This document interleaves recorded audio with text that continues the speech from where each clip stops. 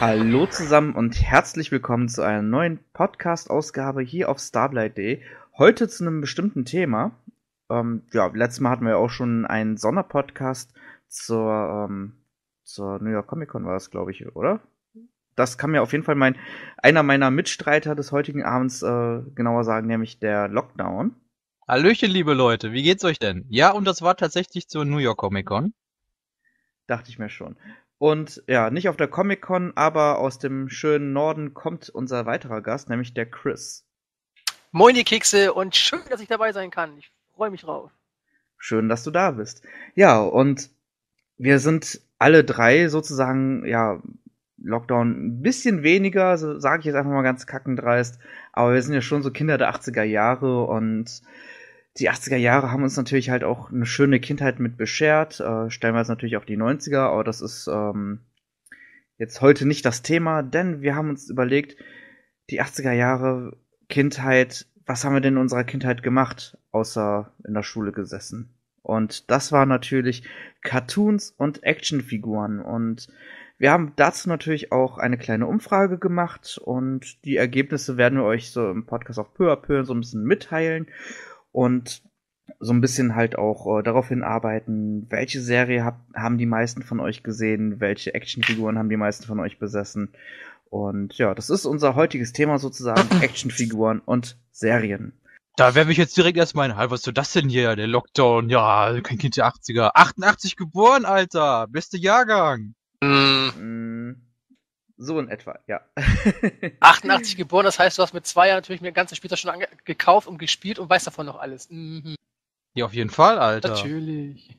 So in etwa. Ich meine, ich hatte ja das Glück, ich hatte ja noch einen älteren Bruder und der hatte wirklich so diesen ganzen coolen Scheiß, diese ganzen geilen Actionfiguren, die habe ich dann bekommen, als er dann aus dem Alter raus war. Dadurch war ich schon Als er halt Brüste vor- entdeckt. sozusagen. Als ich dann noch nicht wusste, wusste, was Brüste sind oder noch nicht so diesen, diesen Blick darauf hatte, da habe ich dann halt dann die Actionfiguren von meinem Bruder bekommen und war halt schon, ja, vorinfiziert sozusagen. Hab dann natürlich auch irgendwann meine eigenen Actionfiguren bekommen, aber ja, so, so, man könnte mich sozusagen als die Resteverwertung für die Spielzeugkiste meines Bruders sehen.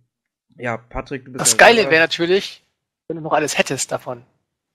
In der Tat, also das wäre Wahnsinn, aber wie es so ist, jugendliche Dummheit, ich kenne so viele Leute, die sagen, ja, als ich in die Pubertät kam, habe ich den ganzen Zeug zum Trödel geschleppt und jetzt beiß ich mir den Arsch. Und ich bin einer davon. Ja, ich auch. Wer ist das nicht? Eben, das ist es ja. Also, eine coole Idee vom Feinsten. Ich kenne kaum einen, der sein Zeug nicht auf den Trödel geschleppt hat. Oder es ist in irgendeiner, irgendeiner Kiste neben der Bundeslade irgendwie auf dem Dachboden versteckt. Ja, kommt hin. Oder die Mutter hat es weggeschmissen, verkauft, verschenkt. Man hat damit ja auch gespielt, das waren ja Gebrauchsgegenstände. Ist ja nicht so mittlerweile wie heute, dass du die Dinger wirklich mit dem Ziel kaufst, die zu Hause hinzustellen, auszupacken, wenn überhaupt auszupacken und dann ins Regal zu stellen. Damals hast du mit der gespielt ohne Ende. Da ist halt mal was abgebrochen, da ist mal was weggekommen, da hat die Schwester mal mit dem Edding was angemalt oder sonst irgendwas. Das ist heutzutage ein anderes Metier geworden. Quatsch, ich habe meiner Schwester gesagt, wenn du das anmalst, male ich dich an. Aber da muss ich gerade auch drüber nachdenken. Es gab so viele, die ihre verkackten Initialien auf Super Nintendo Cartridges geschrieben haben. Oh ja.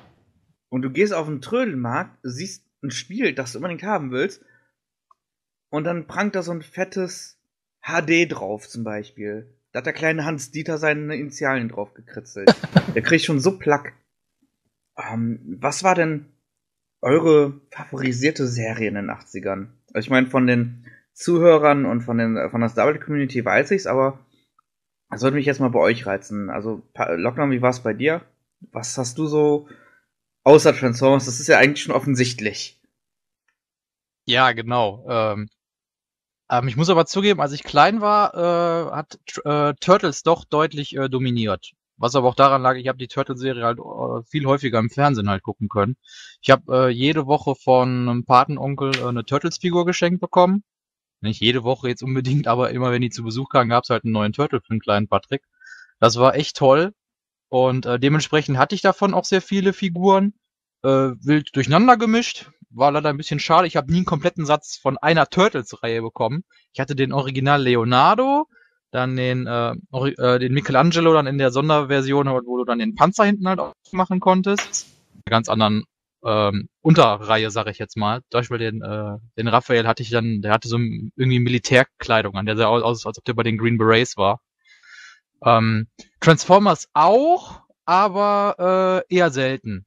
Vor allem, das war ja auch damals zu dem Zeitpunkt in Europa schon so Richtung Ende der Reihe, so Action Masters mäßig. Ich hatte den äh, Action Master Optimus Prime, wo Optimus Prime, der sich ja eigentlich in LKW verwandeln kann, in so einen äh, LKW äh, sich halt reinsetzen kann. Bisschen komisch halt, aber ja, die hatte ich halt, viele Micromasters und ja, sozusagen kann man so sagen. Ein Spielzeug, äh, Figuren hatte ich eigentlich, ja klar, 80er Kind, Master of the Universe, hatte ich sehr viele Sachen. Ich hatte alle Burgen, ich hab, weiß noch, damals hatte ich mir extra meine Weihnachten bekommene Modelleisenbahn verkauft, weil ich die nur einmal benutzt hatte und habe mir von dem Geld dann eine Pride Zone gekauft und ein Hordak auf Karte natürlich und die direkt aufgerissen. Ich könnte jetzt noch dran heulen, wenn ich das jetzt noch drüber nachdenke. Ähm, Mask sehr viel. Ich hatte das Glück, mein damaliger, mein damaliger Vater, klingt auch geil. Mein Vater hat damals bei Quelle gearbeitet, bei dem großen Versandhaus. Natürlich dann auch in der Spielzeugabteilung und habe hab ich da auch etwas bessere Preise bekommen. Da habe ich auch hier und da mal ein Mask-Fahrzeug günstiger oder halt auch mal geschenkt bekommen. Das ist auch sehr, sehr cool. Das sind so die Haupt, zwei Hauptteile von Toyline aus den 80ern, die ich sehr favorisiert habe und auch zum Spielen hatte. Transformer ist bei mir Gott sei Dank ein bisschen vorbeigegangen. Ich hatte zwar so zwei, drei Transformer, auch diese, ich weiß gar nicht, wie die genau heißen, das sind diese Gummi-Transformer gewesen, diese kleinen Gummifiguren, die nicht größer waren als 5 cm, glaube ich. Ja, das sind doch die. Und Würde mir jetzt spontan einfallen, diese Decoys, aber ich wusste gar nicht, dass es die in Deutschland gab. Doch, da waren sehr viele. Also die waren, die waren nur rot, also nur rot und dann jeweils Bumblebee, ähm, Ironhide oder wie die alle heißen. Die Decoys, halt, ja. Genau, die hat man dann zum Spielen gehabt. Und das war so das Einzige, was ich mit Transformer zu tun hatte. Ansonsten, wie gesagt, die, die klassischen Sachen, aber die wurden ja nicht genannt, so Playmobil und so. Nee, aber was ja auch so in den 80ern, äh, einfach mal jetzt mal global betrachtet, ähm, auch so? wirklich gang und gäbe war. Ja, war was? So, ganz lange Pause. Also, ähm, was ja auch wirklich gang und gäbe war, war, dass die Cartoons in den 80ern ja stellenweise auch nur produziert wurden, um die Figuren zu verkaufen oder um halt eben den Figuren halt auch so ein bisschen Hintergrundgeschichte zu geben. Also bei Transformers war es ja sehr stark der Fall, dass, ähm, dass da halt wirklich die Serie als überlanger Werbespot halt produziert wurde. Da gehen wir natürlich gleich auf jeden Fall noch ein bisschen äh, genauer drauf ein. Ja, oder auch bei He-Man war es ja auch so, dass die Serie halt größtenteils natürlich als Werbeträger dienen sollte. Aber ich glaube, das kann man eigentlich so auf nahezu jede Serie aus, also jede Cartoon-Serie aus den 80ern münzen. Ich, glaub, ich meine, das kannst du mittlerweile auf jede Serie münzen. Also ist es halt nur aufgekommen. Da ist diese, diese Welle hat, ist halt halt gestartet.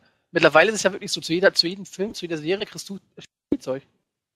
Ja, wobei ich subjektiv empfunden, dass in den 80ern krasser fand ich meine, klar, auch, äh, oder auch in den 90ern, da war es halt auch so, dass, ähm, ich kann mich erinnern, äh, da gab es diese dummen Pinguine aus Batman Returns war es, glaube ich, wo da gegen den Pinguin kämpft.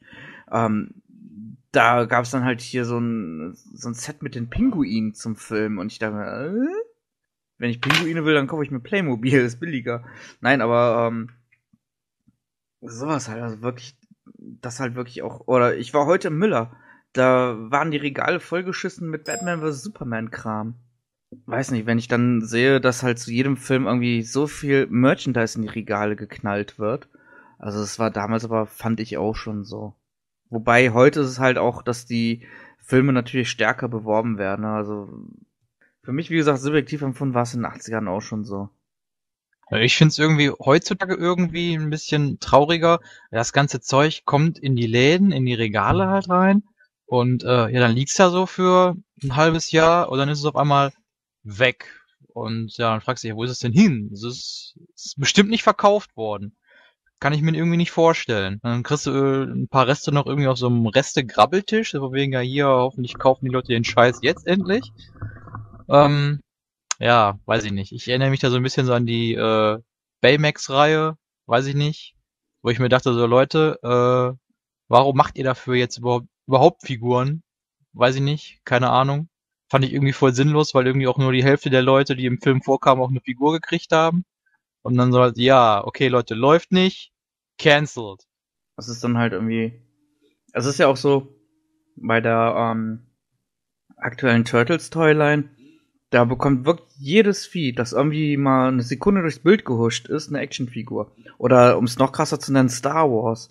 Da hat der Statist, der mal eben äh, beim Sandwich holen eben durchs Bild gelaufen ist, eine eigene Actionfigur bekommen. Ja, selbst der Tontechniker, der aus Versehen ins Bild gelaufen ist, selbst der kriegt eine Actionfigur. Aber es läuft ja. Und wenn Ja. die sehen, dass es läuft und die Leute immer neue Charaktere haben wollen, weil sich beschweren, dass die Charaktere nur neu aufgelegt werden, immer und immer wieder, dann werden die halt ge äh, gemacht und die werden ja auch gekauft. Wobei Plus Star Wars hat ja noch dieses ganze Universe halt noch hinter sich halt mit, äh, yo, dann kam der, die Figur mal halt in dem und dem Buch vor oder in Nee, dem und dem. Videospiel. Ja, aber vorher halt, ne? Ja, das Bevor jetzt die schon. Episode 7 kam. Aber meine, der Star Wars Hype, der ist ja jetzt nicht erst seit Episode 7 wieder da. Star Wars ist immer gehypt, ist immer im, immer im Regal, wird immer gekauft. Wobei ich sagen muss, das finde ich an der ähm, 6 Zoll Black Series so gut. Das ist halt, du hast da zwar auch jetzt ähm, so ein paar Nebencharaktere, wie halt jetzt hier die Bounty Hunters, äh, Greedo, Bosk etc., aber du hast halt nicht so den letzten Pimmel, der irgendwie mal äh, irgendwo in der Requisite gestanden hat. Warte mal ab. Alter, Guido ist doch kein Nebencharakter. Der ist voll wichtig für den Film. Ja. Nein. Doch, der zeigt das, wie badass Han Solo ist. Ja. Han Solo shot first. Ja, gut. Nein, aber um- um halt eben zu untermalen, was ich halt meine. Ne? Ähm, das ist schon halt irgendwie. Das finde ich halt dann bei der Black Series halt dann zum Beispiel ein bisschen gescheiter. Also ich äh, hatte ja mit der ähm, Vintage Collection wieder angefangen, Star Wars Figuren zu sammeln. Und ich kann mich erinnern, die Regal waren voll von irgendwelchen, äh, keine Ahnung, dem Skiff-Guard und ähm, dem, äh, dem Rebellenpiloten und sowas, wobei das ist so Piloten und so Trooper und sowas, die kann man ja immer für Army Building nehmen. Aber gerade das waren ja auch die, die halt dann auch mit am schnellsten weg waren. Also es, ich hatte echt Probleme, einen Stormtrooper zu finden. Ja, ich hatte es ja schon mal in so einem äh, älteren Podcast von uns ja mal angesprochen. Leute, Hasbro, Solid Cases. Ganzes Pack nur mit Stormtrooper, dann sind die Leute glücklich. Ja, das verstehe ich auch nicht, warum sie das nicht machen. Also es ist schon seit, seit den 80ern oder seit den 70ern, seit die Figuren ge ge gemacht werden, also seit 79, 77, stehen die Leute auf Trooper. Das ist so. Und dass sie das immer so vereinzelt nur mal da einen Trooper reinstecken oder da einen rein, Trooper reinstecken. Besonders bei Episode 3 war es ja so.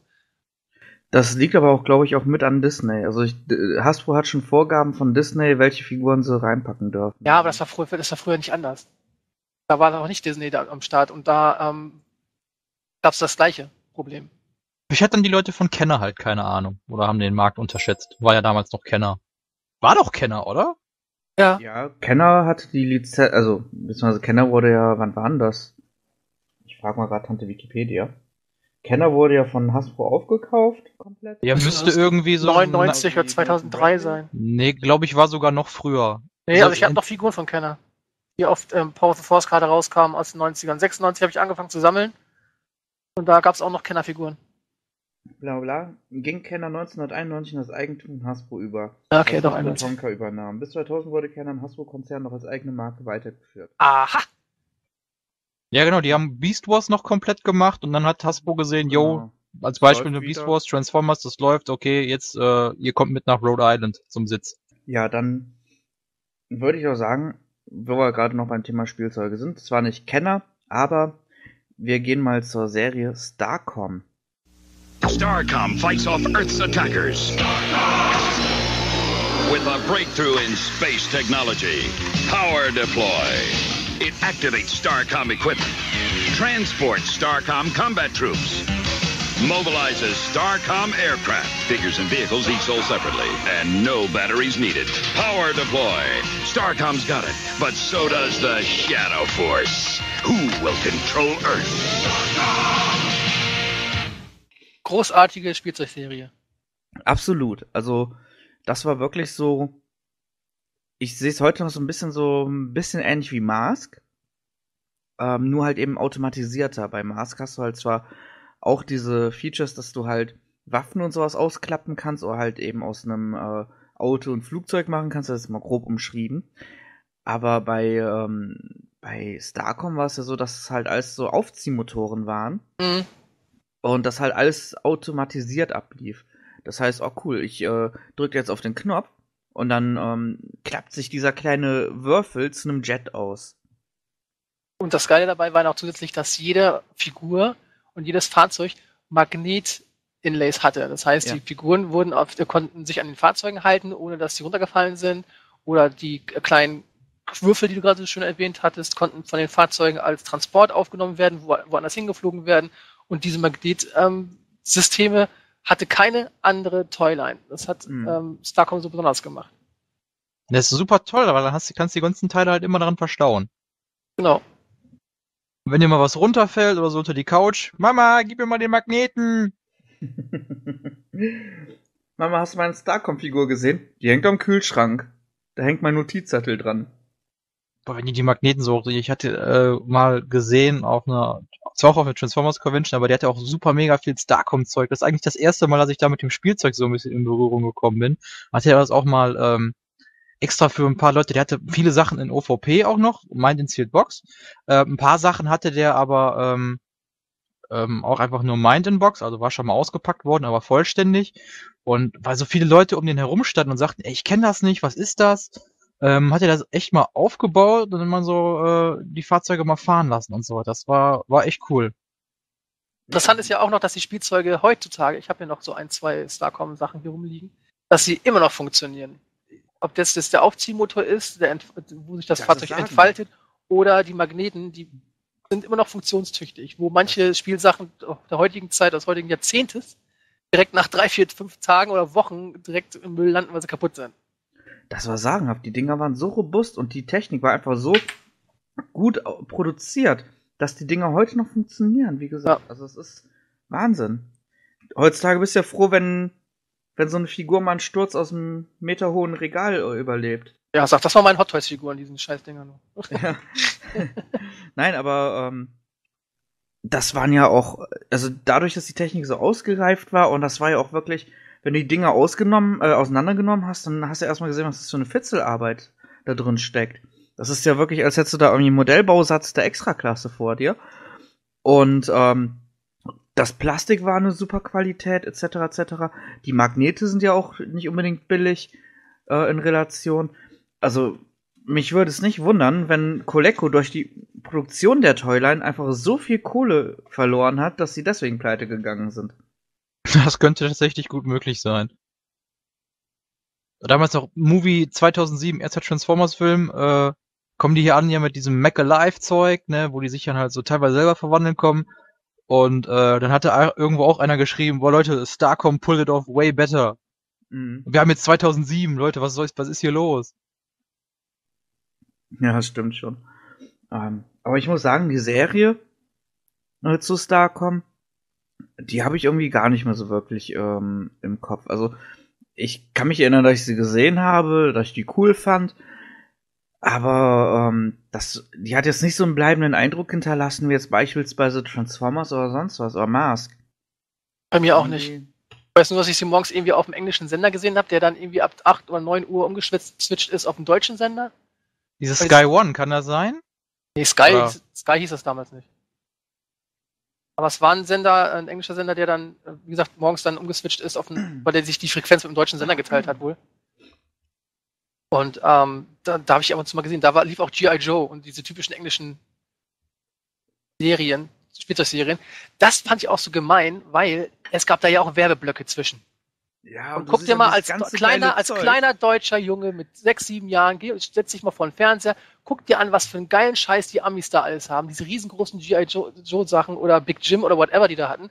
Und du kommst da nicht ran. Es gab kein Internet, es gab da keine Möglichkeit, das zu bestellen oder sonst irgendwas. Du hast dich tot geärgert.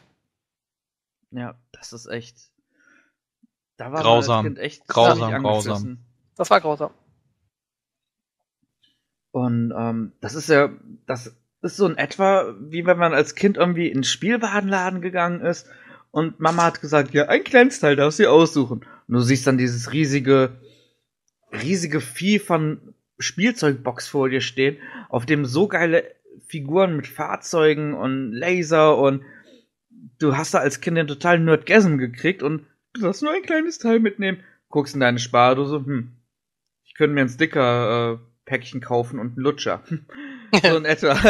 Und, ähm, also ich kann mich noch erinnern, das war jetzt auch Transformers, nicht äh, Starcom, aber ich kann mich erinnern, ich bin mit meinen Eltern früher total auch nach Venlo gefahren. Das ist ja von hier Köln aus relativ äh, schnell, ich glaube ein Stündchen, knapp über ein Stündchen fährst du. Ähm, wir waren dann in Venlo mal einkaufen, da ist ein Spielzeugladen, den gibt es übrigens heute noch. Da waren wir, äh, als wir zusammen in Venlo waren. Patrick. Meinst du in Gersen? Wo du runter in den Keller gehst und diese lange Wand hast. Da hatten wir Ja, genau, in dem Gersen. Ja, der ist echt cool, der Laden. Fake-Transformers gesehen. Ich kann mich erinnern, ich habe diesen verfickten Typen Ah. nie in Deutschland gesehen, aber ich kann mich erinnern, ich gehe in diesen Laden, gucke diese gefühlt 300 Meter lange Wand an und sehe dort stehen Triptychon. Äh, auf meinem Regal steht ein Triptychon. Okay, jetzt bin, Ja. ich mal ganz, bin ich mal ganz ein Außenseiter. Was ist ein Triptychon? Äh, Triptychon ist äh, von Transformers so ein riesiger ähm, T-Rex, der sich in eine Stadt verwandelt. Oder Ah ja. umgekehrt. Ja, ist doch logisch, klar. Ne? Und richtig Also- cool ist, du konntest das Ding aufziehen und das Ding ist gelaufen. Ja. Ne, Quatsch, der hat einen Motor drin gehabt, ne? Ja, Doch, der hatte einen Motor drin Motor, gehabt. Ich, genau. genau. mach ich den Fehler schon wieder, genau wie in dem Video, in dem Werbevideo. Der, war, der ist nicht zum Aufziehen, da müssen Batterien rein. Ich glaube sogar Batterien ziehen den 2D-Batterien, auf. damit das, damit das Ding auch läuft. Und dann läuft der so richtig so schwerfällig wie so ein alt, wie den alten Godzilla-Film und dann, ah, dann macht der alles platt, was durch, was in deinem Zimmer ist. Das war schon herrlich. Ja, da. Anekdote noch an der Stelle, auf der äh, niederländischen Bots Convention, also eine reine Transformers Convention, machen die, machen die das eigentlich noch jährlich? Aber da haben Ja. sie, ja, machen sie jährlich einen Triptychon Race. Sprich, da stellen sich dann zehn Leute in eine Reihe, jeder mit seinem eigenen Triptychon und äh, gib ihm. Also total geil. Ich bin gespannt, wie das dieses Jahr wird mit der Neuauflage von Triptychon. Die haben zwar gesagt, na, mal gucken, ob wir die Neuauflage zulassen oder nur Vintage halt. Und ja, mal gucken. So richtig geil fände ich ja, wenn da irgendwann mal einer ankommt mit Rallye-Streifen, mit einem riesenfetten Heckspoiler und so, so Fliegerbrille. Und noch so ein Be-Ouch drum, ne? Wie Ja. Movie Bumblebee. Oh, herrlich. Ja, also das war schon ziemlich cool. Ähm, ja, dann wollte ich noch die nächste Serie ansprechen, die ich hier auf meiner Liste stehen habe. Die Liste der Erinnerungen. Heute wieder mal hochphilosophisch. Inhumanoids. Das kennt irgendwie kaum einer. Inhumanoids! Inhumanoids! The evil that lies within. Down in the fiery depths of the earth where nightmares begin.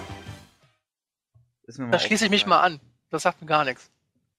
Inhumanoids war für mich, also ich fand die als Kind irgendwie total creepy. Aber halt auf gute Art creepy. Ähm, das waren so alte Monster, die wiedererweckt wurden durch, war das äh, Bauarbeiten an einem Gebirge oder sowas? Ähm, Irgendwie so Arbeiten in der Erde, dann haben die irgendwas, so halt diese Monster halt wieder aufgeweckt, auf jeden Fall. Das wird Ja. so im Intro, glaube ich, erklärt. Und ähm, die Viecher, die waren total creepy. Da war eins, ähm, der hatte sozusagen äh, kein Fleisch mehr auf der äh, auf den Rippen und der, der konnte seine Rippen öffnen und dann hat er da äh, irgendwie die Menschen reingesteckt, äh, so als Gefängnis sozusagen. Also total creepy. Also die Kinder heute würden darauf gar nicht mehr klarkommen, glaube ich. Ja, oder einer, der hat die, hat äh, seine Feinde auch irgendwie gefressen und du konntest halt sehen, wie die so im, in den Organen so rumschwimmen, so als ob die gleich verdaut werden. Wow, so richtig so blobmäßig, so, wow, nee, richtig creepy. Ja. Und ähm, ich so im Nachhinein, als ich mich dann halt auch mit ähm, mit dem Cthulhu-Mythos äh, beschäftigt habe und so, dachte ich mir so, ja, es ist eigentlich ja irgendwie irgendwie passt das ja so so, so ein bisschen so die großen alten. Ne, also habe ich mir dann so irgendwann gedacht. Aber ich hatte auch nie Actionfiguren davon. Also ich kann mich auch nicht erinnern, dass es die in Deutschland gab. Aber Ich kann mich auch nur an die Monster erinnern, also die, Ja, an die ne? bösen Monster hauptsächlich. Ja. Ich weiß gar nicht, wer, ich weiß gar nicht mehr die ganze Prämisse. Gab's, ob es da gute Monster gab oder so, die dann Ja, gegen die gab so bösen eine- Monsters oder so gekämpft Ja, haben. es gab so diese drei bösen, großen Monster im Humanoids und der Earth Corps, diese Vereinigung, die dann halt, äh, ja, den auf die Nuss gegeben hat, sozusagen. Und, Also ich habe mir das ähm, Intro mal angeschaut. Da, das sagt mir wieder was. Aber Ja, also, ne, es ist ja so, wenn man das dann halt mal wieder sieht, dann äh, macht's auch so ein bisschen Klick und dann, naja, da war ja was. Ja, da macht's halt auch, oder wenn, wenn die Serie irgendwann mal irgendwo früh morgens in einem Rerun lief, ne, so auf Tele 5 oder so, oder keine Ahnung, wo Inhumanoids hier in Deutschland halt lief damals, ähm, dann guckt man das auch so, dann nimmt man das vielleicht auch so gar nicht wahr, weil früh morgens, man steht auf, macht den Fernseher, man hat das Intro nicht gesehen, man ist mitten in der Mhm. Folge drin, hat's dann einmal gesehen und dann, ja, ich hab's gesehen. Äh, so ging mir das beispielsweise, um nochmal um auf, auf Starcom zu kommen. Ähm, ich habe Starcom bestimmt mal hier irgendwie äh, gesehen. Ähm, hab's dann aber halt nicht realisiert. Aha, das ist also Starcom, okay. Ah. Weil Starcom ja auch irgendwie für mich immer ein großes Problem hatte vom Namen her. Äh, das ist so voll generisch halt. Ja, Ja, Starcom. schon, ne? Also. Als ob nicht schon genug Serien gibt, die mit Star anfangen. Ich habe mir jetzt gerade mal ein Bild aufgemacht von den Inhumanoids Actionfiguren, also von diesen drei großen Bösen. Ich muss sagen, wenn ich die so vor mir stehen sehe auf dem Bild, äh, dann finde ich die eigentlich gar nicht mehr so creepy. Da sehen die eigentlich so ein bisschen lächerlich aus. Aber ich kann mich erinnern, als Kind fand ich die in der Serie creepy. Also da sehe ich jetzt gerade auch hier das Vieh, was ich meinte, mit, äh, mit den offenen Rippen. Ähm, der sieht da irgendwie total knuffig aus, irgendwie wie so ein kleiner. Äh, Schick das doch mal rum hier. ja, ähm, wie so ein kleiner Hund irgendwie, der keine Haut mehr auf der Schnauze hat. Ähm, so ein bisschen mollig, irgendwie sieht so ein bisschen aus, als würde der in der Schule gehänselt werden. Und dann halt so eine Art Mischung aus Swamp Thing und Cthulhu. Und halt noch irgendwie ja so ein komisches. Also, du beschreibst das so ja wie ein Hund, der kein Fleisch mehr auf den Knochen hat. Das sieht, sieht überhaupt nicht creepy aus. Ja, guck dir die Figuren mal an, also es ist. Ja klar, lächerlich sehen die aus, aber ich finde, die sehen immer noch. Aber knuffig aus. ist was anderes, Alter. Also das werde ich nicht als knuffig haben. Ja, der mit dem, ja, der mit dem, mit dem Ribcage, den du aufmachen konntest. Der wurde Ja, übrigens auch genau. von Chris Lata gesprochen. Von dem Starscream-Sprecher, der auch Cobra Commander gesprochen hat. Deswegen habe ich dann, äh, deswegen kam ich so ein bisschen zu Inhumanoids, weil ich so Ah, über die Hola, Transformers-Sprecher recherchiert hatte. Also als Kind hätte ich die Figuren trotzdem creepy gefunden. Definitiv, ey. Ja, Der- sag der- ich ja, der also der ich Vordere- die- Der erinnert mich so ein bisschen von der Machart her an den Rancor aus den äh, 80ern. Ja, Ja, wollte ich auch gerade ja. sagen. So, so Rancor, aber so mit Rancor mit Yoda-Ohren. So sieht er aus. genau. Allein schon wie er die Hände hält, das erinnert mich total an den Rancor, ja, hast recht. Ja, Secret Love Child auf, auf Yoda und Rancor. oh. Muss Halt- mal bitte irgendein Star Wars Fan einen Minifilm dazu. Yoda hat sich nach Tatooine verirrt und dann ist er ewig in Dark auf Dagobah gelandet dann. Nee, ich kann nicht zurück, ich kann nicht zurück. Schnäuzchen du hast. Boah. Befummeln ich dich möchte. Mein Licht werde ich dir zeigen. oh, okay. Ja, genau, jetzt mal weiter.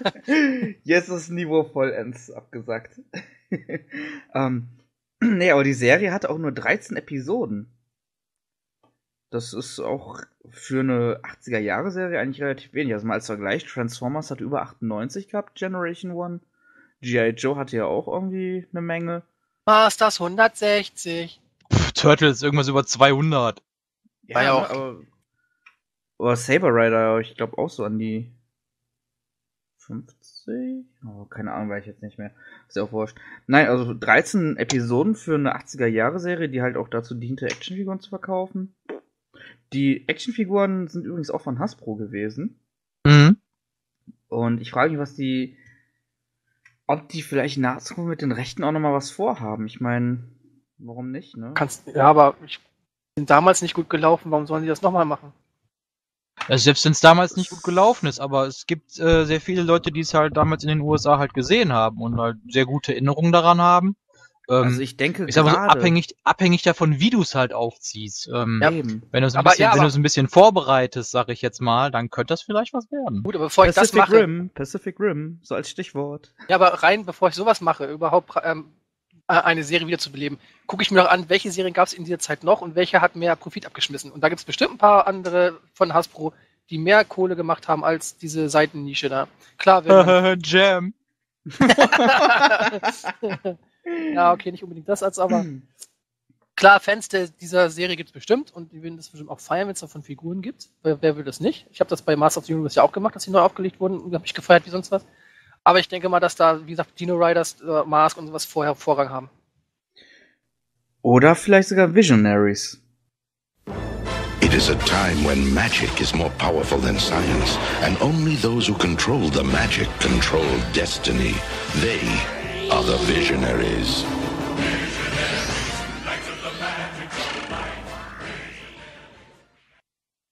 Tolle ja. Überleitung, Alter. ja, war richtig, richtig ja. grenzwertig. Nein, also Visionaries, da kann man ja eigentlich auch schon von fast von ausgehen, dass da noch was kommt. Da Oh, Marco, Ja, sag, sag uns mehr. Worauf begründet sich diese Annahme denn? ja, vielleicht habt ihr den Artikel gelesen, den ich auf unserer schönen Startseite vor gar nicht allzu langen sechs, sieben Jahren, nein, natürlich nur ein paar Monate, ähm, mal gepostet habe. Denn ich suche nochmal raus. Denn äh, Hasbro hat ja sozusagen auch ähm, so eine Art Shared Universe im Kopf. Unter anderem auch mit Mask und mit, ähm, mit anderen Serien. G.I. Joe. Ne, finde ich jetzt gerade nicht im Beitrag. Wo habe ich denn das? Okay, ich habe es doch nicht auf der kom- Startseite, ich habe es im Forum geschrieben. Ich Ähm. sehe schon vor mir, wenn dann der Cobra Commander auf dem Dinosaurier reitet und dann den Thunderhawk von Matt Tracker jagt. Hm, klingt eigentlich gar nicht mal so ge also gar nicht mal so schlecht, wenn man es ausspricht. Genau, gar nicht mal so geil.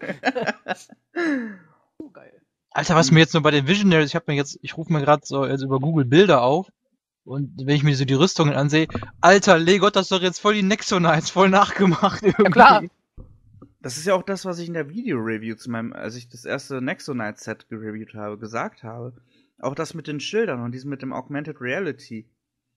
Wobei es bei äh, Nexonites leider unter dem äh, eingesetzt wurde, was es könnte. Ähm, aber an für sich äh, finde ich das schon relativ nah inspiriert.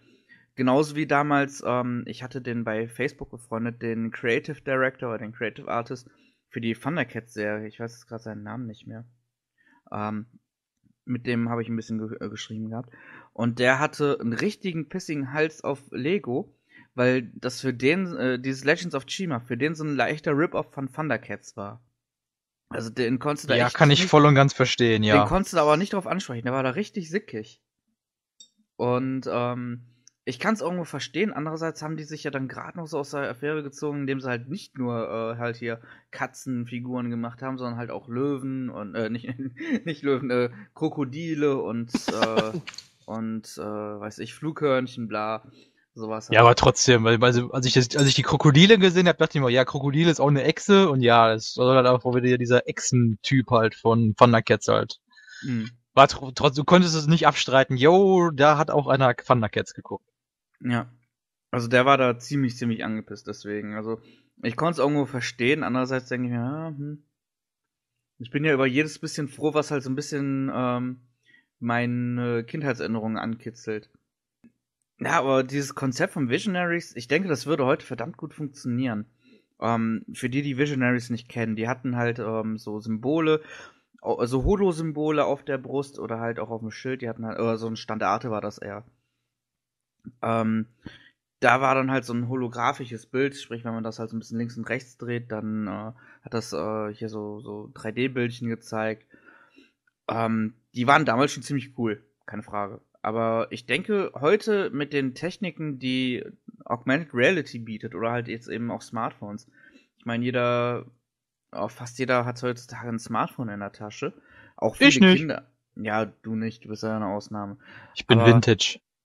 Das Kind, das äh, 1988 geboren ist, ist Vintage. Du hast noch, du, er hat noch eine Wählscheibe zu Hause. Oh, jetzt wird's aber hier richtig retro. Nein, also ich denke, mit der heutigen Technik wäre das schon ziemlich cool, da was draus zu machen. Ich stelle mir das so vor, ähm, Chris hat ja auch ein 3DS, du hast ja bestimmt auch schon mal dieses Augmented Reality mit diesen, äh, mit diesen Karten. Karten. gemacht, ne? Ja, ja, genau. So in etwa stelle ich mir das mit Visionaries vor. Sprich, du hast links und rechts halt so, natürlich halt so leicht zur Kamera gedreht, damit die Kamera das halt auch erkennen kann. Äh, von den neuen Visionaries-Figuren äh, links und rechts einen stehen, einen guten und einen bösen. Die Kamera erkennt links das Symbol, erkennt rechts das Symbol und animiert dann halt auf dem Handy-Display sozusagen, wie da diese Symbole lebendig werden und sich dann halt so ein kleines Match liefern. Also quasi Handy-Display. Yu-Gi-Oh! Karten für Arme. Sozusagen, ja. Aber sowas, weißt du, das stelle ich mir geil vor. Als Kind, ich hätte das sowas von abgefeiert. So, jetzt gehen wir einen Schritt weiter und stell dir das vor mit ähm, Sony PlayStation VR. Ja. Zum Beispiel. Kannst du auch machen. Ja. Das war, ähm, um nochmal den Bogen zu schließen zu diesem Multi-Property Universe, wie es halt von Hasbro genannt wird. Ähm, die haben ja ein eigenes Filmstudio gegründet, die Allspark Pictures. Und die wollen halt diverse Marken, wie halt G.I. Joe, Micronauts, äh, Mask, Visionaries, zusammen mit Paramount halt eben als Film-IPs ähm, machen. Beziehungsweise G.I. Joe hat ja schon zwei Filme bekommen. Aber es gab ja schon Gerüchte, dass man vielleicht äh, G.I. Joe 3 mit Mask verbinden könnte. Ja, da geben sich dann der Roadblock und der Okay. Matt Tracker so die Klinke in die Hand. Ja, aber ich fände das irgendwie auch geil. Also irgendwie würde es ja passen. Also ich Mask ist für mich, äh, ich sehe Mask so ein bisschen als Mischung aus äh, G.I. Joe und Transformers. Du hast halt diese Menschen, die Autos steuern, die sich aber verwandeln können, wie Transformers. Nur halt, dass es eben keine autonomen Roboter sind. Die Idee ist ja auch überhaupt nicht schlecht und äh, ist cool, dass, dass Hasbro das wirklich jetzt auch so planen will. Ähm, ja, da, da, die haben ein Studio gegründet mit Personal dahinter und das wird alles geplant und so weiter. Nur all diese ganze Umsetzung, ja, wir machen das als Filme, als Filmuniversum. Ich denke mal, damit werden die leider so richtig auf die Fresse fliegen. So was musst du Mhm. als Serie ausprobieren. So, wenn die, Ja. wenn die, wenn die das als, wenn die Kinder das als Serie sehen und dann kündigst du an, jo, das kriegst du jetzt auch als Film mit echten Schauspielern und super mega Action und Michael Bay fackelt die ganze Leinwand ab. Ähm, dann kannst du das auch bringen. Mhm. Aber ich denke halt eben, oder halt eben auch als Comicreihe, ne, würde ja auch schon was äh, würde ja auch schon reichen. Ähm, da kommt ja jetzt auch von Mask eine neue Comicreihe, äh, auch von IDW Comics. Auf die bin ich auch ziemlich gespannt. Ähm, Nochmal kurz Mask, eigentlich wollte ich mal Mask später aufheben. Ähm, aber da gab es ja auch dieses ähm, Projekt äh, Unit E oder Unite. Äh, ich weiß immer noch nicht, wie es ausgesprochen werden soll, weil es wird geschrieben Unit wie Einheit, Doppelpunkt E. Das könnte Unit E oder eben auch Unite heißen, je nachdem. Ähm, aber da hatte man ja auch schon so, so Konzeptzeichnungen gesehen, oder es war ja irgendwie nur so ein Zwei-Seiten-Comic, der halt möglichst viele äh, IPs von Hasbro ja zusammen auf einer Seite darstellt. Aber das, ähm, die Artworks haben mir eigentlich schon ziemlich gefallen. Und man hat es halt auch hier so eine Art äh, Teaser-Plakat eben für Visionaries und Mars gezeigt. Das verlinke ich euch gerade auch nochmal unten, damit ihr auch was zu sagen könnt. Und das sieht eigentlich schon ziemlich cool aus. Also ich denke, Visionaries, wenn man es richtig anstellt, könnte auch ziemlich cool werden. Also ich habe die Serie gerne geschaut. Ich fand die Figuren damals schon geil, weil halt Sci-Fi und Ritter, das ist so, das kitzelt, glaube ich, jedes kleine Kind irgendwie mindestens mit einer äh, Themenseite, ob es jetzt entweder Sci-Fi oder Ritter ist, aber mit eins von beiden konnte man eigentlich jedem Kind irgendwie äh, Begeisterung zaubern. Ja, Ja, vielleicht kommt ja jetzt so, so ein bisschen der Hype auch wieder so. Ich meine, jetzt kommt ja demnächst auch der Warcraft-Film. Ja. Dann hast du wieder so eine feste Größe, so Fantasy-mäßig auch wieder im Kino. Wenn der gut läuft, machen die ja bestimmt auch viele weitere Teile dazu. Und ähm, ja, vielleicht wollen halt andere auch einfach nachziehen. Ja, wobei, bei, ja, okay, also, da bin ich jetzt wieder Korinthenkack, aber bei Warcraft, da sitzt ja auch Blizzard dahinter. Blizzard haben ähm, dann natürlich auch ein Auge drauf, was mit ihren IPs passiert. Und Hasbro sagt ja, Hauptsache ihr macht damit eine Menge Asche, ist mir scheißegal, ob Michael Bay zum x-ten Mal wieder auf dem Stuhl sitzt, aber Hauptsache kommt mächtig Asche ins Haus wir können unsere Spielfiguren verkaufen. Das ist irgendwie, das finde ich auch irgendwie so geil. Ich meine, wir waren ja auf der Spielwarenmesse in Nürnberg Anfang Januar. Da haben wir ja die Warcraft-Figuren gesehen. Die sehen jetzt nicht schlecht aus, aber irgendwie habe ich das Gefühl, ja, der Film wird rocken.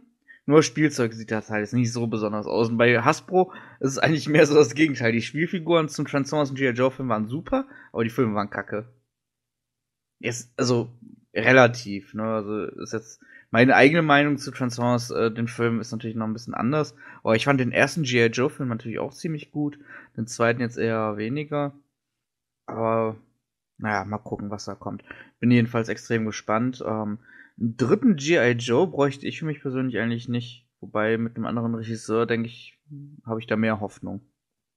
Doch, wir brauchen unbedingt einen dritten G.I. Joe, weil ich unbedingt eine weitere große Schlacht Cobra gegen G.I. Joe sehen will.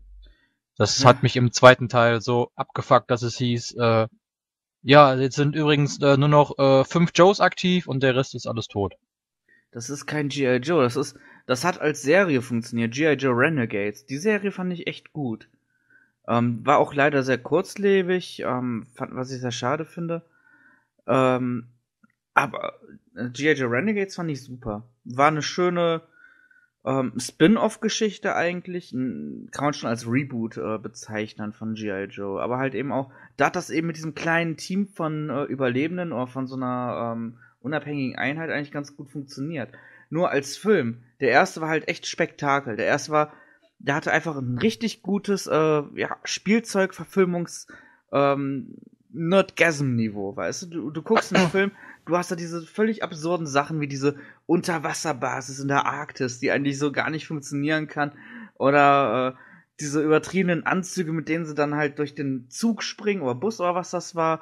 Und also der Film hat einfach von vorne bis hin einfach so fucking Spaß gemacht, weil er sich nicht ernst genommen hat. Die wussten, hey, was wir hier machen, ist völliger Schwachsinn, aber wir haben da jetzt einfach voll Bock drauf.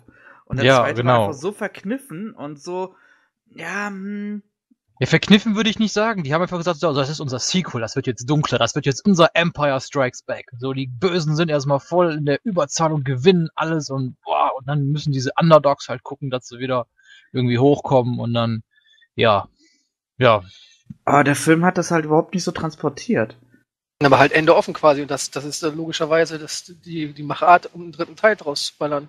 Und sie haben sich auf jeden Fall sehr schön offen gelassen, dass die meisten Leute das erwarten. ja. Jetzt nicht so wie äh, am Ende von Super Mario Bros. der Film, wo Daisy da wieder da steht. Mario, Luigi, ich brauch euch. Nicht schon wieder, Daisy. Das ist schon das siebte Mal diese Woche. Und wir haben erst Montag. ähm, ja, also. Ich muss aber auch sagen, G.I. Joe, die Serie, habe ich gar nicht so gesehen. Also, wie gesagt, jetzt Renegades habe ich gesehen. Ich hatte mir mal eine Folge von Sigma Six ran, äh, angetan. Aber die hat mich irgendwie überhaupt nicht so begeistert. Ich habe da, glaube ich, nach der Hälfte wieder ausgemacht, weil es einfach so komische Grütze ja, war. das war richtig, war, nee, das war, das Einzige, was ich, äh, das Einzige, was ich an, an der äh, 6x6-Serie sehr, äh, sehr gut war, war also dieses, äh, dieses, ja, nicht das Konzept, aber so wie die Folgen aufgebaut waren. Das ist halt einfach nicht so, dass das ganze Team halt in jeder äh, Folge aufgekommen, aufgetaucht ist. Wurde es dann, äh, die erste Folge war dann ähm, halt erstmal dieses äh, Setup, ja, der Cobra Commander ist äh, eingekerkert und äh, das Team G.I. Joe hast du von jedem, vom Team halt mal kennengelernt oder die, auch die Konstellation, wie wird das Team demnächst aussehen. Und ab da hattest du dann ähm, in jeder Folge so ein Setting. Da war das Duke gegen Satan, meine ich, und äh, Scarlet gegen die Baroness. Und einmal war, ich glaube, ich weiß nicht gar nicht, ob Roadblock in der Serie dabei war. Auf jeden Fall irgendeiner war dann, musste dann halt gegen Destro antreten und das war halt cool. Das war richtig, jede Folge war ein anderer Versus halt eben halt. Das Mhm. war richtig, das war richtig, vom Konzept her war das richtig cool. die 80er Jahre Serie, die habe ich irgendwie nie verfolgt. Ich meine, die lief ja auch nicht in Deutschland. Hier in Deutschland kam Lief die denn hier nicht auch als Action Force hier? Nee, die Ja, lief- dazu wollte ich gerade kommen. G.I. Joe wurde nämlich hier in Deutschland als, oder ich glaube allgemein hier im, äh, in Europa, oder? Allgemein in Europa, ja, ja, weil die haben einige Bios, meine ich, sogar geändert, dass es dann hieß, ja, der, äh, der Flint, meine ich, der, der hieß dann hier auch, zwar hier Flint, aber dann hieß es dann, ja, der, äh, äh, der, das ist ein Brite und kein Amerikaner mehr. Irgend, irgendwie so, meine ich. Die haben, ein paar- die haben ein paar Origins halt äh, umgeschrieben, meine ich, für einige Charaktere. Es waren eigentlich die gleichen, ähm, und dann halt sind die einfach nur aus anderen Ländern gekommen. Was dann irgendwie ziemlich lustig war, wenn die Action Force auf G.I. Joe traf, irgendwie in Events oder so. Und äh, eigentlich hattest du dann den gleichen Charakter dann nochmal. Nee, also ich glaube, so das erste, was ich ja wirklich so davon in Berührung bekommen habe, war, als mein Bruder von seiner Patentante äh, von Action Force dann halt so ein ähm, Schneefahrzeug geschenkt bekommen hat. Das war so das erste Mal, dass ich irgendwie überhaupt was von G.I. Joe Action Force mitbekommen habe. Und ähm, ich kann mich, das, das fällt mir gerade nur ein, da waren wir mal wieder in Holland. Wir waren ziemlich oft in Holland, irgendwie gefühlt jedes freie Wochenende. Ähm, da habe ich gesehen, ich weiß auch nicht, ob das. Jedes freies Wochenende als, als kleines Kind. Ja, ich musste arbeiten. Ich hatte nicht immer das Wochenende frei. Ich war, auf, Ma- ich war erst monatelang auf Montage. genau, mit sechs.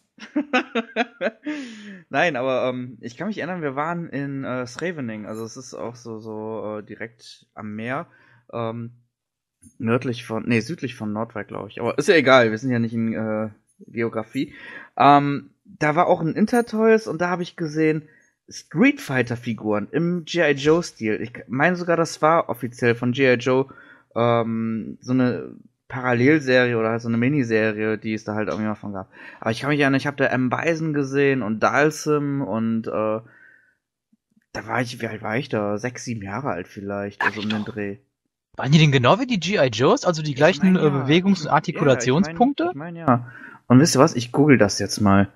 G.I. Joe Street. Ach ja, ey, ja, jetzt wo du das sagst, da gab's doch, da gab's letztens auch wieder so ein Crossover-Comic von IDW, glaube ich sogar. Da will der äh, M. Bison mit Destro will die, wollen die so ein äh, äh, so ein Kampfturnier halt ha äh, halten und und ja, dann kämpfen Cobras und Joes gegen Street Fighter Charaktere. Ich habe aber noch nicht gelesen. Ja, genau, die sind das. Also, Zwölf Figuren gab's davon. Ja, genau. M. Bison habe ich auf jeden Fall gesehen.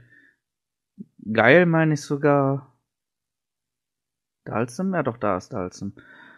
Also, kann ich mich auf jeden Fall noch richtig dran erinnern, wie ich davor stand, mich gefragt habe, Hä? Street Fighter Figuren?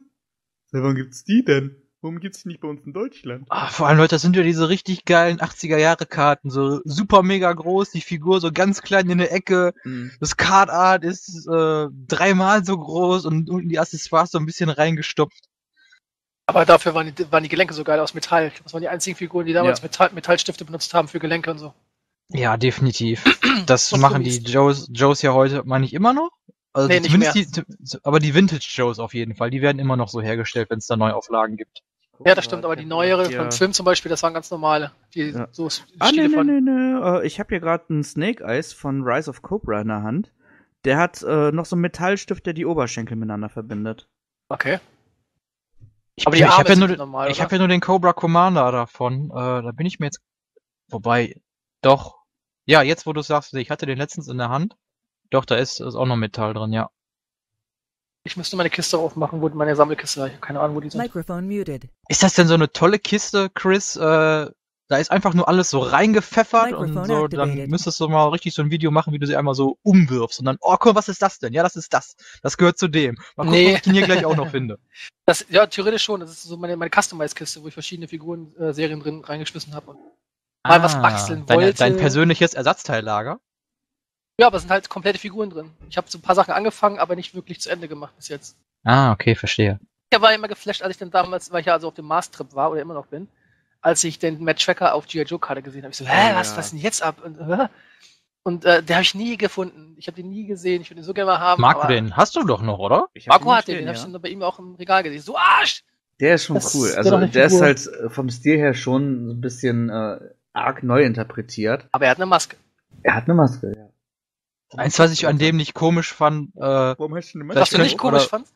nein, was ich an dem sehr komisch fand, ist, ist äh, warum ist das äh, der Helikopter, das Jetpack-Ding, was der auf dem warum ist das grün? Das ist eine, eine Hommage an das äh, Motorrad von Mark. Ah, okay. Condor. Condor, genau, ja. Ja, von amerikanischen Helden kommen wir nun zu Katzen. Oh. Nein, nicht die Katzen. Was denn dann? Was für Katzen gab's denn noch? Garfield. Ich mag keine Montage und ich esse nur Lasagne. Kannst auch Heathcliff nehmen. Den fand ich immer komisch, weil der nicht geredet hat. Doch, hat er. Doch. Ja, immer nur, wenn er dann dieses komische Crossover mit dieser anderen Katze hatte, die auf diesem Schrottplatz lebt. Äh, nein. Äh, der hat immer gesprochen. Garfield. Hat nur gesprochen. Garfield hat nie gesprochen. Ja. Garfield war so ein Gedankensprecher. Nein, was ich meine, sind fünf Katzen, die sich zusammen zu einem großen Kampfroboter zusammenschließen. Und wir reden jetzt Ah, gerade nicht Pi- von äh, Power Rangers. Samurai Pizza Cats. Genau. Mit Nur dem Voltron-Mesh-Up. Ah, verdammt. From days of long ago, from uncharted regions of the universe, comes a legend.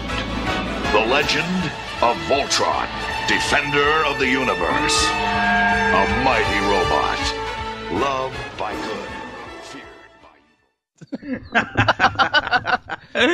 Voll erwischt. Ja, aber nur mal so, aber ey, äh, Samurai Pizza Pizza Cats, die hatten doch auch so ein, so ein Mac doch, oder? Aber es waren keine Mhm. fünf, das sind nur drei gewesen. Ja. Aber Ist die, ja war- egal. die fand ich aber geiler. Die waren cool, ja. Aber es war, war ja eigentlich eher eine Anime-Serie, meine ich, ne? Ja, aber trotzdem war sie geil. Ja gut, Voltron ja auch. Also, da sind wir, ich wollte gerade sagen, Voltron. da sind wir in diesem Podcast mal nicht so kleinlich. Ja, dann Ähm, haut raus. Ich halte mich nochmal raus, weil Voltron habe ich so überhaupt nichts, also gar nichts zu sagen. Ich habe Voltron auch nie so wirklich aktiv gesehen. Ich hatte ja damals dann von Anime House als Rezensionsexemplar ähm, diese, dieses Boxset bekommen ähm, mit der neuen Synchro. Äh, viele Grüße an dieser Stelle an den Timo, falls er diesen Podcast hört. Äh, tolle Arbeit hast du da geleistet. Ähm, der hat nämlich das äh, Dialogbuch geschrieben. Und ähm, es hat auch sogar ein Charakter ähm, gesprochen. Ich glaube sogar, es war Sven. Ich bin mir nicht sicher. Aber tut es gerade auch nichts zur Sache. Ja, doch, eigentlich schon. Es geht ja um Voltron. Aber ähm, Voltron habe ich irgendwie nie so, so ganz gesehen. Ich habe irgendwie mal in Sp im Spanien-Urlaub habe ich dann halt mal irgendwie einzelne Figuren von Voltron gesehen, die man dann, glaube ich, halt auch zu einem großen zusammensetzen konnte. Kann auch sein, dass es ein Knockoff war. War das dann auch dieser, der Katzen-Voltron oder war das Ja, der, ja, äh, ähm, also ich dachte jetzt, du meintest vielleicht diesen Vehicle-Voltron, der dann was später kam. Das ist übrigens auch eine interessante Anekdote, ähm, denn Lion Force und diese Vehicle Force, wie ich die jetzt einfach mal nenne, das sind eigentlich zwei völlig unterschiedliche Serien, die aber halt für den Westen zu einer Serie im Prinzip zusammengewürfelt wurden. Sorry, sorry, sagst du das bitte nochmal? Was? Das Vehicle? Boah, Alter, da krieg ich Ohrenkrebs vor. Wie heikel. Ja, Vehikel. Vehicle. Ja, es, im Englischen wird es auch Vehicle aus. Nein. Nein. Ja, Gott, leck mich doch. Nein. Bist du jetzt in Oxford, die würden dich kreuzigen. Sind wir aber nicht. Wir sind jetzt hier im Podcast. Ja, eben. Wir sind bei Starblight, da darf man das. Da Oh, die- das Buben jetzt? Nein, gut, aber äh, Lion Force und halt äh, Vehicle Force. Ähm, der Originalname von Lion Force war Hyakuju o. Also Gol, ja, Golion, Golion, keine Ahnung. Und ähm, irgendwie ist das halt irgendwie nicht so. Sind das zwei unterschiedliche Serien, aber halt für den Westen wurde es halt eben ähm, zusammenhängend gemacht. Was man jetzt davon halten kann. Aber ich fand äh, das mit den mit den Vehikeln immer irgendwie total dämlich. Es sah halt Ja, ich, das fand ich auch irgendwie voll mega komisch, weil dann war dieser Vehicle Voltron halt äh, erst im Weltall als kompletter Roboter und dann mussten die in einer Folge aber irgendwie auf verschiedene Planeten. Und dann haben die sich gesagt, ja, wir müssen uns jetzt aufteilen, um die Bösen überall gleichzeitig Hm. aufhalten zu können. Und das Ding hat sich aufgeteilt in, was weiß ich, da drei Raumschiffe, da drei Fahrzeuge, da drei, Da da drei noch mal was.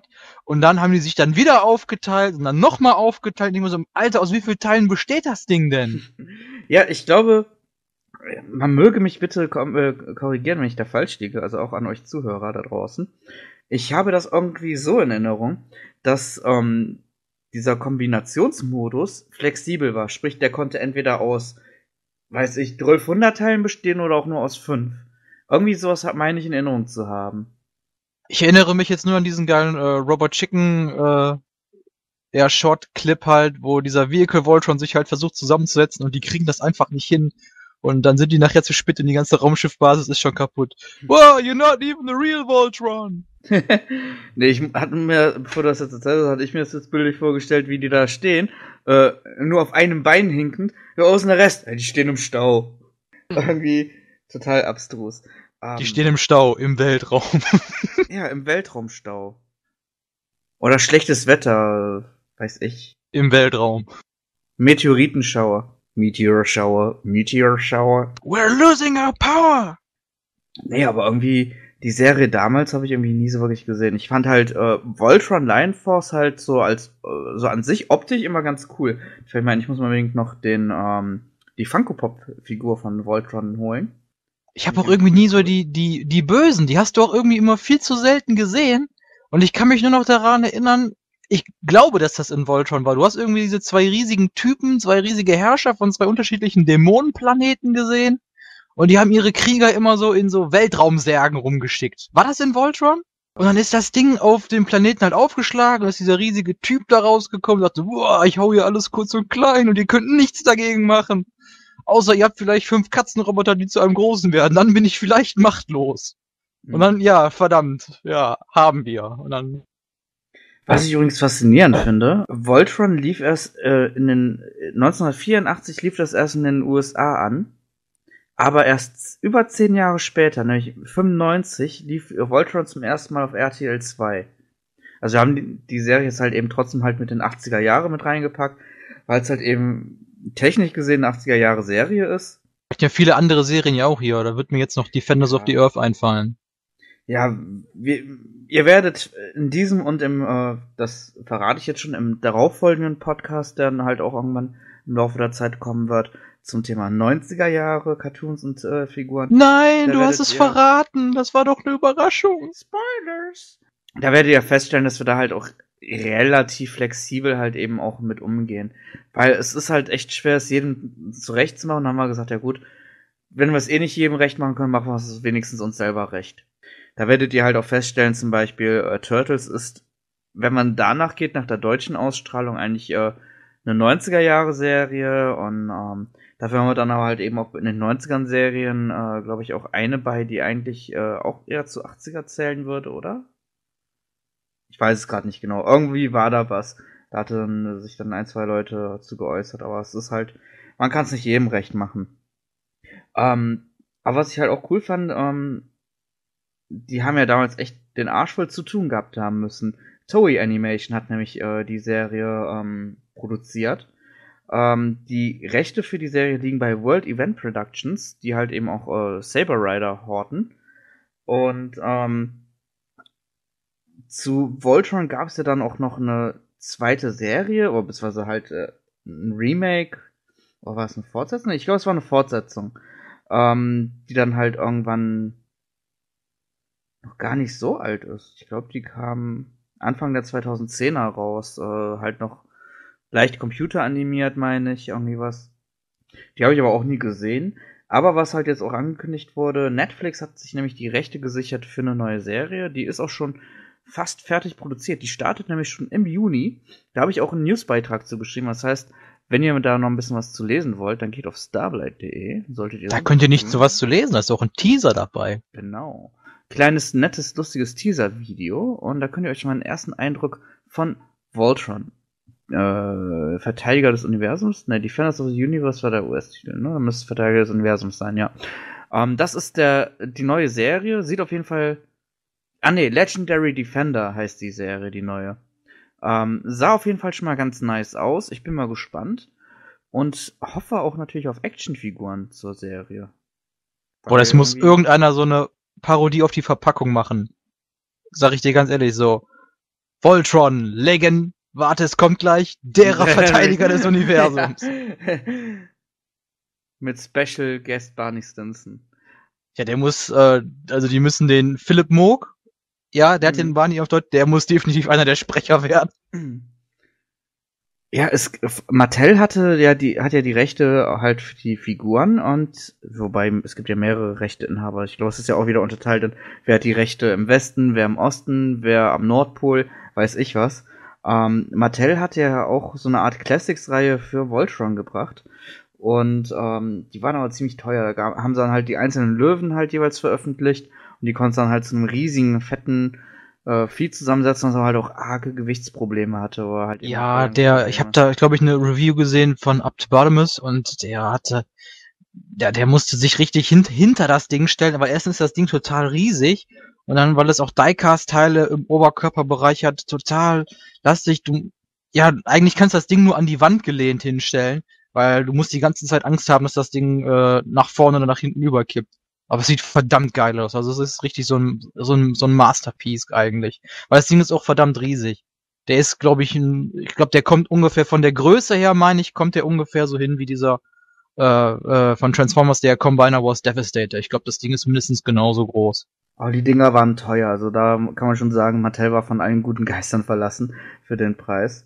Ja, weil die waren auch, glaube ich, nicht so gut beweglich. Die konnten wirklich nur hier die Basics machen. Äh, sprich, du konntest die Arme und Beine bewegen, aber nur auf einer Achse halt, die Achse, die halt direkt am Körper war, ähm, um die so in relativ dynamische Posen zu bringen. Ähm, aber die hatten irgendwie keine Lichteffekte, keine Soundeffekte, kein gar nichts Mhm. und die wollten trotzdem irgendwie, keine Ahnung, mindestens äh, 100 Dollar oder so für die Teile im, im Sofort, äh, als die damals in die Läden kamen, wollten die sofort 100 Dollar dafür haben. Ja. Und da haben halt viele auch gesagt so, pff, nee. Ja, also wie gesagt, da ist Mattel echt von allen guten Geistern verlassen gewesen und ähm, Geister gehören nun mal gejagt, ne? da, da. Ich laufe jetzt gerade zu Hochtouren auf. Oh ja, ich bin schon, ich bin schon auf die nächsten gespannt. Alter. Was, was, jetzt bin ich ja mal gespannt, was jetzt kommt. Na was wohl? Shira. Schlümpfe! Schlümpfe. ja. Da habe ich einiges zu sagen. Also. Wenn man jemand lang genug wirkt, wird er auch zum Schlumpf.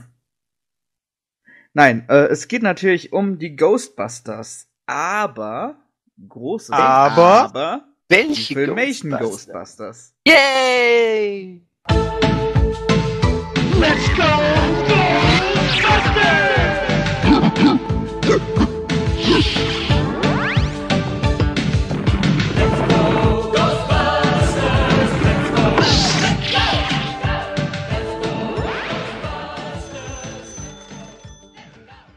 Mit Tracy, dem Affen, Genau. Ähm, Gorilla war das schon. Wenn du sagst schon richtig. gehört zur Spezies der Affen. Ist so Das egal, aber trotzdem kann man das schon sagen. Das war, es war auf jeden Fall kein Schimpanse, es war ein Gorilla und der sah auch ein bisschen aus wie Indiana Jones, weil er so einen Hut auf hatte und eine Weste und der hat auch so Nein, Shorts getragen. Weste, der hatte Bermuda-Shorts getragen. Der hatte keine Weste, ich wollte gerade sagen. Ich war nackig. schwören können, der jetzt auch Oberkörper nackig. Hm, naja, ist auch egal. Ach, jetzt ist es egal, jetzt hat er kein Recht. Jetzt ist es egal.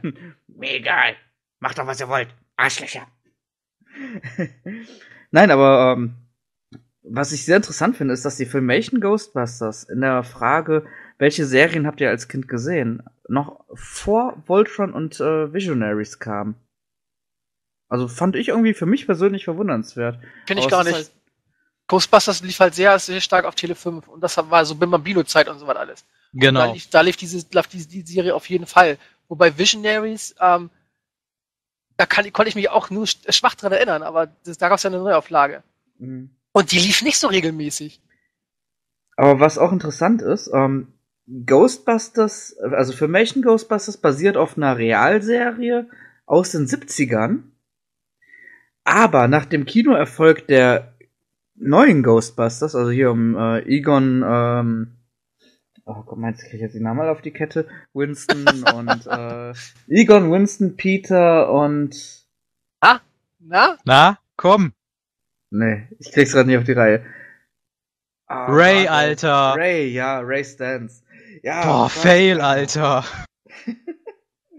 Nein, aber ähm, nach dem Erfolg der Kinofilme, oder des Kinofilms meine ich, wobei der zweite Ghostbusters war auch Ende der 80er, ne? Da war aber, glaube ich, eine etwas, was heißt größere Lücke. Normalerweise heutzutage die Fortsetzungen Ja, haben so- ein bis anderthalb ja. Jahre irgendwie so dazwischen. Äh, Ich glaube, der, ich glaube, drei Jahre auseinander sind die. Irgendwie sowas, ja, keine Ahnung. Jedenfalls nach dem Erfolg des, sage ich jetzt einfach mal, des ersten Ghostbusters, haben die dann nämlich gesagt, oh ja, cool, wir machen jetzt eine äh, Zeichentrickserie ähm, zu Ghostbu Ghostbusters, also nicht Ghostbusters, sondern Ghostbusters. Äh, so kann man das, glaube ich, gerade so ein bisschen auseinanderhalten. Also Filmation hat die Ghostbusters und das andere waren die Ghostbusters. Mit Slimer. Ähm, die Serie, also die anderen Ghostbusters, die, ich sage mal in Anführungszeichen Original Ghostbusters, Die heißen ja auch The Real Ghostbusters. ja. Die hatten ja auch zeitweise, meine ich, hieß die Serie auch mal hierzulande Slimer and the Ghostbusters, irgendwie sowas, ne? Ja, Slimer und The Real Ghostbusters, ja. Ja. Da gab's, das waren aber, das war aber eine andere Serie. Das war ja mehr so die Adventure of Slimer mäßig. Da war ja Slimer mehr in, der- in der Hauptrolle. Gab ja die Real Ghostbusters, dann gab's ja Extreme Ghostbusters und dann. Ähm, Ja, aber Extreme Ghostbusters kam doch, glaube ich, viel, viel später. Ja, ja, klar, Oder? aber trotzdem gehört zum Thema dazu, wobei die echt schlecht. Ja, Extreme Ghostbusters, das waren Ghostbusters, aber Extreme! Das könnte man vom Extrem Namen. uninteressant. Richtig. Nein, Ich aber ähm, Die Filmations fand ich irgendwie witziger. War, die waren haben, irgendwie skurriler. Ja, die haben zwar eine Sisyphus- Sisyphus-Arbeit gemacht, weil die ja die Geister nicht gefangen haben oder getötet haben, sondern immer die gleichen Geister dematerialisiert haben, also in ihre Dimension zurückgeschickt haben. Und die kamen Mhm. natürlich nächsten Tag wieder. Ja, Ähnlich- genau. Ähnlich wie bei, bei, bei Saber Rider. Ab in die Phantomzone und morgen kommen Ja. sie wieder. Kuckuck, da bin ich wieder. Hey, Ja. du bist fünf Minuten zu spät. Ich stehe hier schon. Aber ich kann mich auch nie erinnern. Ich habe die Actionfiguren von Filmation Ghostbusters nie in Deutschland gesehen. Nee, gab's hier nicht. Habe ich mich auch geärgert. Ich habe die dann irgendwann mal ähm, zu- in der Zeitung gesehen, dass in Amerika die ganzen, das Auto gab's und die, den, den Affen Mhm. gab's und sonst was. Da bin ich schon so ein bisschen leicht ausgetickt. Ja, wobei ich Was sagen ich- muss, was ich- grad- ja? Was ich bei den Filmation Ghostbusters aber irgendwie, was heißt, was heißt besser von, aber da gab's ja auch dann auch, ein- also die beiden guten Typen, den Affen halt, Und ähm, ja, und dann hast du ja auch so einen Cast von bösen Geistern Ja. gehabt. Und das war ja auch mal nicht so immer, immer so die gleichen. Ja, das meine ich ja. Komische Skelettviech da. Aber es gab Prime Evil, das war der Oberboss von allen. Ja, Dann gab's genau. Scared Stiff, das war dieser C3PO Skelett, Skeleton-Verarsche da. Dieses Skelett, dieser Roboter. Ja, okay, wie Baccarat. das Secret Love Child of Skeletor und C3PO. Genau. Und äh, dann gab's noch, oh, wie hieß das denn? So eine, so eine fliegende Ratte. Butterrat hieß das Ding, glaube ich. Das war so eine, so eine kleine fliegende Ratte, die immer gepupst hat, wenn sie geflogen ist, aus diesen Oh ja. die Öffnung. Irgendwie so einen pinken Werwolf oder sowas, ne? Ja, genau. Und dann noch diese Geisterdame, dieser, dieser äh, eine Typ, der aussieht wie einer, der auf Safari geht. Mit dem Safari-Hut. Ja, Aber ähm, so blau-lilanes Gesicht. Ja, genau. Und der, die Guten hießen einmal, ich glaube, Jake. Dann der, der Dicke hieß Eddie. Ja, der Affe war Tracy, dann Jessica. Jake und Eddie. Ja, genau. Jessica war, glaube ich, die Aber Re- Aber Reporterin. eins muss ich, ich kann mich an zwei Folgen von der Serie erinnern und deswegen fand ich die so richtig, richtig, richtig gut auch. Deswegen, ich habe die immer gerne, gerne geguckt. Ähm, da gab es eine Folge, da reisen die in die Zukunft und dann wird auch so äh, gezeigt, so sieht die Zukunft aus, weil ihr in die Zukunft gereist seid, weil ihr nicht mehr da wart, um die Bösen aufzuhalten. Das fand ich damals schon irgendwie ein sehr interessantes Konzept, eigentlich auch heute noch. Ja, und das fand ich schon ja sehr interessant, dass das auch so mal in so einer Kinderserie gezeigt wird. So, ja, Zeitreisen und die Auswirkungen. Das Stimmt, das war auch wieder so ein typisches Beispiel von äh, Filmation für die Namensgebung. Da haben sie ja auch dann das Mädel in der Zukunft getroffen. Äh, ich glaube, das war eine rote Frau, war das, ne? Auf jeden Fall, der Name der Frau war Futara oder Futura, besser gesagt. So typisch Filmation, dass man, ah ja, man könnte ja mal, sehen wir mal den Namen Zukunft und machen da eine Frau draus. Heißt sie halt Futura. Fertig. Übrigens, ähm, Eddie Spencer äh, wurde von Peter Cullen gesprochen im Original. What? Ja. Aber ich glaube, irgendwie Peter Cullen hat in fast jedem Cartoon irgendwie mal mitgesprochen. Ja, wie Frank Welker. Keine Mhm. Ahnung, der hat alles gemacht. Und wenn da irgendwie Pferde langgelaufen sind, ja, und die haben einmal gewirrt, yo, das ist Frank, hört man doch. Ohne Frage. Nur so kann ein Pferd viren, wenn es von Frank Welker synchronisiert wird. Aber Chris Latter hat ja auch irgendwie echt eine Menge mitgesprochen. Ich hatte gestern noch irgendwie bei ähm, TF Wiki noch irgendwas gesehen. Da war dann äh, nach Starscream habe ich gesucht. Da war halt ein Bild von diesem San Diego Comic Con Exclusive. Ähm, Cobra Commander mit Starscream Jet. Und da stand dann drunter a whole lot of letter. Ich hab, lag fast am Boden vor Lachen. Ja. Das ist einfach so. Aber das ist so auch eins der Dinge, was ich so gerne hätte, aber ja, das Set finde ich auch geil. Also, da Aber das würde mein- das Ding würde meinen Cobra Commander Shrine äh, so richtig schön vervollständigen. Ja, Mhm. von den Filmation Ghostbusters gab's aber sowas nicht. Geh mal zurück. Nee, leider nicht. Also zumindest nicht hier. wollte immer das sprechende Telefon haben. Ja, dass sich immer beschwert hat, wenn's au wenn man Ja. aufgelegt hat. ne? Ja, oder boah, Leute, Das geht mal ans Telefon, es klingelt, ich klingel schon wieder, geh mal ran.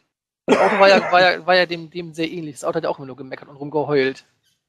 Hatten die nicht auch irgendwie, auch deren ganzes Equipment, das konnte doch auch irgendwie sprechen oder so, ne? Nee, Ja, nur der Fahrstuhl, der Fahr, nee, der, nee, nee, der das, das, Fahrstuhl? das, das Fahrstuhl, nee, der Fahrstuhl nicht. Der, Mhm. ähm, das Telefon konnte reden und das Auto, sonst war da nichts Redendes.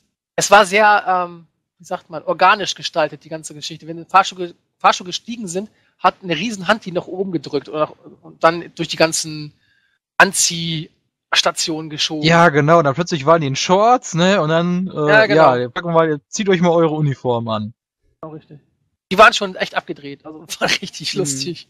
Ja, das, und vor allem diese Szene ging ja auch super mega lange. Da dachte ich mir so, alles klar, ich kann jetzt mal eben aufs Klo gehen. Und Tracy war ja, Tracy war ja auch quasi ähm, vergleichbar mit dem Jerry aus Parker Lewis. Der hatte ja alles in seinem Rucksack. Ja, Der genau. hatte ja alles drin. Oh, hier eine Banane, oh, eine Straßenlaterne, ach, eine U-Bahn und pff, was man gerade brauchte. Hat er immer was dabei gehabt. Das ist so eine Kombination aus Jerry und ähm, B.A. Batman? Baracus. Ja, Batman und, äh, wer ist da noch hier? MacGyver. Mhm, so ja. Wobei, wobei MacGyver hat ja so das Zeug genommen, was er auch um sich herum gefunden hat. Batman hatte immer alles auch an seinem Gürtel. Ja, stimmt. Zum Beispiel sein Anti-Rückreversionsspray gegen Anti-High-Spray. Karussells oder so. Ich, kurze Anekdote zu Batman, weil mir das gerade mit dem Gürtel so eingefallen ist.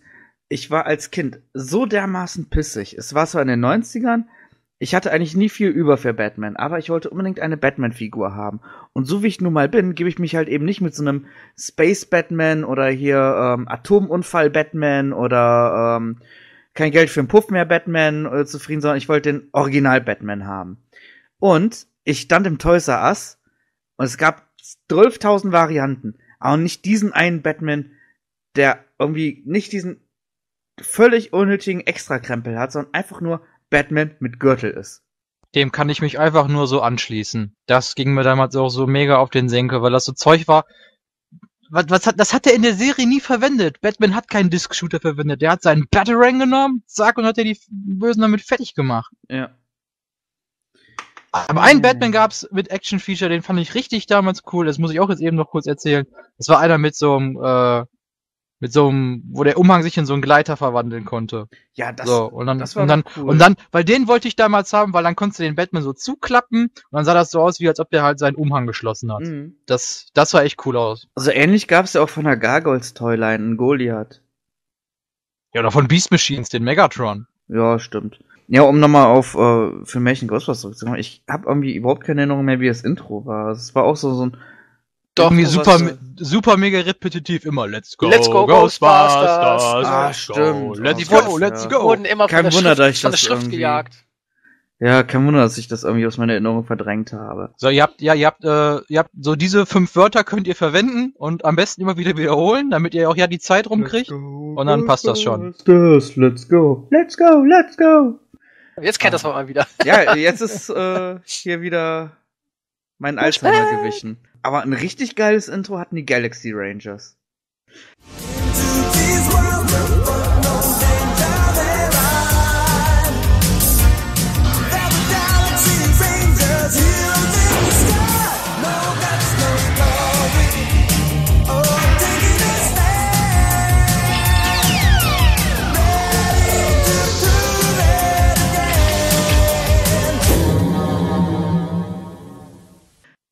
Rockig auf jeden Fall. Das war, vor allem, Ja. das war auch super geil animiert. Ja, also das hatte einfach so richtig Style. Die Serie Das das- an sich, die Serie Ja. an sich, die fand ich nur okay. Die hat mich irgendwie nie, nie umgehauen. Doch, ich fand das cool. Mit der bösen Königin, der gesichtslosen Königin und dann die ganzen Unterstories dabei. Das fand ich schon sehr cool. Mhm. Ja, allein schon im Intro. Ich, ich weiß, ich kann mich an nichts mehr erinnern, so wie die Charaktere alle hießen, aber der oberste Typ von denen, der hatte doch diesen goldenen Arm, den er so aufladen konnte. Ja, bionischen Ne? Arm. Zar ja, der bionische. Arm und dann, und dann im Intro richtig so, damn, power up, yeah, in your face. Aber das Geile war ist ja- genau, es hatten alle Charaktere hatten zwei Namen, also Vorname und Nachname. Nur die Tussi. Nico. Die hatte keinen Nachnamen, die hieß nur Nico. Ja, ist wie Penny, ne? Zacharias Fox ist halt der Chef gewesen. Dann der, ähm, der Cowboy mit den beiden? Knarren, der so geil schießen konnte, war der Shane Guzman. Walter Doc Hartford war der schwarze Quotenschwarze in dem Sinne, der dann ja, Computerhacker und so weiter und dann halt Nico. Hi, I'm the black guy. Nico war, glaube ich, damals so, so wirklich so der feuchte Traum eines jeden äh, 80er Jahre Cartoon-Nerds. Also Das glaub, hatte ich aber auch mit, mit ähm, Entschuldigung, mit Doug Schnegge. Ähm, wir haben mal drüber philosophiert, wir haben mal diese Intros gemacht, diese Viele Cartoon-Intros. Grüße an dieser Stelle an Schnecke. Genau. Grüße. Äh, wir haben festgestellt, dass die meisten oder ich glaube 99% aller weiblichen Hauptcharaktere oder Nebencharaktere rote Haare hatten in den 90ern. Ja, Red Hats rocken halt. Ja, ich, ja, ori- original rot, Rotkopfe. Rotkopfe. Rotkopfe ist auch ein Name. Brotschöpfe. Fand ich schon sehr, wenn man drüber nachdenkt, hat er, äh, stimmt das sogar. War die, nee, die äh, Tuse bei Mask von Venom, die war schwarzhaarig, meine ich. Ja, die hat dann eine rote Strähne Vanessa gehabt. Vanessa, äh, May, nee, Vanessa. Egal, Vanessa. Ja. Aber es gab ja noch ähm, daneben Charaktere von, bei denen, zum Beispiel dieser, oh, wie hieß der denn? Soso? Soso und Waldo. Diesen Waldo fand ich schon so geil. Die sind groß, das war, glaube ich, der Großgewachsene, ne? Ja, der so Ja, alter, so- alter Typ aussah. Ja, und das andere Vieh mit diesen Fledermausohren. Also Genau, die, den die sahen total retarded aus. Also Soso war auch total bekloppt. Nee, also äh, ich kann mich zwar erinnern, dass ich die Serie gesehen habe, aber die hat mich irgendwie nie so begeistert, dass ich da irgendwie, dass mir die groß im Gedächtnis geblieben ist. Bis auf das Intro. Das hat einfach so gefetzt. Das war so ein Intro, machst auf Dauerschleife und dann mal so richtig schöne Nachbarn ärgern. Ja, so typisch 80er Jahre Rock. Ja, Ich habe die komplette Serie auf Blu-ray. sollte man, lohnt sich. Denke ich. Ich hol sie mir für auch noch nach. 80er Jahre Fans, denke ich, lohnt sich das definitiv. Mal bezahlst du jetzt, ich glaube, 10 Euro für die ganze Staffel oder für die ganze Ja, Serie. das- Das, ist ist geschenkt. Ja, Ja, dann kann man es auch mal machen, sage ich euch ganz Ja. ehrlich. Das zahlt man aus der Portokasse. Mhm. Actionfiguren gab's auch, meine ich, aber ich weiß nicht, ob Mhm. die offiziell released wurden oder ob die nicht über die Prototypenphasen hinauskamen. Aber das, was ich davon gesehen habe, ob das jetzt Prototypen oder ob das jetzt die Final Releases waren, die sahen so dermaßen beschissen aus. Oh, es blinkt, da wird. Oh, oh, oh, oh ja. Oh, die sehen so scheiße aus. Wobei die sehen aus wie ähm, richtige so, so Ken- und Barbie-Puppen. Von den Köpfen her, so soft, aber soft von den Proportionen her halt echt so, so es sieht echt aus wie Ken, den man auf den He-Man-Körper gesetzt hat. Ja, vor allem, ey, vor allem, das, die haben ja auch hauptsächlich ja weiße Uniformen und Hosen an und so, ne, und ja, du wusstest eigentlich schon so, ja, so rausgehen und mit im Garten spielen ist nicht. Danach Mhm. sind die dreckig und den Dreck kriegst du auch nicht mehr weg. Und in der Sonne liegen lassen machst du am besten auch nicht. Da machst du ja als Kind auch keine Gedanken drüber. Eine andere Serie, zu der ich irgendwie auch kaum was irgendwie aufgeschnappt habe, waren die Silverhawks.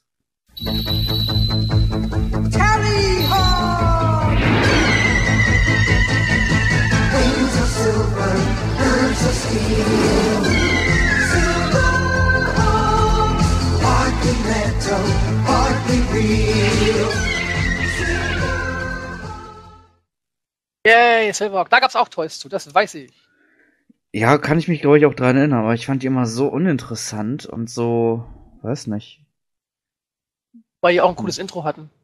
Ja, Aber dann Ah. hört's bei mir aber auch auf. Ich habe da mal, ich habe da Mhm. früher immer sehr gerne geguckt. Ich weiß aber auch nicht mehr den Plot großartig.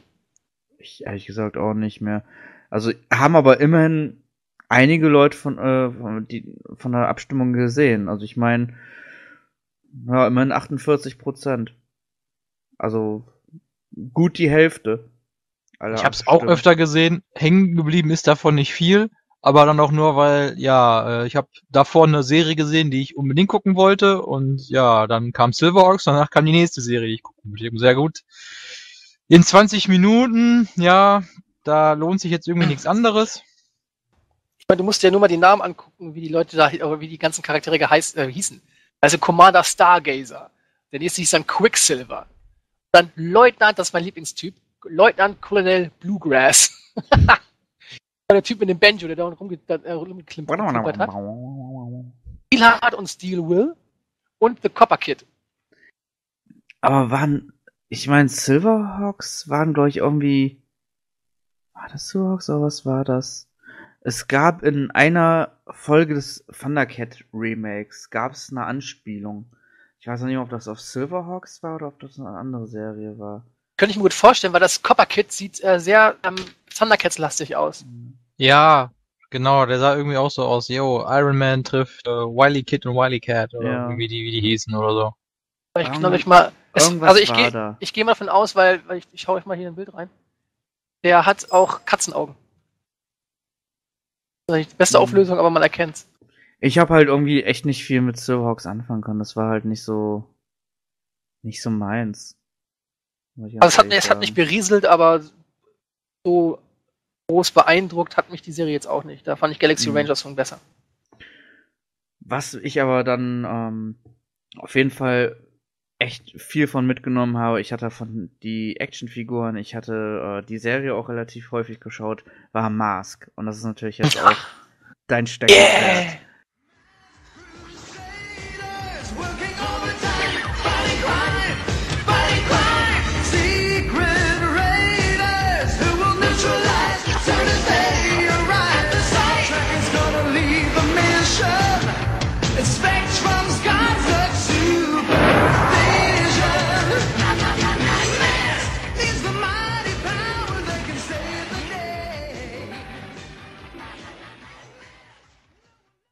Das Intro, das war einfach so dermaßen geil.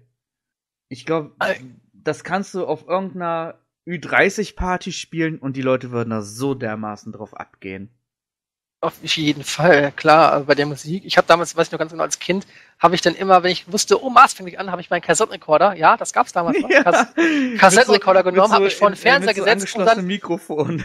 Nee, das war, das war, das war intern. Dann die beiden Play und Rekord gedrückt und dann die Musik aufgenommen. Und das habe ich den ganzen Tag dann gehört, zurückgespult, gehört, zurückgespult, gehört, zurückgespult. Und wehe, In einer kam ins Zimmer. Quali. Genau, aber Oh, wenn Leute. Zimmer kommt, die Tür aufmacht, hast du schon was gegessen? So, nein, meine Aufnahme! Geilste, also für mich die äh, sehr gute Serie und auch sehr, sehr geile Toyline, auch mit einer Ja. sehr guten Qualität, die heute immer noch funktioniert. Ich habe diverse Toys noch hier rumstehen, Rhino, Thunderhawk äh, und so weiter, Condor mit Originalverpackung und allem drum und dran und die funktionieren alle noch. Alle Verwandlungen funktionieren, alle Federmechanismen funktionieren. Das ist echt selten mittlerweile bei den, bei den Toys und das ist traurig. Geiler Funny Fact gerade. Ich habe eben mal Mask bei YouTube eingegeben und äh, erstes Video, was dir angezeigt wird, ist äh, eine deutsche Mask-Folge. Finde ich cool. Wie geil. Ja, also Mask war wirklich, äh, wie gesagt, ich habe es ja vorhin schon mal erwähnt, ähm, war für mich so eine Mischung aus G.I. Joe und Transformers. Ich kann mich erinnern, ich war circa sechs Jahre alt. Mal wieder ein Schwank aus meiner Jugend. Ähm, ich habe einen älteren Cousin und der hat mir dann irgendwann äh, dieses Boulder Hill geschenkt. Der ist halt Boah, geil. aus dem Alter rausgekommen und fragt, ja, hier willst du haben? Ich so, blöde Frage. und ähm, Zwei. war total geflecht. Also, aber beziehungsweise hatten wir nicht nur diesen Bullhill gegeben, sondern so einen ganzen Karton voll mit Mask-Sachen. Da waren auch dieser weiße ähm, Caravan dabei und. Oh, mit dem ähm, roten, mit dem roten Raumschiff, das abschießen konntest, Ja. also mit dem. Rote Rakete, rote Rakete. Nee, nee, das war ein Jet. Das war schon... okay, das. Jetzt frage ich mal, wo ist denn der Karton jetzt? Wenn ich das wüsste. Nein. No. Genau. Nein, das ist echt so, ähm, das, was ich ja schon mal angesprochen habe, das ist halt, dass man irgendwie so im, in seiner Pubertät, wenn man irgendwie, ne, wie Patrick so schön sagte, Titten im Kopf hat, oh, was du das? Keine Ahnung, auf jeden Fall hat irgendeiner von Titten gesprochen. Das ist so, da äh, legst du das eine Spielzeug weg und, dann- äh, weg und dann verkauft man das. auch. Titten. Ja. Also es war echt Jugendsünde. Slingshot hieß das Ding übrigens. Jetzt fällt Ja. mir wieder ein. Genau. Ähm, Ja, weil sich zwischen den ganzen Hasbro Properties auch die Namen alle immer geähnelt haben. Ja. Nein, also es ist Mask war halt wirklich so. Da habe ich auch irgendwie mehr äh, mit mehr Resonanz gerechnet. Also gerade mal von den ähm, von allen, die abgestimmt haben bei der Umfrage, haben Moment, wo habe ich's? 61% gesagt, ja, wir haben Mask gesehen als Kind. 61% Also ich hätte locker mit 70, 75 gerechnet. Weil wenn du heute mit jemandem über Mask redest, die wissen sofort, was gemeint ist. Daher Es ist ja eine andere Sache, es ist eine andere Sache, ob du das siehst, die Serie siehst, oder ob du das Spielzeug nur gehabt hast. Gibt ja auch Leute, die nur das Spielzeug hatten Ja. und die Serie nie gesehen haben. Wobei ich das Genau. nicht verstehe. Wobei da Oder- die Differenz nicht so groß ist. Also 61,3% haben Mask gesehen und ähm, Der Rest nicht. 62,1% hatten Mask als Spielzeug. Also es ist, nimmt sich nicht viel. Ja, plus wahrscheinlich ich auch- will aber nicht, nicht die Dunkelziffer von wegen, die hatten was von Mars, wussten aber nicht, weil sie es ausgepackt vom Trödelmarkt oder so hatten, äh, oder wussten einfach nicht, dass es was von Mask ist. Wobei Ja. überall auf den Raum, auf den ganzen Fahrzeugen da war überall mindestens ein oder drei Ja. Sticker von, wo Genau. drauf steht Mask, Mask. Oder die hatten gesehen, nee, nee, meins war nicht von Mask, bei mir steht Venom drauf. Ja, aber komm, wie oft bist du auf den Trödelmarkt gegangen und dann war irgendwo noch ein weißer Rest? Ja, was ist das denn? Äh, ja, das war mal ein Aufkleber. Ja, mittlerweile kann ich dir, ja, stimmt schon, das, mittlerweile kann ich ja sagen, genau, was da war und so, das ist schon nicht. Ja, jetzt gibt's ja auch das Internet. Sie Internet. Oder man hat sich eigentlich sehr gut damit beschäftigt, weil man die Figuren sehr lang gehabt hat. Ja, ist auch möglich. Na, also ich hatte damals als Kind, äh, ich habe mir auch selber Mask äh, geholt. Ich hatte Condor, da kann ich mich noch dran erinnern. Ich hatte hier den ähm, Thunderbird, ne, wie hieß das Vieh? Thunderhawk, Thunderhawk. wenn du jetzt mit Trackers Auto meinst. Ja, genau. Und Rhino hatte ich damals schon und Rhino habe ich jetzt auch wieder gehabt. Ähm, Das war, das war so gemeint. Das war auch so ein Teil. Eine wollte ich immer haben als Kind, weil das mein Lieblingsfahrzeug war. Der große Truck, der alles konnte. Und hab den natürlich mir immer zum Geburtstag gewünscht und immer zu Weihnachten und sonst was. Und irgendwann haben meine Eltern dann gesagt, weißt du was, wir kaufen dir jetzt so einen scheiß Truck. Ich hatte erwähnt, mein Vater Quelle und so. Komme ich eines Tages nach Hause, steht ein riesen Karton vor mir. Ich so, oh ja, geil, geil. Pack das Ding aus. Verpackung war nicht mehr da, also das haben sie dann irgendwie so gekriegt. Ähm, pack das Ding aus. Erst hole ich dann so ein so einen Rennwagen da raus. Ich so, hä, was soll das denn werden? Mach dann weiter, dann kommt so ein Indianer-Typ dabei und dann sehe ich, oh nein, das ist Goliath. Ja. Also dieser große Truck mit dem Rennwagen Ja. oben drauf und äh, Matt Tracker. den der- fand ich aber auch geil. Ja, der war preislich. halt nicht Rhino, aber. nee, halt der war trotzdem preislich geil. natürlich viel weiter, viel höher als, als Rhino, aber ich wollte Rhino haben, weil der in jeder Zeichentricksfolge vorkam und Ja. der halt ikonisch war und auch fürs, fürs ähm, Logo drin war. Und ich habe mich so geärgert, aber der ist natürlich auch ganz geil gewesen. Ist auch jetzt vollkommen egal, egal welches 80er Jahre Spielzeug du nimmst. Ähm, wenn du ein Bild zeigst von dem Rhino, also oder du, du beschreibst das jemandem, der kein Mars kennt. Äh, du sagst, das ist dieser, äh, ja nicht lila, aber wie würde die Farbe bezeichnen? Bordeaux-Rot? Bo ja, dieses, Burgundi. dieses Bordeaux-Rot halt.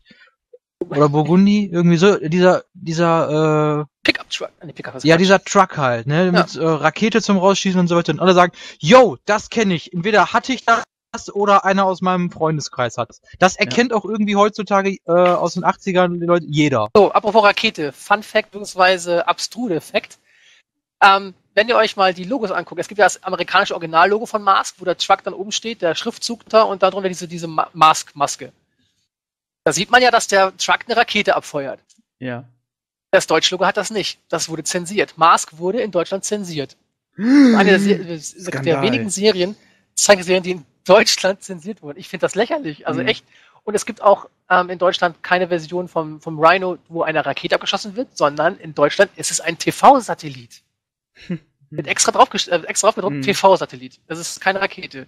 Also wenn ich ein Spielzeug verkaufe, was Laserkanonen hat, was Masken hat, die Laserblitze schießen und sonst was, also da finde ich das echt zu lächerlich, dass da keine Ja. Rakete drin dabei sein darf.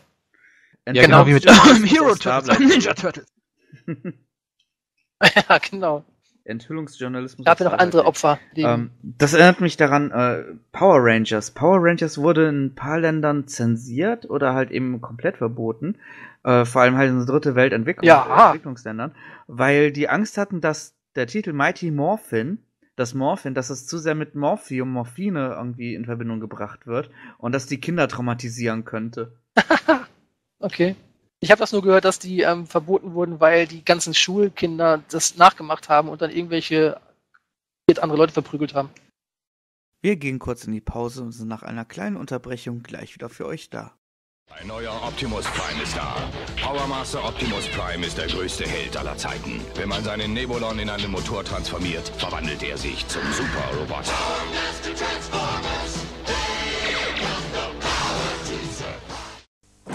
Masters of the Universe. Es geht um die Macht auf Eternia. Nightstalker, Skeletors Roboterpferd gegen Bäschesaurus mit He-Man. Achtung, der Rambal schlägt zu. Skeletor greift an, aber da Bäschesaurus. Und wieder Skeletor, da kommt Cyclone zu Hilfe. Der Furchtlose mit den wirbelnden Fäusten. Keine Chance für Skeletor.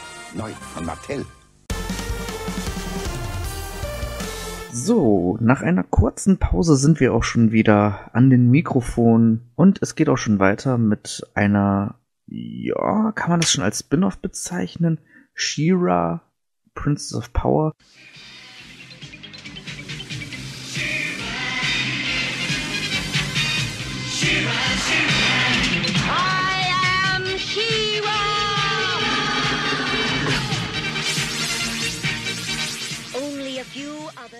Hat ja sozusagen ihren Ursprung natürlich halt auch im He-Man Master of the Universe. Äh, Spin-off? Ich glaube, ich höre nicht richtig. du weißt, wie es gemeint ist. Nein, offensichtlich nicht.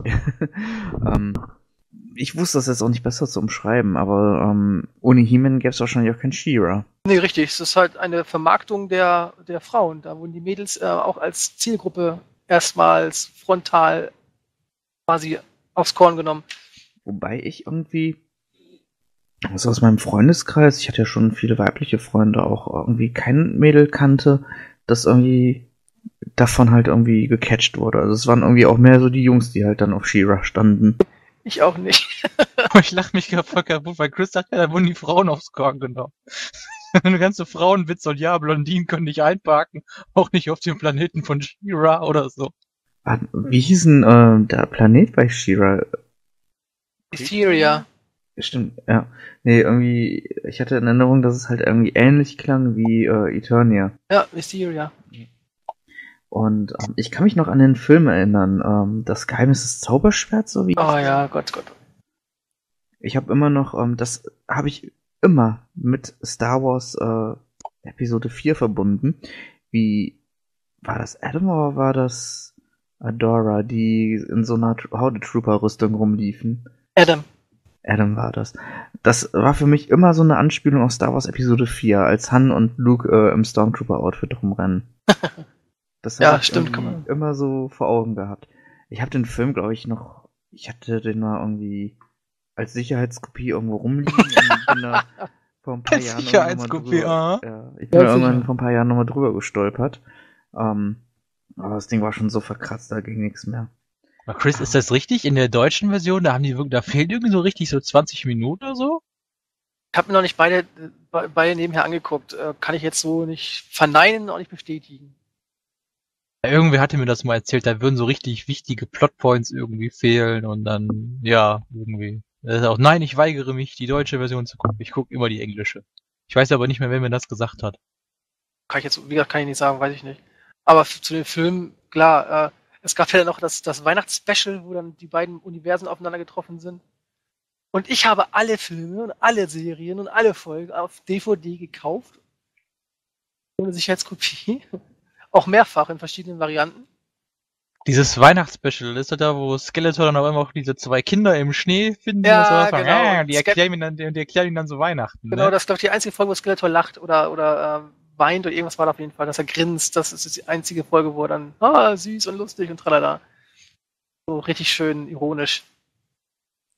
Aber war se- sehr erfolgreiche Serie. Also neben, neben Masters sowieso, sowieso. Die haben ja davon sehr profitiert. Letztendlich durch Crossover, dass, dass He-Man ab und zu mal darüber gereist ist, gesagt hat, moin Leute, ich mache jetzt mal eine Folge mit euch. Oder She-Ra kam zu den Masters rüber. Haben sie sehr geschickt verbunden, auch dann in den Toy-Bereich gehend. Ich lese gerade den Wikipedia-Eintrag zu She-Ra und allein schon dieser Satz, ähm, also ne, auch halt hier, was du meinst, dass man die Actionfiguren halt eben auch auf Mädchen ausdehnen wollte. Ferner wurden die Freunde um She-Ra bzw. ihre Tarnidentität Adora in eine Weise gestaltet, die Mädchen ansprechen sollten. Als Reittier hatte sie ein geflügeltes Einhorn. Ja. Das ist Und das Geile ist, sie hatte auch einen, äh, einen rosanen Löwen mit kemmbaren Haaren als Spielzeug. Das war Ja, das, krank. dass man damals, ach, das war ja Hasbro und dann Mattel. Ja, gut, das funktioniert nicht. Das wäre doch noch ein super Crossover geworden mit My Little Pony, ne?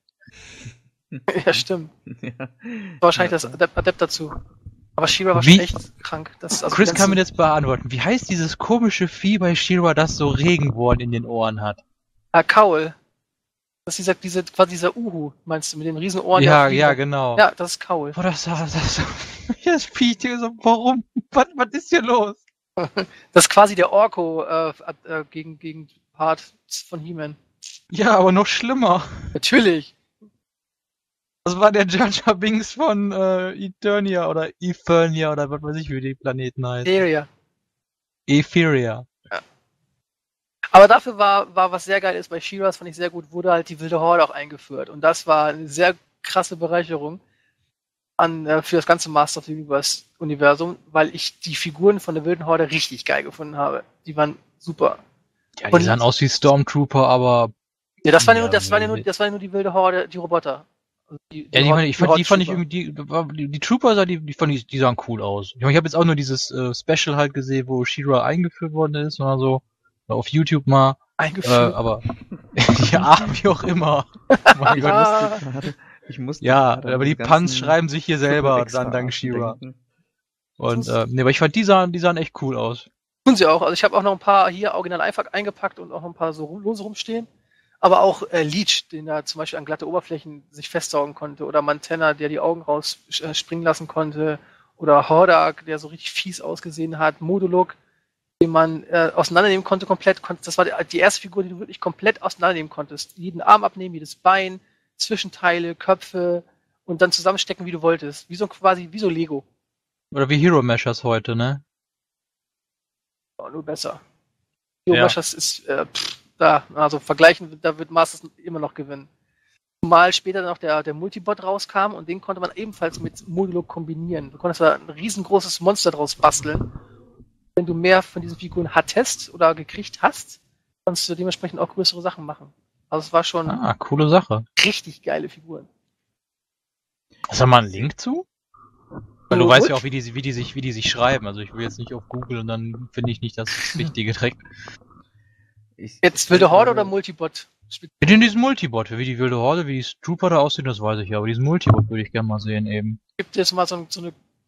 Okay, das ist eine Produktionsskizze. Das, da siehst du Multibot und den ähm, Modulok zusammen. Ka- So kann es aussehen. Das ist auch schon sehr, sehr extrem. Wow. Das erinnert mich an meine Ergebnisse, als ich mit den neueren Power Ranger Swords, mit diesem Swordbuilder-Feature rum experimentiert habe. Sonst gebe ich nochmal das, das Originalbild von Modulok. Das ist halt die eine, das die Figur, die von den beiden zuerst rausgekommen ist. Das gab es halt in dem Fall noch nicht. Eine richtige Actionfigur aus einer Toy-Serie, die man nach seiner eigenen Vorstellung zusammen und auseinandernehmen konnte. Also zusammenbauen konnte und auseinandernehmen konnte. Du konntest quasi sogar zwei Figuren aus der einen Figur machen. Cooles Konzept, definitiv. Und gar nicht mal so ansehnlich. Ich finde das Ding cool. Ja, klar. Ich, und, also ich kann jetzt mit Masters und Dingen so nichts anfangen, aber das Ding hat was. Und der Modulok ist halt das Pendant dazu, nur halt als Roboter. Ah, okay. Ist das der denn, oder sind die, sind ja zwei, äh, mal so für diese äh, neu auf, neue Reihe da mit besserer Artikulation mal? Oder Auch- sind die ja. aufgelegt worden? Ja, ja, habe ich auch alles. Aber äh, warte, kann ich dir jetzt zeigen? Äh, Master, Master of the Universe Classics. Aber ernsthaft, das wird doch ein Gesicht, das nur eine Mutter lieben kann. Er hat keine Mutter, der wurde gezüchtet. Bei dem Gesicht kein Wunder. Wobei der Modulok ist ja eigentlich nur der linke, also der Karl, Karlkopf, der so, der mit den weißen Augen. Der andere ist dann quasi mutiert. Der Modulok an sich ist ein Professor, Genwissenschaftler, der Experimente gemacht hat und hat sich dann. Also die, die Background Story ist total, die Background Story ist total verrückt bei dem Teil. Das ist, also Mattel hat das so beschrieben, dass Modulok ein verrückter Wissenschaftler ist, der auf Ewigkeiten weggesperrt wurde, weil er zu gefährlich ist. Er hat dann aber für sich eine Formel entwickelt, wie er sich auseinandernehmen kann und wieder zusammenbauen kann. Und so hat er sich aus dem Gefängnis rausgeschickt.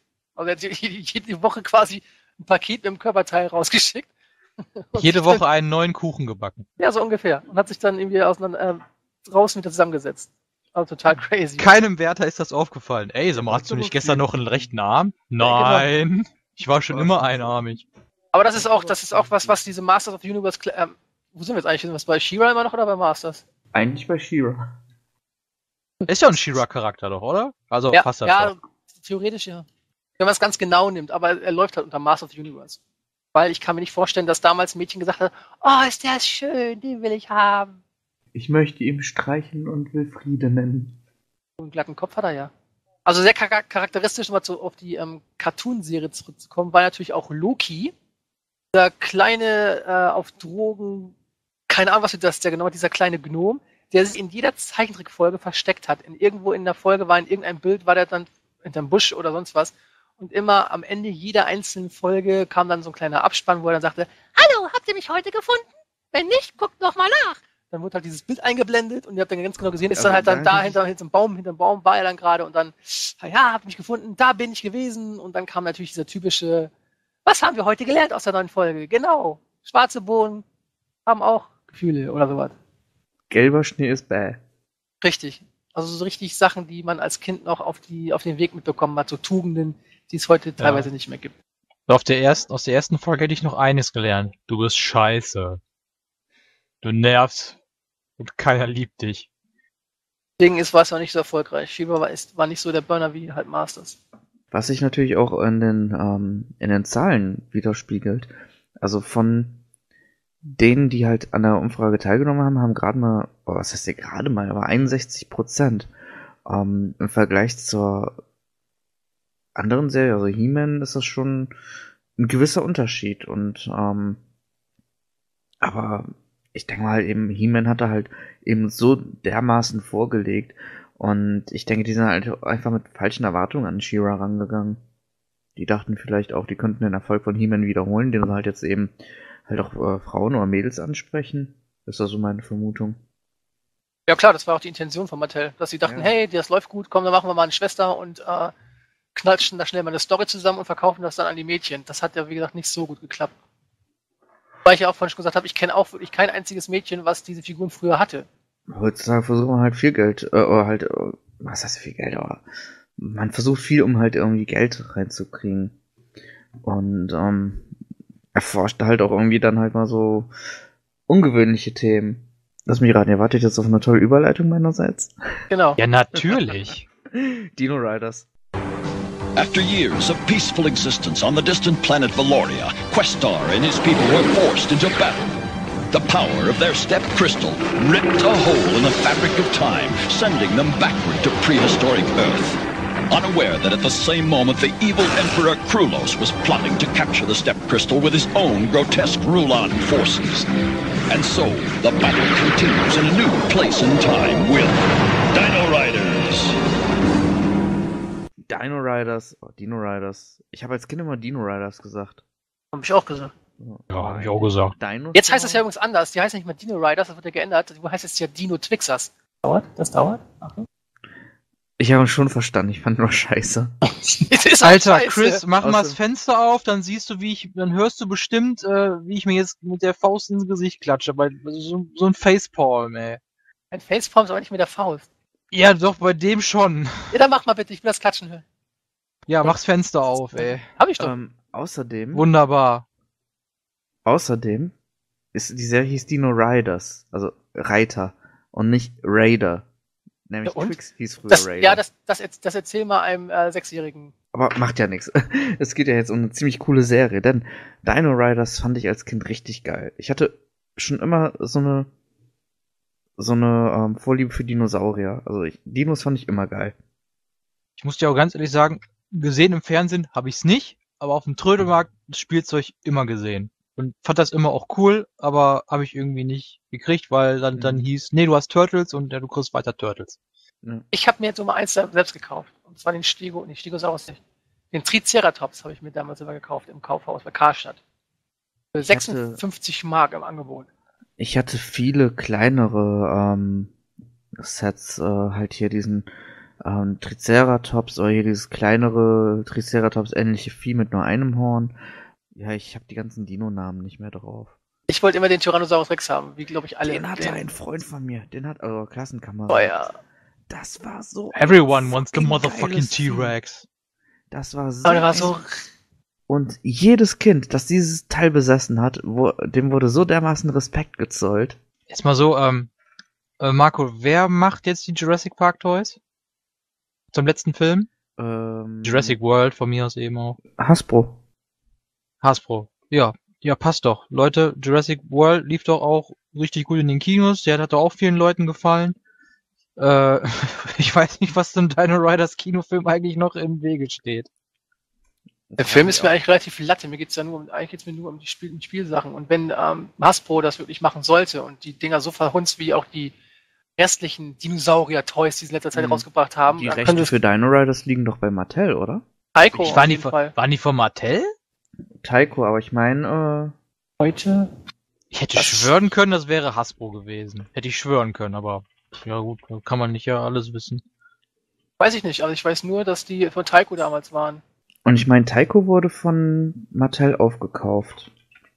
Warte, ich guck mal. Aber auf jeden Fall, wenn, wenn Hasbro davon einen Film machen sollte, wird ja wohl auch Hasbro in den Rechten sein. Sonst würden die ja. Nein, also ich meine, die Rechte für Dino Riders liegen bei Mattel. Die hatten Taiko gekauft und dann auch jetzt angekündigt, ähm, dass die einen Film machen wollen. Weil ich meine, wir hatten uns noch äh, abgesprochen, als ich gesagt habe, hier, ich fahre nach Nürnberg zur Spielwarenmesse, meinst du ja, guck mal bei Mattel, ob die schon Dino Riders da haben. Und da waren wir aber nicht reingekommen, weil die nur Großkunden genommen haben, ne? Äh, nee, weil wir keinen Termin hatten. Ach so, okay. Und die haben ja gesagt, ne, die nehmen nur Leute mit Termin. Ich meine, immer noch besser, als uns da irgendwie zu sagen, ja, gleich kommt ein Mitarbeiter, äh, nachdem wir einen Termin ausgemacht haben und dann nach einer halben Stunde gegangen sind, weil wir da rumstanden, wie bestellt, nicht abgeholt. Wo war das denn? Das war bei SB, ne? Ich spreche Äh, jetzt nicht aus, ja. ne? Ja, genau bei denen war's. Was mein Eindruck leider immer mehr bestätigt hat. Ist eine andere Geschichte. Ähm, Turtles. wer nicht will, der hat.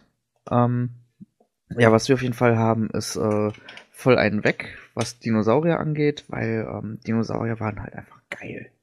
Also ich kenne kein Kind, das nichts mit Dinosauriern anfangen konnte. Nee, jeder. Und jeder, Jeder. also egal ob du drei Jahre alt bist, zwei Jahre oder sonst was, du gerade sprechen konntest, jeder muss, konnte T-Rex sagen oder Tyrannosaurus. Oder Oder einzig, Schafzahn oder Langhals oder Drei, äh, Dreihorn. oder Diplodocus. Meine Tochter kann Diplodocus sagen. Diplodocus war das, war das quasi das Pendant zu dem bösen Tyrannosaurus. Ja. War auch so ein Riesenteil mit so einer, mit so einem, ah, ich glaube, was so, so ein Zylinder an der Seite, wo dann die ganzen Leute drin gesessen Ja, haben. so, so, so zwei halbe Zylinder. Also und. Raketenwerfern. Und Und das gab dann auch, das war ja auch so eine Art Truppentransporter. Und Ja, genau, unten sowas wie wieder- dann halt hier Raketenabschuss. Bösen waren, glaube ich, die Hol Hol äh, Holoianer oder Holi Holianer? Holonia. Holonia sind die Bösen und die Dino Riders, äh, Dino Riders sind die Guten. Und die Dino Riders haben die Dinosaurier mit Gedanken kontrolliert, sondern haben mit denen gesprochen und auf, auf, gut, auf gut Freund gemacht, so, ein ganz feiner, braver, braver Dinosaurier. Die Holonier haben den Dinosauriern immer so Gedankenkontrollhelme aufgesetzt Ja. da wurde, das haben sie auch in dem Film oder in den Serien immer so aufs Korn genommen, dass immer wenn der, der T-Rex gerade kurz davor war, die Basis der Guten zu zerstören, hat irgendjemand gesagt, schießt dem T-Rex einfach den Helm vom Kopf. Zack, dann wurde der Ja. T-Rex wieder normal und hat dann die, seine eigenen Leute angegriffen. Damit war wieder alles gerettet. Da haben die Ja, Guten aber echt Schwein gehabt, weil die Ja. hätte auch einfach sagen können, boah, ich guck gerade auf die Basis und ich bin mega pisst und ich mache jetzt einfach das erste Platt, was mir in den Weg kommt. Ich kann mich aber auch noch an einen Werbespot erinnern. Da siehst du dann halt, wie so ein äh, Triceratops äh, halt im Treibsand versinkt. Das ist so, das, äh, so von den Werbespots so, das, ähm, wo ich mich noch am ehesten dran erinnern kann. Aber intromäßig kann mich da auch irgendwie gerade Nee. nicht mal wirklich was erinnern. Das war, glaube ich, Doch, ich- entweder hatte die Serie kein Intro, oder es war so langweilig, dass man es vergessen hat. Ich weiß auch nicht, ich weiß auch nicht, ob das im Intro war oder ob das die erste Folge war. Ich weiß nur, dass die irgendwie von der Erde mit dem Raumschiff geflogen sind, abgestürzt sind auf einem anderen Planeten oder irgendwie. Yo, Marco, die Serie hatte kein Intro. ja, die war so badass, die brauchten sowas wie ein Intro nicht. Man kennt uns auch so. We don't need no intro. Man kannte uns. Brauchten wir uns nicht vorstellen. Dinosaurs. That's enough. Ja, dann, das waren die Dino Riders. Nein, aber ziemlich geile Toyline. Nur, was man wirklich heutzutage äh, überall mitbekommt von äh, Retro-Sammlern, ist, dass diese dummen Gummibänder, die die Rüstungen an den Dinosauriern befestigt haben, dass die über die Jahre sowas von spröde wurden. Ähnlich wie die Helme bei Mask. Ähm, du findest heute kaum noch intakte äh, Gummibänder oder halt Rüstungssets, wo dann das Gummiband noch intakt ist. Oder ähm, Helme von Mask, die noch weich sind, wo sich die Weichmacher im äh, Plastik nicht verflüssigt haben, äh, ver, verpisst haben sozusagen. Ähm, das war echt so ein großes Problem. Und was bei Dino Riders das große Problem war, die Sets hatten einfach so dermaßen viele Einzelteile, dass es da schwer ist, da wieder alles zusammenzukriegen. Hm, richtige Marktlücke. Wobei, wenn's dieser 3D-Druckerbereich, Chris, äh, fängt ja alles an, so, wenn das richtig, wenn die Kosten mal irgendwie gesenkt werden könnten oder irgendwie so, ich mein, woran soll's scheitern, dass man sich das alles nachmacht? Ich mein, Aber klar, das steckt alles natürlich jetzt noch in den Kinderschuhen, aber irgendwann wird das vielleicht ja auch mal so Ausmaße äh, annehmen, dass das äh, auch für alle Normalsterblichen äh, oder so bezahlt wird, ohne dass du dir das heißt, deinen, deinen Drucker komplett selber kaufen musst. Ähm, ja, Hasbro arbeitet da ja auch schon so ein bisschen drauf hin. Ja, da bin ich mal gespannt, ob die sich da nicht ein eigenes Grab schaufeln. Ich bin auf jeden Fall jetzt auch erstmal wegen dem Film gespannt. Also, Definitiv. Welchen jetzt genau? Ja, Dino Rider. Ja, bestimmt nicht 3D-Drucker, der Film. Ja, wieso? Der, der, der, der Teaser war schon geil. Ja, das war dieser Teaser für, äh, wo sich dieser Drucker verwandelt, ne, und dann erstmal auf die komische äh, Sekretärin da losgeht, ne? Nee. Das war ein Drucker. Drucker. Was so ein Druckkopier-Ding sie. Ja, aber es ist dann halt so der Prototyp und dann bekommen Nein, die das war- guten war- 3D-Drucker und dann sind das dann sind dann die guten und die kämpfen gegen die alten Drucker. Weil die alten Drucker sagen, ja, ihr braucht uns ja gar nicht mehr. Und der Drucker stellt seine eigenen ähm, Soldaten her. genau. Ja, das und ist dann, Ober und dann kommt der wirkliche Hauptfeind, dann kommen diese alten Nadeldrucker, das ist dann der Hauptfeind. Genau, und der, der Boss heißt C64, ist klar. Jetzt hast du den ganzen Film gespoilert. Ah, und ich bin dein Vater und so. Ja, und Optimus Prime stirbt im Kampf um Autobot City. Han Solo stirbt auch. Der war jetzt echt gemein, weil den haben noch nicht, den hat noch nicht jeder gesehen. Natürlich.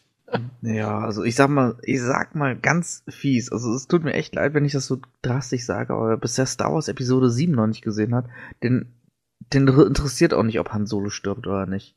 Oder muss sich dann nie wundern. Also, wer das verpennt hat, also ich. Ich könnte kenne jetzt eine keinen. super Anekdote, Star Wars Anekdote erzählen, aber ich lasse es mal lieber. Vielleicht am Ende noch. Nee, aber ich sag mal so, ich hab, ich kenne keinen einzigen Star Wars Fan, der Episode 7 noch nicht gesehen hat. Also keinen richtigen, äh, ja okay, jetzt kommen wir die Definitionsfrage, ab wann ist man ein richtiger Fan? Aber einer, der halt wirklich Star Wars atmet, habe ich noch keinen erlebt, der Episode 7 noch nicht gesehen hat.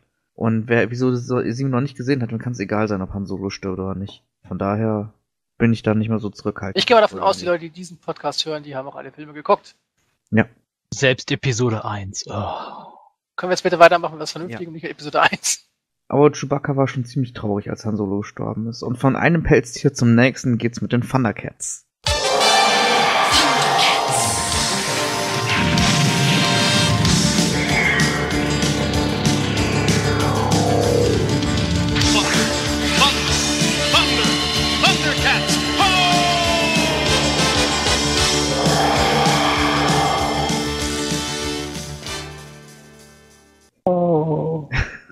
Oh.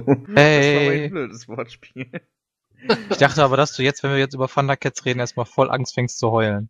Wir reden ja von der 80er-Jahre-Serie. Die, ha- ich muss sagen, die Serie damals habe ich nie gesehen. Ich hatte auch nie eine Thundercats-Figur besessen von der alten Serie. Ich auch nicht. Figuren hatte ich keine, aber gesehen habe ich sehr, wirklich sehr, sehr oft. Das stimmt, das habe ich auch. Aber Thundercats wurde ja öfters mal verschrien, wirklich als, ähm, ja nicht He-Man Rip-Off, aber man hat sich da schon an He-Man orientiert, merklicherweise. Halt eben auch an der Statur der, der Figuren der männlichen und ähm, halt auch so leicht bekleidet und, äh, und auch ein Sch- Zauberschwert in die Luft äh, heben und Ja. rumschreien.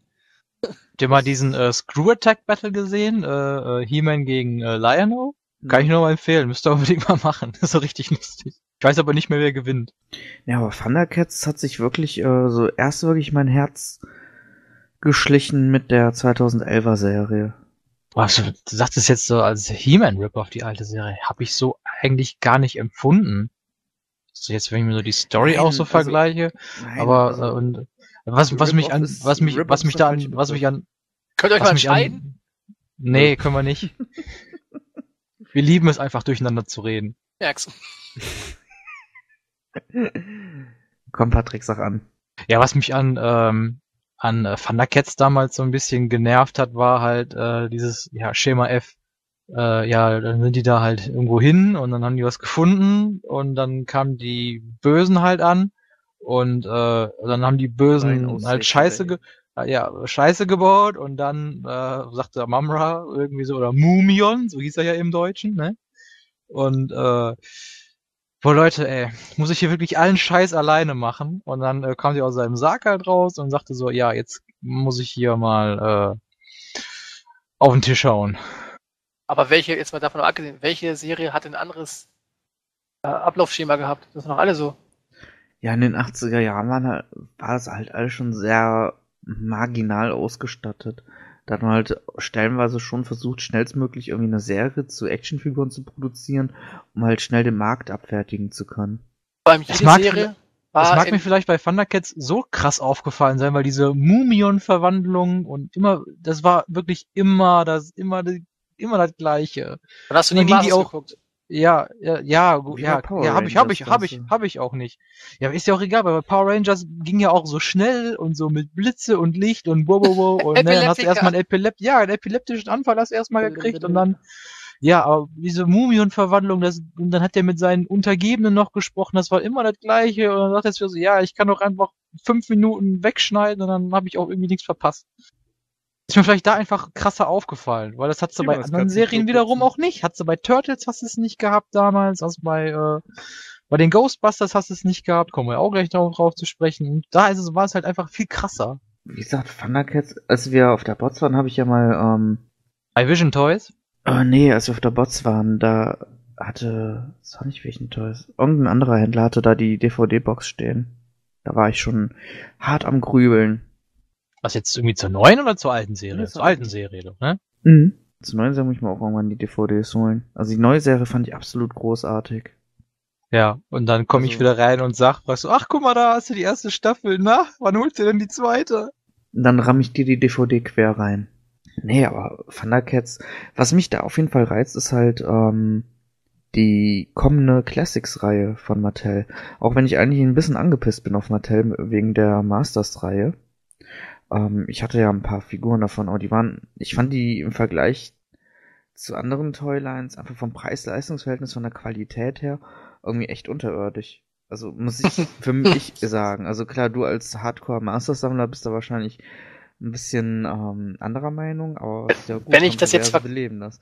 Wenn ich das jetzt gleich vergleiche mit den ähm, aktuellen Sachen von der Star Wars Black Series, muss ich da derbe widersprechen. Ja, ich kann jetzt auch nur von dem reden, was ich hatte, aber ich hatte halt wirklich, die Gelenke waren bei mir nach einem Bewegen so ausgelutscht und ähm, mein Skeletor ist einmal vom, vom Regal gekracht, äh, direkt Fuß gebrochen, während mir andere, äh, von anderen Herstellern die Figuren zigmal runterkrachen und nix haben. Und okay, vielleicht ist auch ein bisschen doof gefallen, aber ich war halt einfach irgendwie so desillusioniert und das für den äh, teils heftigen Preis von diesen Classics-Figuren, dass ich da halt echt gesagt habe, boah, nee, unter den Voraussetzungen werde ich mir keine weiteren Figuren holen. Ja gut, ich, wenn jetzt da mit Diskussion anfangen, würde ich sagen, da steht ja explizit auf der Verpackung drauf, es ist ein ähm, Sammelgegenstand, es ist kein Spielzeug. Das heißt, es sollte nicht unbedingt äh, vom Regal fallen. Wenn du sowieso ein Problem mit dem Regal hast, würde ich mal echt überlegen, wa- was du da verbessern kannst, dass deine Figuren nicht dauernd vom Regal fallen. Ich glaube, das Regal hast du doch, glaube ich, gar nicht mehr, ne? Nee, habe ich auch nicht mehr. Also nicht mehr in der hast Form. du schon mal draus gelernt, das ist schon mal gut. Was die Qualität angeht, ich meine, von, von, vom Aussehen her sind die Masters super geil. Das kann man nichts Ja, gegen sagen. die Die sind super super umgesetzt. Was jetzt, die Gelenke sind klar, die haben Probleme teilweise, manche Figuren sind besser gemacht als andere, aber größtenteils kann ich dazu auch nichts sagen, weil ich bin ja ne, Mock-Sammler. Ich habe Ja. alle Figuren eingepackt. Drei, drei oder sechs Stück habe ich ausgepackt, aber da habe ich auch keine Probleme mit. Aussehen tun die phänomenal, keine Frage. Tun Necker-Figuren auch. Trotzdem sind es bei mir die allerletzten Ragdolls. Ich hatte mir den Ultimate Striker Eureka von Pacific Rim geholt, gerade ausgepackt und kann den schon schütteln und der macht hier Zappelmännchen. Und das ist halt, okay, Necker-Figuren sind dann noch ein bisschen günstiger. Das ist Preis-Leistungs-Verhältnis noch eine ganz andere Nummer. Aber so eine Masters-Figur, für die du stellenweise zwischen, je nachdem, wo du so orderst, 35 bis 40 Euro bezahlst, ähm, das ist für meine Begriffe, das ist echt, das geht nicht. Nein, also da war ich halt wirklich super desillusioniert und habe mir gesagt, nee, also das sehe ich nicht ein, mir da noch weitere Figuren von zu holen. Zumal ich persönlich auch nie so diesen riesigen Draht zu He-Man hatte. Das war halt immer mehr was zu meinem Bruder. Aber nee, also ging nicht. Und ich hoffe halt für die Thundercats Classics Figuren, dass sie da aus ihren Fehlern gelernt haben. Sonst wird das für mich leider Gottes auch eher eine kurzlebige Geschichte. Ich denke, die Thundercats sind einfach nur für Die Hard-Fans, die früher die Serie super fanden, ähm, genauso wie, wie Master Classics. Die Leute, die es damals geil fanden und die Figuren hatten, die werden dieses Mal auch kaufen. Ich werde es Mhm. nicht machen, weil A, die Figuren mir zu teuer sind, B, ich mich mit den Figuren nicht so gut auseinandersetzen gesetzt habe als Kind. Ich habe die Serie teilweise geguckt, ich fand die auch äh, interessant und lustig, aber ich bin jetzt auch nicht so ein Fan wie bei Masters, wo ich jetzt sagen würde, ich mochte jede Figur. Ja. Wird definitiv Würde ich, mir- ich, würde ich so unterschreiben. Das ist so eine Serie, die hole ich mir auch mal vielleicht irgendwann mal auf DVD, Blu-ray, wie auch immer, weil ich sie gerne geguckt habe. Aber das ist jetzt nichts, was ich mir jetzt ins Regal stellen muss als Genau. Figur. Weil ich mich jetzt outen muss, ich habe einen Lino, habe ich sogar original verpackt, aber der ist von irgendwann in die 2000er gab es eine Neuauflage. Zu dieser 2003er, Ja, oder? Hatte, da 13? hatte Bandai ja auch, ähm, nee, 11. Äh, da hatte Oh. Bandai ja auch, ähm, ein Classic Line auch rausgebracht. Und ich glaube Classic Tigra.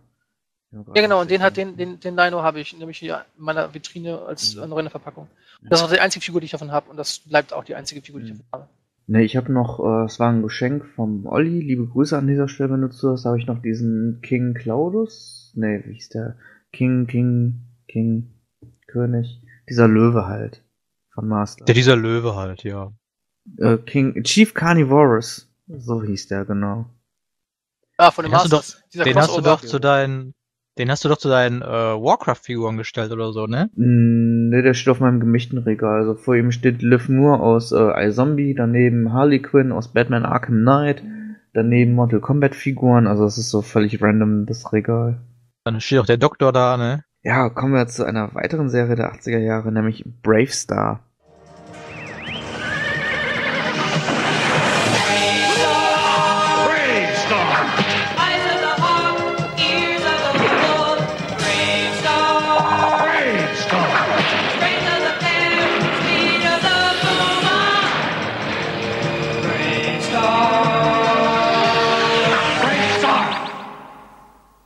Brave Star. Du, du, du, du. Hab ich. 30, 30. Hm? 30, 30 war dabei. Ja, 40, 40. Ähm, den fand ich cool, aber sonst war ich von He-Man irgendwie nie so. so Den war von halt was, ähm, Äh, Bravestar, ja. Nee, war nie meins. Das war eher was von meinem Bruder. Der hatte Fort Carium und Oh, geil! Das wollte ich immer haben. Ich stand Hm. im Laden davor. Oh, das war. Das, ich, ich, das geil, was man so zusammenklappen konnte und halt hier diesen äh, Safety Mode und sowas. im Dorf oder im Dorf, sag ich schon, hier in der Stadt war immer so ein, so ein kleiner Spinner immer, als, als ich noch Kind war. Und der hat immer gesagt, ja, meinem Vater gehört der Laden. Da wollte er mich echt mal überzeugen, dass ich mir das Fort Kerium schnappe und zur Kasse sage und ja, hier, er ist der Sohn, ich krieg's umsonst. Habe ich aber nie gemacht. War ich, schon- ich war nicht doof als Kind. Ich fand die Toys, ich hatte von den Toys, ehrlich gesagt, vor, ich glaube, zwei Jahren hatte ich mal ein paar Figuren, weil ich die in so einer Sammlung gekauft hatte. Die kriegt man relativ günstig. Also einen original auch verpackt. eingepackten Bravestar Marshall 70, kriegt man. 70 Euro. Ja, noch weniger sogar, glaube ich. Ich meine 50 bis 60. Es waren halt Figuren, die aus der Reihe getanzt sind, weil die Toys relativ groß waren. Die haben Mhm. sich so mehr an, so, waren so Barbie-Größe. Ja. Hatten aber mehr Features. Also jede Ja. Figur hatte so Action-Features, so Handelbar, konnte dann diese Diskus-Dinger werfen. Bravestar hatte diesen Schnellzieharm oder Texex, Ja. also dieser, der, sein böser äh, Konterpart, hatte, glaube ich, das gleiche. Ja, ich meine schon. Ich fand die Serie geil. Ja, Serie, so geil. Spielzeug fand ich jetzt ne, nicht so, weil ich habe halt damals schon immer so ein bisschen, aber ich will alles so irgendwie in einer Größe haben. Ich meine, jetzt Roboter waren jetzt eine, Ausnahme, weil Roboter können noch mal größer sein wie menschlicher Charakter, aber ich wollte alles immer so irgendein Batman, Turtles Größe und so weiter haben. Hm. Deswegen da so eher weniger, aber Serie top. Geil. Immer wieder. Übrigens auch eine Serie von Filmation. Also die haben in den 80ern wirklich eine Menge. zusammen- Also Sunbow, Filmation und ähm, noch eine Firma. Waren so wirklich so die. Ja, Vor- genau die. Noch eine Firma. Ja, ja. Die, deren Name uns gerade nicht einfällt. Hanna-Barbera? Mm, Ja, doch, die haben auch, aber die kamen jetzt in der Umfrage so gar nicht wirklich durch. Die haben ja auch halt so Familie Feuerstein und oh, was war Vacuum Races, was haben die noch gemacht? Jetsons, glaube ich, auch noch. Äh, Scooby-Doo doch auch, ne? Ähm, nee, aber Bravestar, ich war halt irgendwie, ich fand diese Mischung aus Western und Science Fiction halt irgendwie ganz nett. Ähm, ich fand diesen, diesen Deputy Fuss immer ganz lustig. Der hat ja auch irgendwie so einen, so einen bösen, ja, Willing, äh, Zwilling nicht, aber so einen bösen, äh, Gegenpart halt auch so von seiner Rasse und die hatten ja dann als Figuren dann halt so kleine Karren dabei, wo man hinten das Kerium reinpacken konnte. Aber irgendwie, weiß nicht, war nicht meins. Ist das Spielzeug oder als Serie? Als Spielzeug. Ich sehe gerade, Deputy Fuss wurde in der Originalsynchro von Charles Adler gespielt, äh, gesprochen. Alan Oppenheimer, auch so ein Name, den man andauernd liest. Richterin JB, Susan Blue. Ah, I see. Ja, aber die haben sich ja, keine Ahnung, da in der Zeit haben die sich ja alle die Klinke in die Hand gegeben. Ja, eben. Es gab sogar einen Kinofilm, sehe seh ich gerade. Ja. Die englischsprachigen Kinos. Nee, aber He-Man hat ja irgendwie so, so schamanistische Krä äh, Krämpfe, äh, Kräfte. He-Man? Schamanistische Krämpfe. Ich He-Man so, ah nein, in meinen Muskeln, ich habe einen Muskelkrampf. Was hat denn ah, He-Man, was hat denn He-Man jetzt schon wieder mit zu tun? Weiß ich nicht, ich musste Marco fragen. Der heißt Bravestar, der. Fregel. Alter, ey, ich komme da voll durcheinander. Bravestar Ja, ist, äh, ist ja einer so der wenigen Charaktere, der, der Drogen genommen hat. Weil der, der Schaman hat ihm, ihm ein Kraut gegeben, das hat er geschnüffelt und dann hat er die Kräfte gekriegt. War er stark wie ein Bär, schnell wie ein Fu äh, Puma. Wie ein Fuchs. Genau. schnell wie ein, schnell wie eine Schnecke, dicht wie Snoop Dogg. Augen des Adlers, Geschwindigkeit des Pumas, Stärke des Bären und dann war noch irgendwas. Nee, also war halt irgendwie so, so, weiß nicht, würde fast sagen, eine Generation für, äh, Generation vor mir, obwohl die halt, äh, in Deutschland wurde die 89 ausgestrahlt, in den USA 87 bis 88. Wäre eigentlich so voll mein Alter gewesen, aber war eher sowas wie mein Bruder, der hatte davon halt wirklich einen Shitload auf. Äh, so interessanter Fakt, ne? Ich meine, äh, Bravestar ist ja auch so Titelheld und der ist schwarz, ne? Nein, der ist indianisch. Ja. Er ist nicht Rothaut. schwarz, er ist Rothaut. Ja, gut, oder Rothaut, aber trotzdem so. Also ja, eigentlich so, Min so ein Minderheitentyp als der Hauptheld, ne? Ist ja jetzt auch nicht gerade so. Ne? Thematisch vorbelasteten USA. Das- Deswegen, deswegen spielt es ja auch in Neu-Texas, wo keine Sau lebt. Wo nur Hm. Wüste und ab und zu mal so, ein, so eine Imbissbude oder am Strand. interessieren, Dann was hast du irgendwo so ein, so ein, in der Wüste so ein Nest mit Rednecks, ne? Und so, Ja, genau. So ein Busch, Busch-Clan, ne? In Die Space. Rednecks waren immer diese komischen äh, Wolf, Wölfe, ne? Oder diese Präriehunden-Mischlinge da. Die nicht ganz intelligent waren. Ja, und die waren sauer auf diese komischen ähm, laufenden Fellleute, because they took our jobs. Was ich sehr witzig finde und interessant fand, dass Brave Star ja mit Doppel R geschrieben wird. Aber Mhm. Brave Star. Grauer Brave Star. Lustig. Ist ein Forenrang bei uns. Brave Star? Grauer Brave Star. Achso, haha. Ich fand das damals ultra witzig, als ich das eingerichtet habe. Was haben wir denn noch? Jodas Lustknabe, Aushilfs-Avenger. Jokers Komplize. Alles Folgen, Folgenamen von Brave Star. Das war Season 2, Folge 36. Jodas Lustknabe. In Fort Kerium. Heiße Spiele mit Kerium. Nächste Serie habe ich hier Captain Future.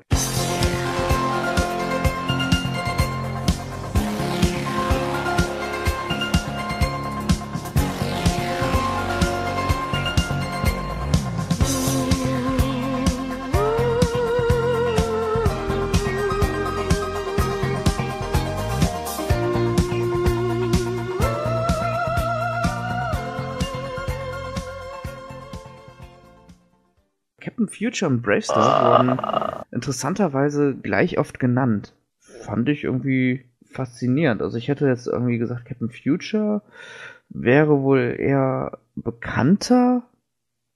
Also habe ich für mich persönlich minimal ein bisschen weiter oben gesehen, aber immerhin in Prozent von allen Abstimmungen, von allen Teilnehmern haben immerhin 64% Captain Future gesehen. Das ist nicht schlecht eigentlich. Captain Future ist, das ist so diese Kontroverse, die ich äh, im ersten Teil des Podcasts angesprochen habe, dass wir halt eben auch Serien ähm, drin haben, die halt nicht so 100% dem Kriterium entsprechen. Ähm, zumal Captain Future kein Cartoon ist in dem Sinne, sondern ein Anime. Und ich meine, Captain Future lief die erste Episode in, in den 70er Jahren, Ende 70er Jahre, 79 oder sowas, glaube ich. Ja, das ist jetzt echt Klugscheißerei hier, komm. Ja, das ist Paragraphenreiterei, Regelfickerei und ja, aber Captain Future äh, habe ich damals halt auch im Fernsehen gesehen, genauso wie hier ähm, ähm, Abenteuer des Odysseus oder Königin der tausend Jahre, ähm, welche irgendwie komischerweise nicht in die Top 20 genannt wurden. Aber na gut. Kann man so Also Captain. Future habe ich eher weniger gesehen, was aber auch daran lag, dass das zeitgleich irgendwie mit was äh, lief, was ich dann halt lieber geguckt habe. Ja, bei mir auch. Das war, das war immer irgendwie dann so, auch dann zu der Zeit, muss ich ganz ehrlich sagen, war das echt so ein Handicap. Ja, äh, weil äh, Eltern auch nicht immer gesagt haben, ja, du kannst jetzt hier da und da das aufnehmen. Mhm. Ähm, ja, und dann auch noch das dann auch, auch noch angucken, immer und immer wieder. Also ich muss ganz ehrlich sagen, ich bin der technischen Entwicklung von Festplattenrekorder echt dankbar. Ich hatte ein bisschen Angst vor der Serie. Ich fand die irgendwie unheimlich teilweise. Auch den, den Titelsong fand ich ein bisschen, Mhm. Weiß nicht, der ist zwar, geht zwar ins Ohr, aber irgendwie war der so ein bisschen, hat, hat mir ein bisschen äh, vermittelt, dass, äh, ja, so ein Depressionsgefühl. Mhm. Ja, das so- Klavier, so- ne? Dieses ja, so- dun, dun, Ja, und dann dieses so- Geheule, so, äh, boah, so wie mit Hat Star Trek mäßig. Ja, hat für mich eine Mischung was aus Star Trek und Musikantenstadel. Ja, so melancholisch war das ein bisschen. Das, das, war- das fand ich nicht so gut. Deswegen hat die ähm, Serie bei mir schon einen krassen Dämpfer bekommen. Und Aber das, welcher, äh, einer der Hauptcharaktere schon Otto heißt, ne? Aber das Raumschiff-Design von Captain Futures Schiff fand ich cool. Oben Das mit hat einem mir Kreuz gefallen. hinten dran. Ja, aber halt eben für damalige Verhältnisse fand ich das eigentlich ganz. Es ist sehr, sehr von der Norm abgewichen. Was Star Wars verwöhnt. Ja, ich meine, Star Wars hat natürlich absolut geiles äh, Raumschiff-Design. So wirklich viel an die Serie kann mich ja nicht, nicht erinnern. Das war halt auch nie so ganz meine Welt. Ähm, Kriegt ihr den Namen Ähm, zusammen? welche, Ja, Captain Future. Hans, Georg. Rüdiger. Wie hieß, Nee, denn das, wie hieß denn das Gehirn? Mother Brain. Haha, wir spielen jetzt nicht Metroid hier. Das war Metroid, Mann. Hirni Ja. McHirnhirn hieß das. Also nicht fassen wir genau. mal zusammen, es kann sich keiner mehr an diese Serie wir- wirklich erinnern. Abgesehen von dem Hauptcharakter, der Captain Future heißt, weiß, wissen wir davon eigentlich gar nichts. Ja, das ist irgendwie. Das Story könnte ich muss sagen. Nee, ich auch nicht. Also, ich weiß nur, dass der halt mit seiner Crew halt durchs Weltall geflogen ist. Das Ja, ist so, reicht das nicht als Story so? Das sind Leute im Weltraum, ist doch interessant genug. Schwein im Weltall.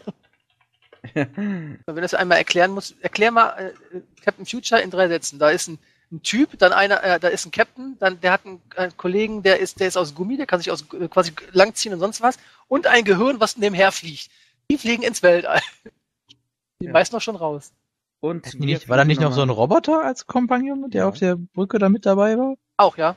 Ja. Aber das Gehirn war quasi der Kopf des Ganzen. Ha, ha, ha. Ja. Badabums. Ja. Captain Future fliegt durchs All und wir fliegen nochmal ganz kurz in eine dreiminütige Pause und sind gleich wieder für euch da. Die lustigen Geister sind jetzt frei. Und du bist dabei mit deinen Geisterjägern.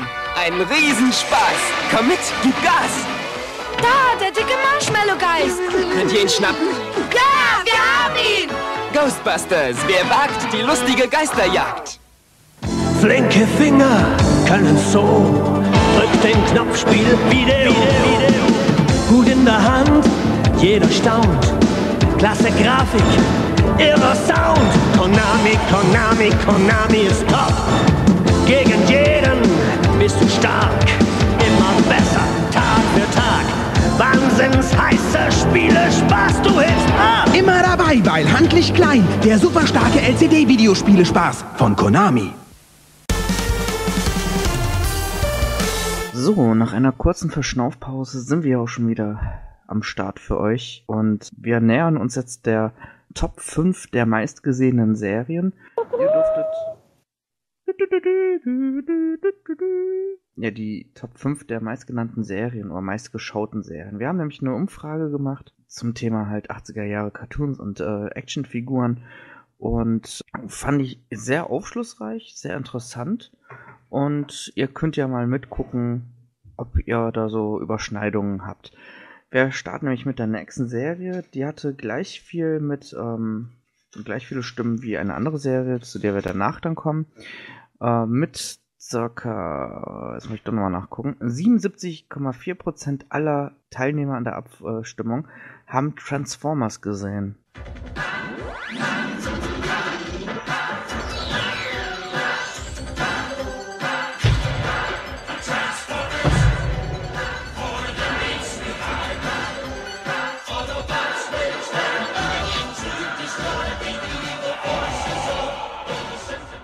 Robots in Disguise.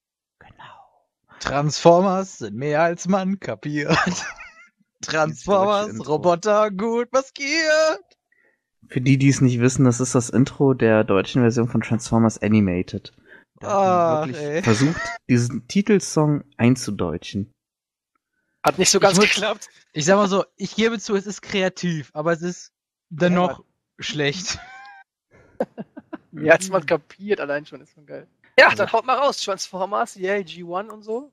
Also ich bin, äh, das war wirklich mein Steckenpferd in den 80ern. Das war wirklich so, neben Turtles und, ähm, und halt hier eben den anderen Sachen wie Mask und Starcom wirklich so mein, das, was mich wirklich so am meisten beschäftigt hat in meiner Kindheit.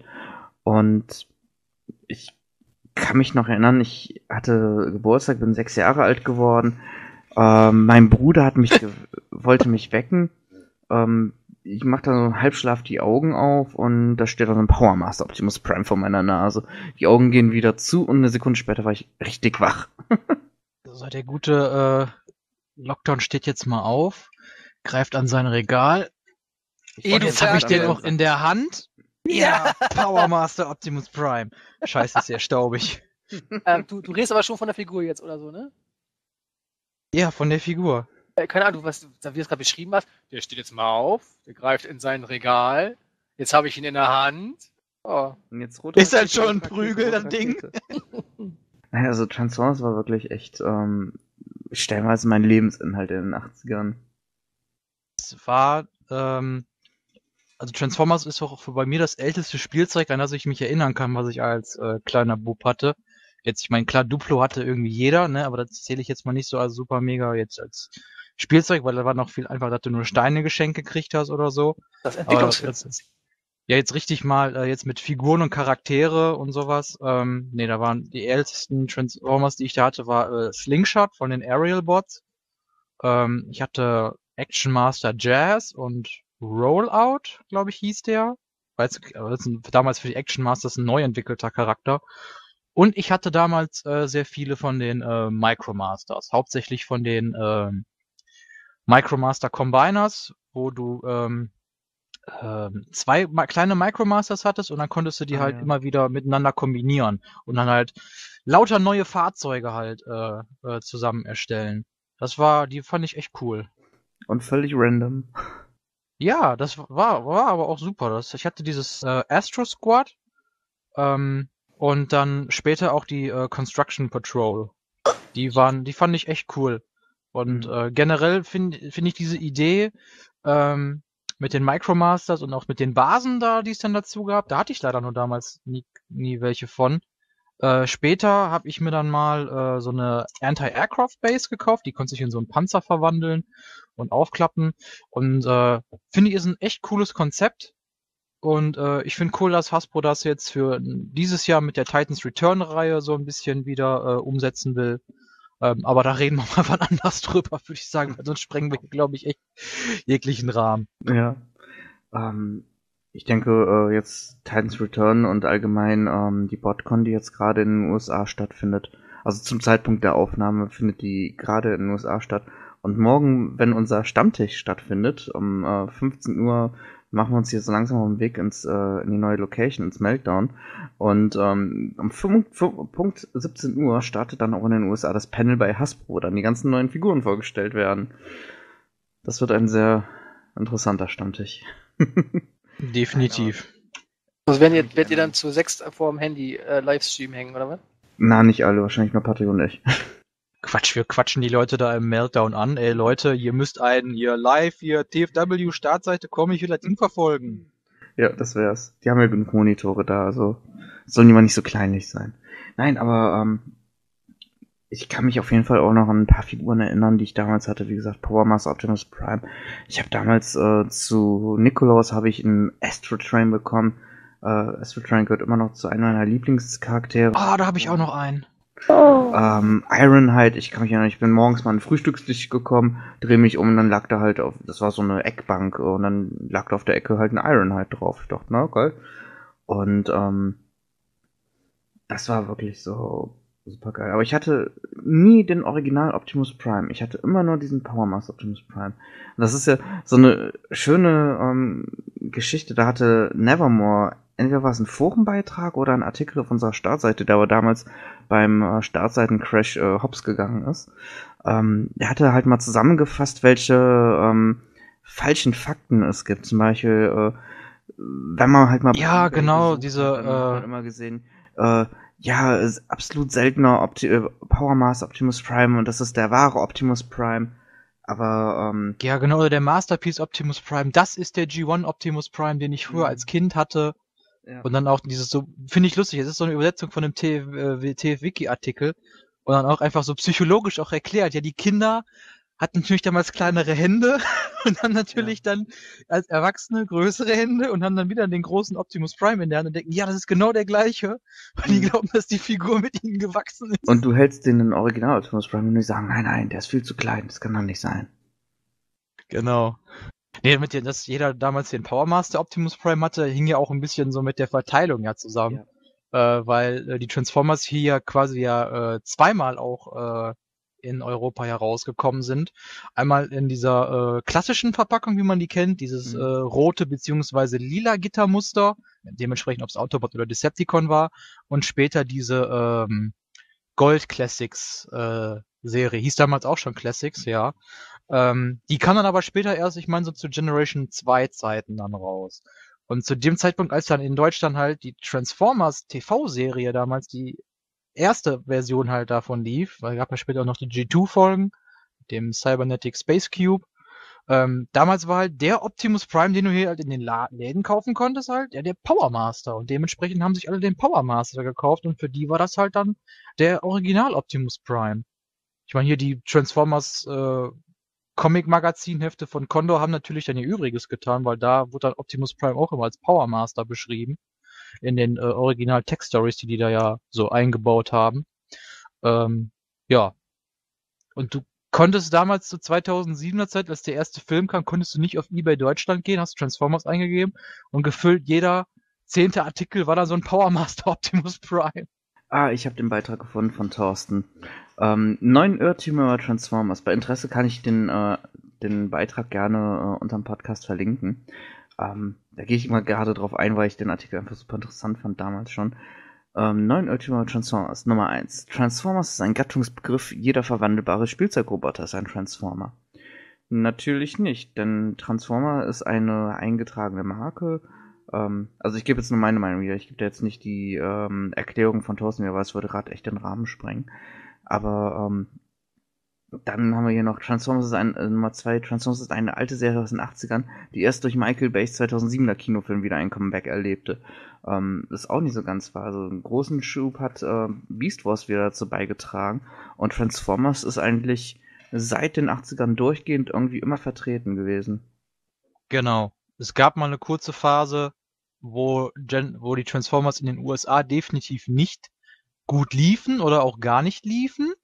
Ähm, das wurde aber durch äh, die europäischen Transformers von äh, Hasbro Europa, ja, das äh, habt ihr richtig gehört, äh, Hasbro Europa hat damals eigene Transformers gemacht, weil die Marke damals in Europa, weil durch die Verschiebung halt äh, zwischen den Jahren dazwischen, weil wir die halt alle später gekriegt haben, so gut lief, haben die eigene Transformers gemacht. Aber Transformers ist ja auch mittlerweile wirklich eine so starke Marke. Ähm, wir hatten ja auch. War immer, war immer präsent und durch den Film halt, kannst du sagen, fest etabliert. Im Spielwarenregal g- genauso fest etabliert wie, äh, wie Star Wars, kannst du eigentlich sagen. Und mittlerweile, also wir waren auf der Spielwarenmesse auch bei Hasbro, hatten dort einen Termin mit dem Brandmanager und der hat uns ja auch gesagt, dass ähm, normalerweise der, ähm, dass es einen sehr starken Rückgang in Nicht-Filmjahren gibt. Also wenn ein Film zu Transformers rauskommt, dann ähm, fahren die halt wirklich ordentlich Umsatz ein. Das ist ja auch kein Wunder, die Filme pumpen halt natürlich wieder massig Kids in die Spielwarenabteilung und wollen dann hier den neuen Optimus Prime oder den Bumblebee haben. Ähm, und halt jetzt aktuell halt eben auch durch Combiner Wars und Robots in Disguise hat Hasbro äh, in einem Jahr, wo kein Film rauskommt, wieder so starken Umsatz. Also der Rückgang ist nicht mehr so stark wie halt in äh, noch vor drei, vier Jahren, als halt irgendwie eine Filmpause pro Jahr war. Also zwischen Transformers 1 und 2 waren, glaube ich, auch zwei Jahre Pause. Zwischen 2 und 3 waren zwei Jahre Pause. Zwischen 3 und 4 drei Jahre Pause. Und ich glaube, jetzt zwischen 4 und 5 werden es auch wieder drei Jahre sein, so grob. Und ähm, ja, wie gesagt, normalerweise haben die da halt schon einen ordentlichen Schwund, was den Umsatz angeht. Aber der ist dieses Mal äh, nicht so extrem gewesen. Oder der ist fast komplett ausgeblieben, kann man sagen. Und das ist natürlich super. Absolut, es äh, zeigt, dass die Marke äh, äh, einen Schritt äh, macht in die richtige Richtung. Ähm, Combiners sowieso das äh, Hauptthema halt jetzt der aktuellen Generations-Reihe. Wird jetzt halt äh, in den USA und auch bei uns jetzt halt zum Sommer halt durch das äh, ja, durch Titans Return halt abgelöst, was dann wiederum so eine Mischung ist unter mit den Titanen und den oder den Titans-Figuren einfach dann. Ja, so, ein, so eine Mischung. Da werdet ihr halt hauptsächlich Headmaster wiederfinden, aber da sind auch einige äh, Figuren halt auch an, an Powermaster-Figuren angelehnt. Ähm, zum Beispiel ist der neue Leader-Class Optimus Prime wird dann auch offiziell als Powermaster Optimus Prime beworben, hat jetzt aber nicht unbedingt jetzt so ein Powermaster-Feature, so wie damals. Powermaster waren ja die, die sich in die Motoren verwandeln konnten. Der hat aber ähm, auch ein Headmaster-Gimmick oder ein Titan-Master-Gimmick halt genannt, sodass ihr dann auch wieder so einen kleinen Roboter dabei habt, der dann halt eine Komponente ist, die ihr halt braucht, um den großen Roboter aufzubauen. Was war denn für dich so in Sachen Transformers? Äh, Gab es da so eine Figur für dich? Äh, Gab es in Deutschland? Äh, wolltest du haben, aber äh, hast du nicht gekriegt? Skylinks. Ja, okay, hätte ich mal eigentlich auch denken können. Wobei, gab es den in Deutschland überhaupt? Weiß ich nicht. Sonst nehme ich dann halt an anderer Stelle Soundwave. Das ist auch mein Ja. Lieblingscharakter. Ich hatte als Kind nie einen Soundwave. Den ersten G1, G1-esken Soundwave habe ich, äh, hat mir Kitty dann zum Geburtstag geschenkt in der, oh, ich glaube, ne, nicht San Diego. Lol, da hatten wir schon mal drüber gesprochen, ne? Kann sein, ja. Da hatten wir auch zu dritt den Podcast aufgenommen, glaube ich. Chris? Äh, Das, ja. was hast du auch, ja, wo, wo wir darüber gesprochen und ja, beide habt die gleiche Soundwave-Neuauflage, ne? Ja, genau. Von, da war noch die Diskussion, wie viele Kassetten dabei sind und so. Ja, und wie viel, wie viel reinpassen und ja, ach, ja.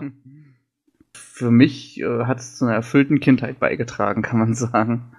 Ja. ja für mich so ein Holy Grail, ich habe einen hier stehen, aber leider unvollständig ist der Overlord. Und ich möchte, dass du an dieser Stelle den deutschen Werbespot für Overlord einbaust, damit die Leute wissen, wer ist Overlord und wie badass ist der. Mhm. Ja, nee, der ist es. Nee, das ist, du meinst ist Unicron. Das ist Genau. aber, zu dem gab es erst viel, viel später einen. Nee, Overlord, der ist. Ah, weißt du was, ich spreche den jetzt einfach. Overlord kann sich in alles verwandeln, als Düsenjet, Raumfahrtbasis oder Roboter. Ist er der Super-Transformer? Overlord kann sich in alles verwandeln. Als Düsenjet, Raumfahrtbasis oder Roboter ist er der Super Transformer.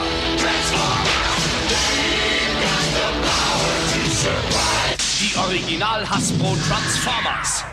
Boah, nee, genial. Das Ding ist riesig. Das, das, das stellt Optimus Prime, den Power Master Optimus Prime locker in den Schatten.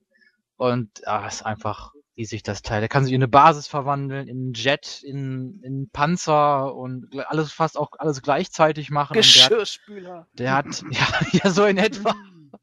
Nee, aber der ist einfach ein Teil. Das ist so ein richtiges.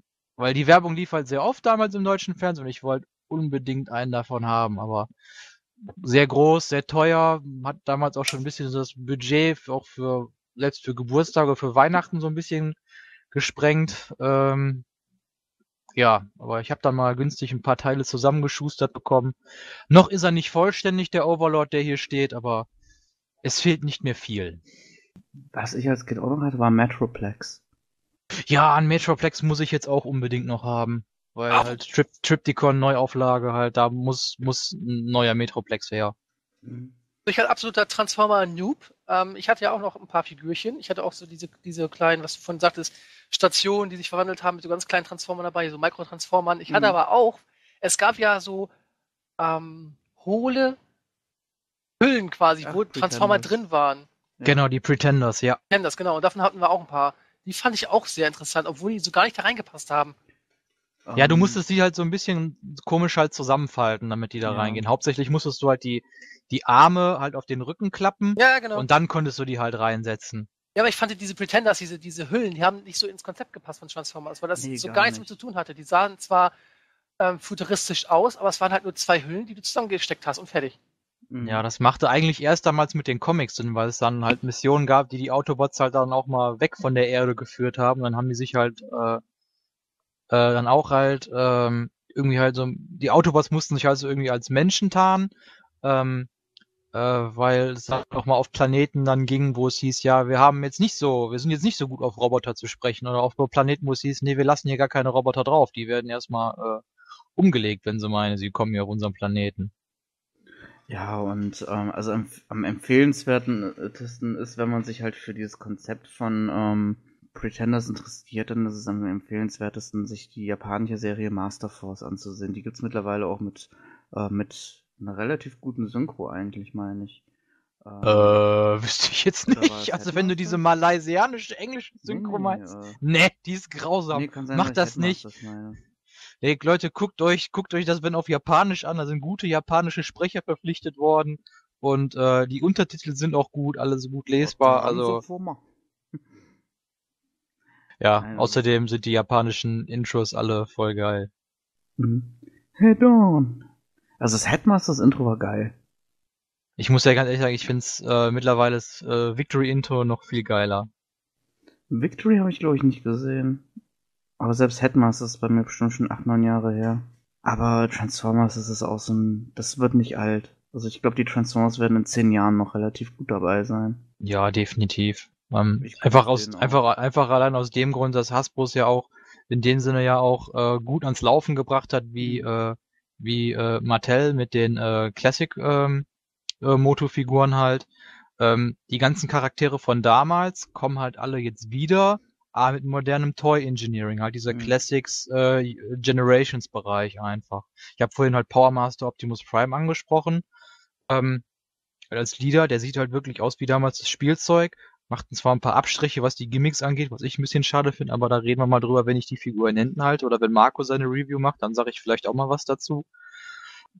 Aber das ist eigentlich echt schade, dass der nicht nach Deutschland kommt dann, weil damals ja viele auch den Power Master Optimus Prime hatten. Aber mal gucken, da wenn wir den haben, dann äh, oder wenn du den hast, ich denke mal, du machst ja wahrscheinlich dann eh zuerst die Review dazu. Gut Und äh, ja, dann komme ich vielleicht mal vorbei und dann machen wir vielleicht so eine Partner-Review. Du machst den neuen, ich mach den alten und dann mal Das gucken. Das, das äh, nehmen wir uns mal fest vor. Und äh, ja. Dann wechseln wir auch schon zu einem anderen Thema, nämlich Saber Rider. Can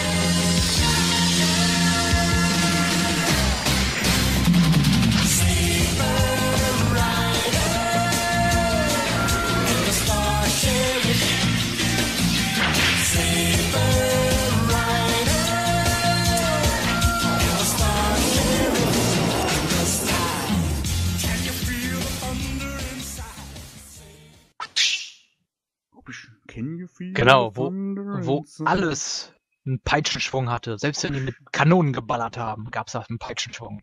Und die Überleitung von zwischen 10 und äh, ja. Verdammt. Genau. Zwischen, zwischen zwei Szenen kam auch mal die Überleitung dann. Ja, beste Anime-Serie ever, finde ich. Saber Rider fand ich halt schon geil, aber es war halt irgendwie nie so meine Lieblingsserie. Also, ich habe eine Ex-Freundin, die war riesiger Saber Rider-Fan. Deswegen auch Ähm, Ex-Freundin. Nee, nee, das, deswegen nicht. Es hatte andere Ursprünge. Aber äh, ich fand Saber Rider cool. Ich habe ja diese DVD-Box und ähm, finde halt auch das Titellied super geil. Ich freue mich auf das kommende ähm, 3DS-Spiel. Und ähm, auch die Hörspiele fand ich echt cool. Also Saber Rider ist halt so, das verbindet Science Fiction mit We Western. Also ähnlich schon wie halt eben ähm, ähm, Bravestar, nur halt eben noch mit, ähm, mit Kampfrobotern, mit Mecha-Action. Nämlich Ramrod. Das war halt irgendwie auch so. Ja, so Bravestar Ja. meets Gundam. Ja, Ja, eher schon könnte man eigentlich so sagen. Ja, oder, oder ja, eigentlich ja, ja, ah, obwohl, obwohl Power Rangers ja ja. später kam, war ja eigentlich schon fast mehr Richtung wie, wie Power Rangers oder Sentai dann halt. Dass dann halt zwei riesige Roboter dann nachher noch auch gegeneinander gekämpft haben. Interessant ist So ja auch, aller, dass, aller ähm, Enemy of the Week halt. Interessant ist ja auch, dass Saber Rider in, den, äh, in Japan oder in, ja doch, in Japan, äh, ursprünglich als Sayushi Bismarck verwertet wurde, ähm, aber für den Westen angepasst wurde. Da wurde das halt alles noch ein bisschen amerikanisiert, sag ich mal, und ähm, Folgen anders zusammengeschnitten, ähm, Sachen entschärft, nämlich äh, die Outrider. Im Original werden die halt wirklich getötet und in der westlichen Version werden die halt eben zurück in ihre Dimension geschickt. Ja, das fand ich Das langweilig. fand ich damals so, okay, hm, ja gut. Dann, als ich das als Erwachsener nochmal gesehen habe, was? Was? Was? Ja, Never Ending Story. Täglich grüßt das Murmeltier, so eine Art ist das dann. Aber ich fand's trotzdem geil. Ich habe, ähm, ich weiß genau, damals habe ich noch aus Lego habe ich mir den äh, Bronco Blaster äh, nachgebaut und habe dann auch vers versucht, das Fahrzeug von Fireball nachzubauen. Das habe ich aber leider nicht geschafft.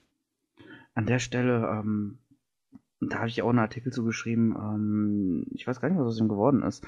Ähm, Dejin Kai äh, ist sein Künstlername, der hatte, ähm, der wollte zu Saber Rider Lego-Sets bei über Lego Ideas, oder wie es damals noch hieß, Kuso, ähm, halt machen lassen. Allerdings äh, hat, er halt nicht die genügend auf, äh, nicht die genügend ähm, Zuschriften dafür bekommen, oder halt die Unterschriften, bla, ihr wisst, was ich meine, und konnte das dadurch nicht verwirklichen. Aber der hatte richtig coole Konzepte für halt eben die Fahrzeuge und für äh, Ramrod. Und da finde ich es halt echt schade, dass das nicht verwirklicht wurde. Oh, von Ramrod bräuchten wir mal unbedingt was so im, im Transformers Masterpiece Style. Ja, Unbedingt. mein Gedanke. Ich habe mir mal Bilder von dem Spielzeug mal angeguckt. Ja.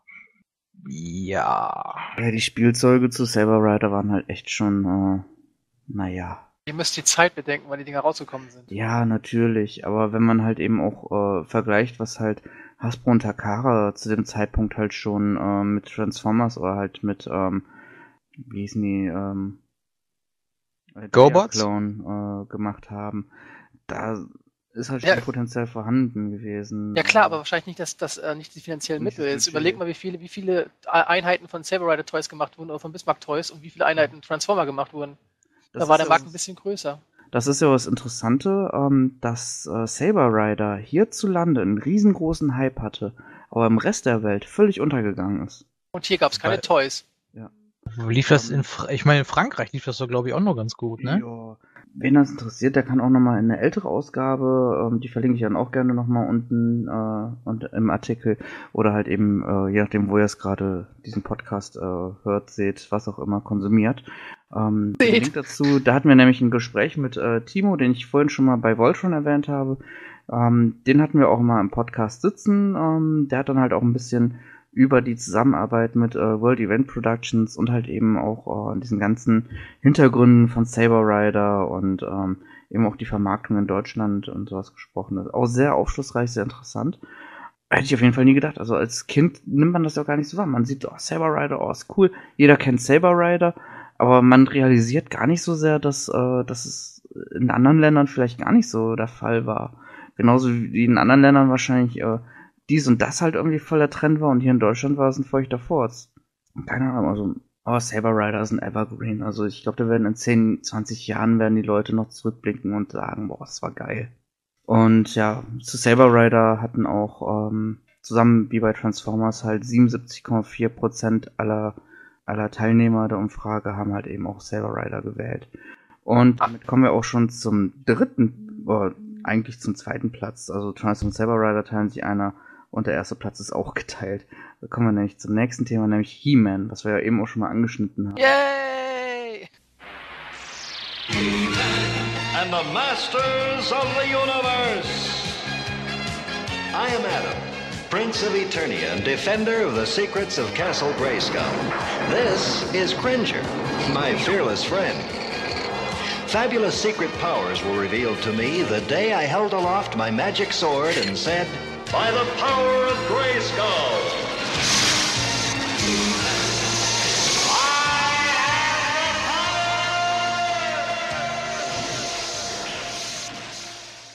Und da kann Chris jetzt hier seinen Nerdgasm freien Lauf lassen. He-Man haben übrigens ähm, 87% aller Teilnehmer bei der Umfrage gewählt. Das heißt also fast neun von zehn Leuten haben He-Man konsumiert. Und einer davon war Chris. Ja, ich war die letzten sechs quasi. Ja, was soll man das sagen? He-Man ist halt Kult. Das kennt jeder. Also gut, halt neun von zehn, wie du sagtest. Ich weiß nicht, wo man anfangen soll. Gib mir ein Stichwort. Zauberschwert. Zauberschwert. Oh, das war ja ein super Stichwort. Also wenn man jetzt die Serie, ähm, erstmal nur die Serie betrachtet, äh, abgelöst vom Spielzeug, ist natürlich wieder diese klassische Story von wegen Gut gegen Böse und der Held ist eigentlich so ein getarnter Clark Kent, der mit Hilfe Mhm. eines Zauberschwertes sich dann in den Übermenschen verwandelt, der jeden aus der Scheiße holt. Oh, Und das da alles- spricht der als Deutscher hier vom Übermenschen, der blond ist. Bin ich blöd. Ja, ist doch so. Mit der vollen I must break Prinz- you, Skeletor. Genau. I get to the chopper, to the Windrider. Aber es war halt auch so eine typische Serie, die auch wieder ähm, die Tugenden und Tipps und Tricks an die Kinder weitergegeben hat, wo auch wieder, wie bei She-Ra auch an jedem Ende der Folge von Orko oder von den Hauptcharakteren den Kindern beigebracht wurde, das ist böse, mach das Mhm. lieber so. Ja, diese Moralapostel. Diese, genau, diese Mo- Moralpredigten. Was ich aber relativ gut finde, weil es mittlerweile sowas überhaupt nicht mehr gibt. Und damals haben die Kinder das wirklich ernst. Und wir haben das sogar ernst genommen, was sie da gesagt haben. Wenn He-Man Würde das ich sagt, mir- dann muss das stimmen. Heute Ja, genau, richtig. kleine Pisser da? Das hat er gesagt im Fernsehen, dann ist das so. Hm. Nix, keine Schokolade von Le Leuten annehmen, die du nicht kennst. Richtig. Mama kann das achtmal sagen, das ist scheißegal. Wenn jemand das sagt, stimmt das. Und die Geschichte war ja auch, da war ja alles mit drin. Science Fiction, Mhm. Fantasy, sehr viel Mystisches auf jeden Fall war dabei durch das Zauberschwert und Castle Grayskull. Keiner wusste wirklich, wie dieser Geist von Castle Grayskull aussieht. Oder ich weiß noch ganz genau, wenn ich mir die, wenn ich die Folgen angesehen hatte, ich wollte immer wissen, wie es innerhalb, innerhalb von Castle Grayskull aussieht. Sehr viele Bilder gab es da dazu nicht. Nur den Thronsaal der Königin, beziehungsweise der Zauberin und dann so klar, wo dann immer dieser Spiegel stand. Was mich als Kind bei He-Man immer total abgefuckt hat. He-Man, oder Adam, hat ja eine Frisur, die sieht aus, als hätte der einen Topf auf den Kopf gesetzt bekommen, einfach alles, was unten rausguckt, abgeschnibbelt. Prinz Eisenherz-Frisur nennt man das auch. Ja.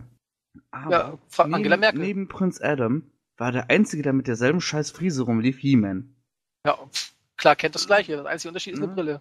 Ja.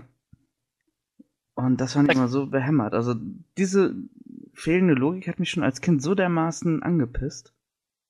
Da gab es in der Spielzeugserie von He-Man ja die gleiche, den, den nächsten Lo- Logikfehler. Es gab ja eine Folge, da hat He-Man gegen seinen bösen Zwilling quasi gekämpft, weil Hm. Skeletor, der Bösewicht, hat ja einen Faker, einen roboter Ja, ey. Doppel Doppelgänger gemacht von He-Man, der im Cartoon genauso aussah wie He-Man, nur dass er leuchtende Augen hatte, damit der Zuschauer oder das Kind sehen konnte, aha, leuchtende Augen, böse.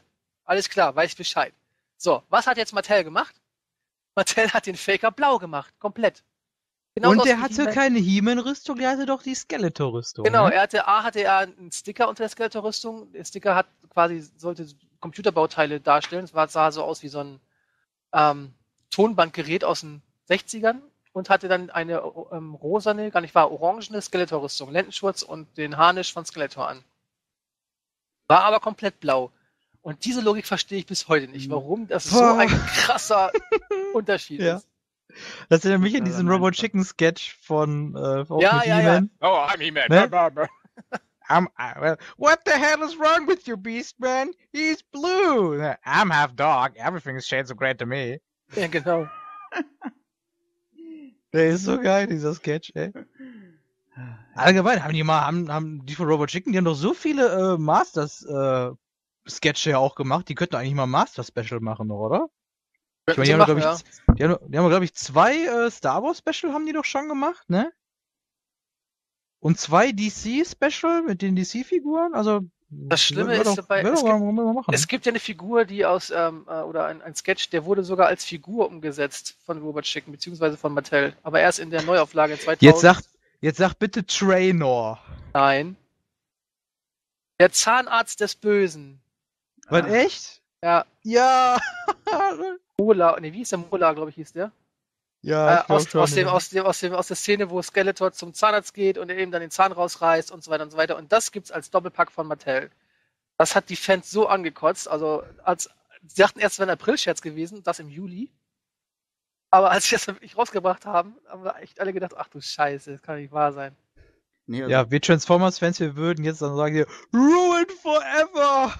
Aber der Nebeneffekt von der Serie, beziehungsweise, was heißt Nebeneffekt? Die Serie basiert ja quasi auf der Toyline und umgekehrt. Das ist ja, das hat sich ja damals sowieso nicht viel gegeben. Es war eine Riesenmasse an Toys, die damit äh, Ja. ausgeballert wurde. Es gab Burgen, also es gab vier verschiedene Burgen. Dann gab es jede Menge verschiedene Vehikel. Fahrzeuge. Bitte? Fahrzeuge ohne Ja, genau. Vehikel, Fahrzeuge. Und dann jede Figur hatte ein Action-Feature. Das war das, Mhm. das Aushängeschild der Master of the Universe-Serie, dass jede Figur etwas konnte. Mindestens ein Action-Feature. Ich bin auch der Meinung, Burgen dass. waren auch alle cool. Also ohne Ja. jetzt mich mit dem Spielzeug groß beschäftigt zu sagen, ich habe mich aber mal mit diesen Burgen mal auseinandergesetzt, mal auf Google ein paar Bilder angesehen, die Burgen, die fand ich alle cool. Da kannst du auch gerne auf meinen Kanal gucken. Ich habe eine Review zu der Original Castle Grayskull gemacht. Ja, die habe ich auch gesehen. Fand ich Ja. cool. Die neue kommt dann natürlich auch noch irgendwann. Ähm, kriegst du die Burgen noch alle zusammen? Oder kriegst du die Burgen zusammen, welches es da gab? Äh, Snake Mountain, Castle Grayskull, das ist bei mir auch schon auf. Und halt, äh, ja, kein, keine Burg, aber halt eins der Playsets, halt diese Fright Zone. Das ist ja eine Burg von Und die- und Und Eternia. diesen, diesen Brunnen, dieser komische Brunnen, was war das? Meinst du die Slime Pit, oder was? Ja, ja, genau. Ja, nee, das ist halt, ich habe es rausgehalten, aber Eternia gab es ja auch noch, dieses blaue mit dem, mit dem Monster, äh, mit dem Katzenkopf oder Löwenkopf am unteren Teil, der zwei Arme hatte, mit dieser Mhm. Ja, doch, Schwebebahn dabei. Ja. Das wollte früher, äh, spät, früher wollte das keiner haben, dieses Set. War A, Mhm. zu groß, B, kam es zu spät und C, war es zu teuer. Mittlerweile kostet das über 1000 Euro, wenn du so ein Ding haben möchtest. Aber ich glaube, He-Man war auch so die erste richtige große Toyline, die so viele Playsets hatte. Oder allgemein eine der ersten, die so Playsets hatte. Ich glaube auch, ja, kommt hin. Also das fand ich halt schon immer geil bei, äh, bei Toylines halt, dass du dann so, so fette Playsets hast. Ne? Bei Turtles hat's ja dann hier ähm, das äh, Uhr-System. Turtles, äh, Ca äh, nicht Camp, ähm, hat ja diese Kanalisation. Ähm, dann ähm, hier diese, diese dieser Thunderdome, ne, nicht Thunderdome, wie hieß denn das? Technodrome. Technodrome, ja. Thunderdome war eine CD. Ähm, Und vi- ich glaube, also viele der Fahrzeuge, die damals rauskamen, waren auch mit Batterie betrieben. Und Ja, die ja funktionieren die- heute noch. Ja, da gab's ja dieses komische irgendein Vieh, was halt irgendwie. Nee, Ah? ich krieg's nicht mehr zusammen. Nee. Dann aus. Nee, ich, ich weiß es nicht mehr. Ich kann es nicht mehr beschreiben. Farbe. Bla. Bla, nee, da gab's keins. Nee, da muss ich irgendwie mal in einen Toy-Katalog reingucken und dann halt. noch- Das war so rot, grün, gelb, blau-isch irgendwie.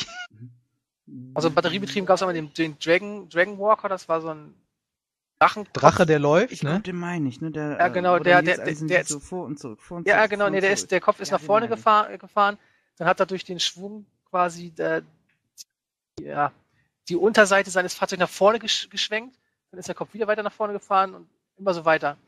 Mhm. Total gestört, Frightcopter, Wind Rider, Battle Ram, äh, Bashosaurus, Battlecat, Panther. Ja, da gab es so viele Viecher und das Krasse ist, ich kenne alle Namen auswendig, das ist so schlimm. Nerd. Aber damit bist du ja hier richtig. Ja, genau. Ach so, das, was ich zu den Action-Features gerade sagen wollte. Also jede Figur hat ja mindestens zwei, also ein Action-Feature, wenn nicht sogar zwei, weil standardmäßig hatte jede Standardfigur einmal diesen Hüftschwung. Mhm. Das hat ja fast ja jede Figur gehabt, außer so spezielle wie ähm, Extender oder ja, Battlecat jetzt als Beispiel oder die Deine, Stone Gun Rockon hatten sowas ja auch nicht. Aber es war immer innovativ und einfallsreich und abgespaced. Das fand ich immer sehr cool bei Masters. Sowohl die Serie als auch die äh, Spielzeugsachen. Wobei die Kosten für so eine Figur damals ja auch recht teuer waren für Verhältnisse. Also ich glaube, eine Figur waren damals 12 Mark 99. Das war schon für eine Actionfigur Ja. relativ viel Geld. Im, Vergleich, Star Wars Figuren haben damals 8 Mark bis 9 Mark gekostet. Genau, und Turtles waren irgendwie dazwischen, die kosteten 10, meine ich. Irgendwie sowas um den Dreh, meine ich. Damit kommen wir auch schon zum nächsten Thema. Es sei denn, einer von euch möchte noch zu He-Man sagen. Weil ich habe halt He-Man auch irgendwie nur durch meinen Bruder mitbekommen. Äh, hatte nie wirklich eigene Figuren. Äh, bis halt jetzt auf die Classics-Figuren, aber die zähle ich jetzt gerade mal nicht mit. Aber es gab halt schon irgendwie auch sehr viele skurrile verschiedene Figuren. Da gab es ja diesen durchsichtigen Roboter, der die Zahnräder im Inneren hatte. Es gab ähm, Figuren, die hatten, äh, eine Figur, die hatte so, so Saugnäpfe. Es gab eine Figur, die stank dermaßen. Äh, Stinkor. Wie? Stinkor. Stinkor. ja. Dann gab es diesen äh, Mossman, der irgendwie völlig, äh, der sah so ein bisschen aus wie dieser Gorilla äh, oder dieser King Kong im, ähm, in der Hollywood-Tour im Phantasialand. der roch so schon vermodert. Also, das muss man äh, He-Man wirklich ähm, zugute halten, dass die Actionfiguren zur Serie wirklich dermaßen unterschiedliche Features boten. Das fand ich schon super. Muss ich ganz Vom ehrlich Chris? sagen. Vom Chris möchte ich jetzt zum Abschluss noch eine nein, Sache nein. wissen. Achso, Doch, jetzt kommt dieser, jetzt, ja, sag doch. Ich möchte wissen, was hältst vom Realfilm? Doch, das will ich jetzt einfach wissen, dass wir einfach mal über diesen Realfilm gesprochen haben. Ich kann jetzt kein Kotzgeräusch nachmachen, das kann ich gerade nicht imitieren. Ich war, als, ich war als Kind, ich wollte als Kind unbedingt in diesen Film rein, weil ich gesagt habe, oh, He-Man, geil, Dolph Lundgren, ah, super ins Film. Ich bin, war enttäuscht, ich war richtig enttäuscht. Der Film hat mich sowas von, weiß ich nicht, super mega krass enttäuscht, weil nicht so war, wie He-Man eigentlich sein sollte. Der einzige Charakter, den du erkannt hast, war Man at Arms, weil der von der Rüstung her ungefähr gleich war oder sehr ähnlich war. Skeletor konnte man sich denken, weil halt das Skelettgesicht sah zwar anders aus, aber gut. He-Man fand ich schon, als das erste Mal ins Bild trat, enttäuschend, weil er ein ganz anderes Schwert in der Hand hatte. Also als Kind habe ich mir das Ding komplett anders vorgestellt. Ich bin von dem Film komplett enttäuscht gewesen. Bin ich immer noch. Was hältst du denn von den Gerüchten oder von den Ankündigungen bisher zum, äh, zum geplanten kommenden Film, dass unter anderem halt auch hier ähm, der Typ, äh, der G.I. Joe 2 verbrochen hat, die Regie führen soll? Ähm, wie stehst du dazu? Mir ist das relativ egal, weil geredet wird im Moment oder wird seit Jahren über He-Man und Masters Verfilmung. Es passiert aber nichts. Wenn was Konkretes kommt, wenn Trailer kommen, offizielle Trailer und sonst irgendwas, dann mache ich mir darüber Gedanken. Aber ich habe darauf aufgehört, mir darüber Gedanken zu machen, wenn Sachen nur im Raum stehen und es passiert nichts. Gleich wie mit den ganzen Figuren-Releases in 2015 und 16. Es sind auch einige Sachen angeteased worden, die nicht gekommen sind und ja, Ja klar, da wird man dann vorsichtig. ja, das hat man sich dann so angewöhnt. Was ich noch zu den Namen sagen wollte, ähm, als Kind hat man ja nicht so wirklich die englische Sprache beherrscht. Man hat sie zwar versucht zu imitieren, aber man konnte es nicht wirklich sprechen, nicht so wie heute die ganzen Kinder das machen. Das Deswegen- man So wie, wenn der Außenminister irgendwie mit seinem Amtskollegen Englisch redet. Ja, so ungefähr. Aber hätten wir damals Englisch gekonnt, wären die Namen der einzelnen He-Man-Charaktere auch viel sinnvoller für, für die Kinder gewesen. Ja. Weil man merkt, mittlerweile merkst du ja auch, wie blöd eigentlich die Namen der ganzen Figuren sind. Weil der Haupttyp heißt Ermann. Oder der, er der, wie, du, wie du so schön gesagt hast, gerade der Typ, der stinkt, heißt Stinkor. Ja, nimmst du aber von dem Hime noch das H davon, heißt der halt Hermann. ja, genau. Aber das So, aber- zieht sich ja durch die ganze, ganze, ganze Spoilern ja durch. Aber so von wegen englische Sprache oder wenn der äh, Mensch, der den Podcast hier aufnimmt, wie Heikel sagt, ne? Ach, ein bisschen was zu lachen muss ich doch auch machen. Richtig. Ja, auch unterhaltsam hier, ne? Ja, äh, wir könnten gerne noch stundenlang über hier weiter diskutieren, aber ich denke mal, wir gehen mal weiter zum nächsten. Ja, das nächste Thema wäre dann nochmal Ghostbusters. Diesmal dann diese Real Ghostbusters.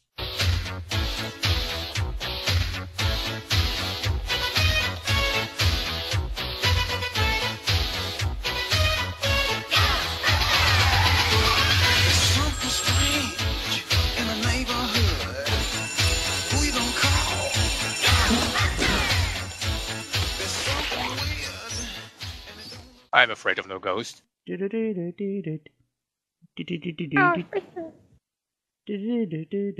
Ghostbusters. Patrick, du bist so ein Penner. ähm, das könnt ihr jetzt natürlich gerade nicht lesen, aber äh, Patrick hat mir gerade noch so schön geschickt. Wie heikel, das lasse ich mir auf ein T-Shirt drucken.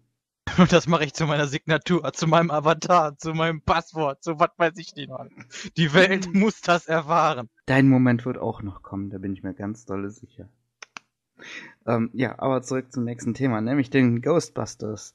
Und da gab es auch so herrlich bescheuerte Figuren zu. Ich Die waren alle geil. Alle. Fand die witzig. Ausnahmslos. Ja. Was ich schade fand bei den Figuren, also wenn wir jetzt mal direkt bei den Figuren anfangen, ist ähm, bei den Geisterjägern, da hast du ja immer diesen, diesen Handaufsatz gehabt, den du über die Hand Mhm. gestriffen, äh, über den Arm streifen musstest und dann hinten Übersteifen. immer hin und, hin und her drehen musstest, damit du diesen ähm, Plasma, Plasmastrahl imitieren Mhm. wolltest. Und das ist, Photonenstrahl bitte, kein Plasma.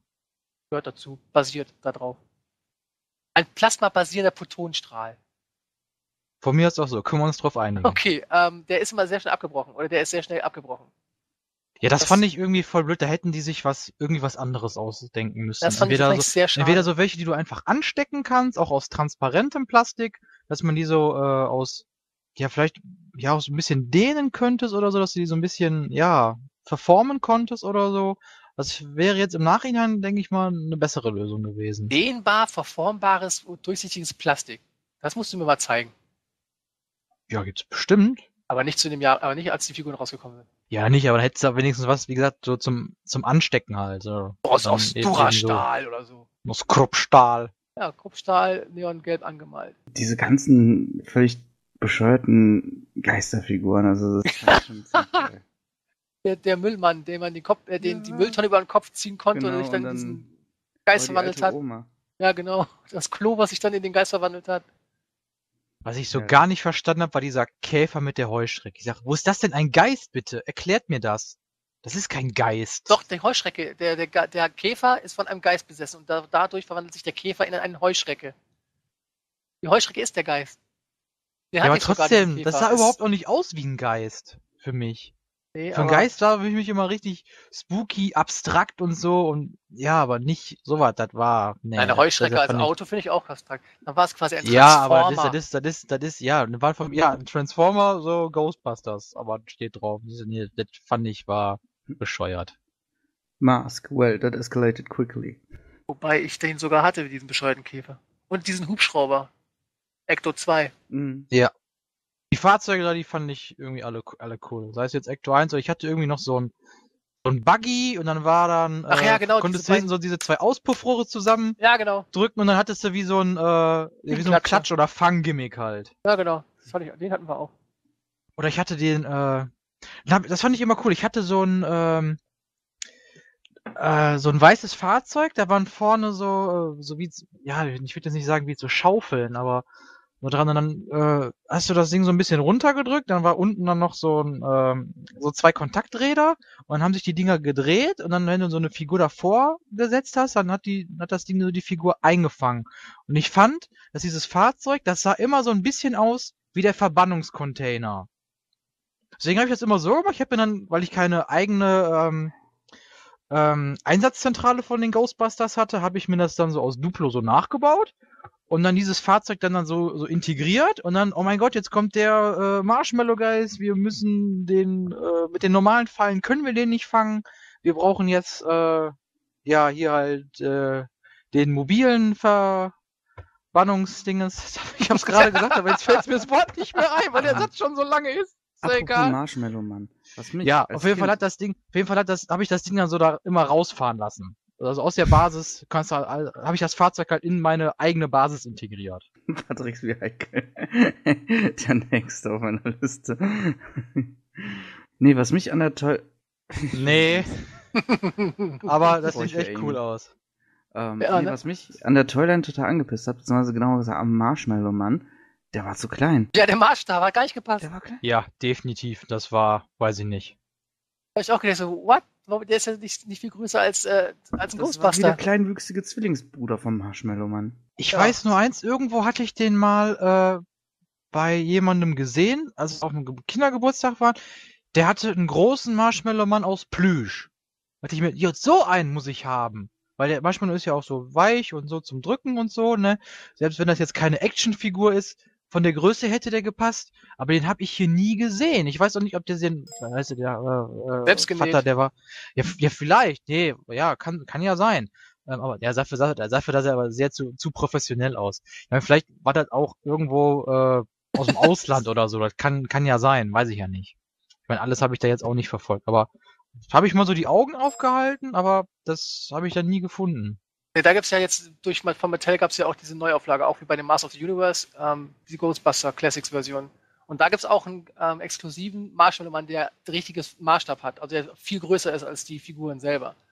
Das sah schon Chris, gut aus. Chris, der Link unten, ja, das ist eins von den Fahrzeugen, das ich hatte. Das ist der zweite Link wahrscheinlich. Das war das auch, was ich hatte. Ah, ja doch, jetzt wo ich ihn sehe, erkenne ich ihn auch wieder. Aber ich muss gestehen, ich hatte gar nicht so viel von Ghostbusters. Ich hatte einen guten Freund, der hatte halt echt viel. Ich fand Ghostbusters halt ganz cool, aber Ja, Cyril Guspas, SOS, Phantomes, Dämon des Routes. Es, es gab auch noch dann später, es kamen die normalen Ghostbuster raus und später kamen dann die ähm, Fright, Frightened Ghostbusters. hm, Das ja, waren dann auch Figuren, so- wo du irgendwie auf den Knopf drücken konntest, wo dann die Augen Ja, die rausgedrückt Augen kamen, die Ohren ja. rausgeflogen sind und der Kopf sich einmal um die eigene Achse gedreht hat. Die fand ich ich auch ganz, der also ich fand, die fand ich toll. Ja, die Und ich muss ja, ich fand auch richtig toll, dass die andere Uniformen hatten. Aber, Aber, aber was? Ich fand das toll, achso, da dass die nicht aber. alle so gleich aussahen als Actionfiguren. Ich fand auch die Roleplay-Items ganz cool. Es gab Ja. halt auch eben dies, äh, dieses, die Falle, die, äh, die gab's. Da war dann halt so, äh, per Luftdruck war es gesteuert. Wenn du draufgetreten bist, dann hat sich die Falle geöffnet. Dann konntest du halt irgendwie, ich habe da immer hier vom Monster My Pocket die Viecher reingeworfen. Oder ähm, dann ähm, auch hier so, so ein, ähm, hier so ein Protonenpack äh, mit so Schaumstoff, äh, äh, riesen Schaumstoffding, was halt hier diesen Protonenstrahl halt irgendwie. Ah ja, genau, das hat Chris verlinkt, was diesen Protonenstrahl genau. halt irgendwie darstellt. Aber ist dir mal aufgefallen, wenn du das Protonenpack mal anguckst, guck mal oben rechts am Protonenpack. Jetzt im ersten oder im zweiten Bild? Zweiten Bild. das Triforce. Die Schweine! genau. Wenn Nintendo da nichts gesagt hat. Ja, mein Gott, vielleicht haben die da damals einfach so nicht so nicht so da drauf Wobei es geil ist, dieses, hat, hat Nintendo sich das so als, so gesichert? Nee, glaube ich nicht, weil ich war, als ich in Japan war, ist dieses Zeichen auch ähm, für eine Ver- äh, Kaufhauskette in Japan, die äh, Kimonos verkauft. Die haben das, das als Logo. Ja, das, weil das möchte ich mir, möchte ich gerne sehen, dass äh, Nintendo irgendwie so hingeht. Ja, nee, so drei Dreiecke so angeordnet äh, ist äh, unser. Eigentum, unser, unser, es gehört uns und das darf auch niemand anders machen. Dann Also guckt der Typ die an und sagt so, Alter, ihr wollt einen Trademark auf Dreiecke, habt ihr sie noch alle? Entschuldigung, es gibt eine Firma, die hat einen Trademark auf Apfel. Ich wollte es gerade sagen. Da war in Bonn ein Ja, genau. Restaurant Ja, genau. und die Alte wurde verklagt von Apple, weil die einen Apfel als Logo für ihren für ihr Café hatte und der Apfel sah nicht aus wie das Apple äh. Und die musste das dann ändern, meine ich. Die hat verloren, meine ich. Da gab, ja, da gab es irgendein, äh, irgendwas mit, äh, bei ProSieben das mal gesehen, glaube ich. Aber ob es jetzt äh, geändert hat oder nicht, das weiß ich nicht mehr. Ja. Das ist das Ja, aber das ist der Apple klaut Unterschied. Nintendo ist ein cooler Konzern der und Apple ist ein andere- Scheißkonzern. Kann man mal so stehen lassen, ja. Äpfel waren aber nicht deren Lieblingsspeise, sondern Pizza. Und damit Oh. Ja, vielleicht gab's, haben die aber auch mal Pizza mit Äpfeln drauf gegessen, hä? Ah, das ist ja äh, gestehen. eine tolle Überleitung. Ich muss gestehen, das klingt gar nicht mal so übel. Oh, das ich esse klingt total- Nutella. Es gibt eine Äpfelpizza, äh, Apfelpizza, Äpfelpizza. Wir haben beim eine Äpfel, ja, nee, es gibt eine richtige äh, Apfelpizza. Das Hm. Ding heißt süße Pizza und da sind äh, ist halt Apfel mit irgendwelchen Kram halt drauf. Also Ja, habe ich bei Lidl, glaube ich, auch ja, schon genau. mal gesehen. Nee, äh, Netto war das glaube ich bei uns. Aber Ja, könnte auch sein. ja, Klingt ja jetzt kommen wir wahrscheinlich zu den Turtles, glaube ich. Turtles? Wie kommst du denn darauf? Weiß nicht wegen Äpfeln. Ich dachte, wir sprechen jetzt über Battletoads.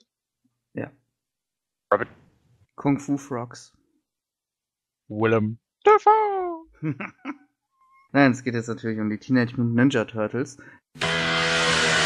Hey, jetzt kommen die Hero Turtles, super starke Hero Turtles. Jeder kennt die Hero Turtles, immer auf der Lauer. Sie sind echt ein ultra heißes Team. Na Logo, wenn sie gegen Angst und Schrecken ziehen. Oder Hero Turtles? Mutant Hero Turtles oder Ninja Turtles. Ja, das ist ein Streitthema. Früher, also als Kind haben wir Ja, immer Hero Turtles gesagt. Ja, klar, weil wir es in Deutschland auch nicht als, äh, auch nur als Hero Turtles kannten. Aber immerhin, zu, wie auch bei Real Ghostbusters, 93 äh, d- Prozent der Teilnehmer haben die Turtles gesehen.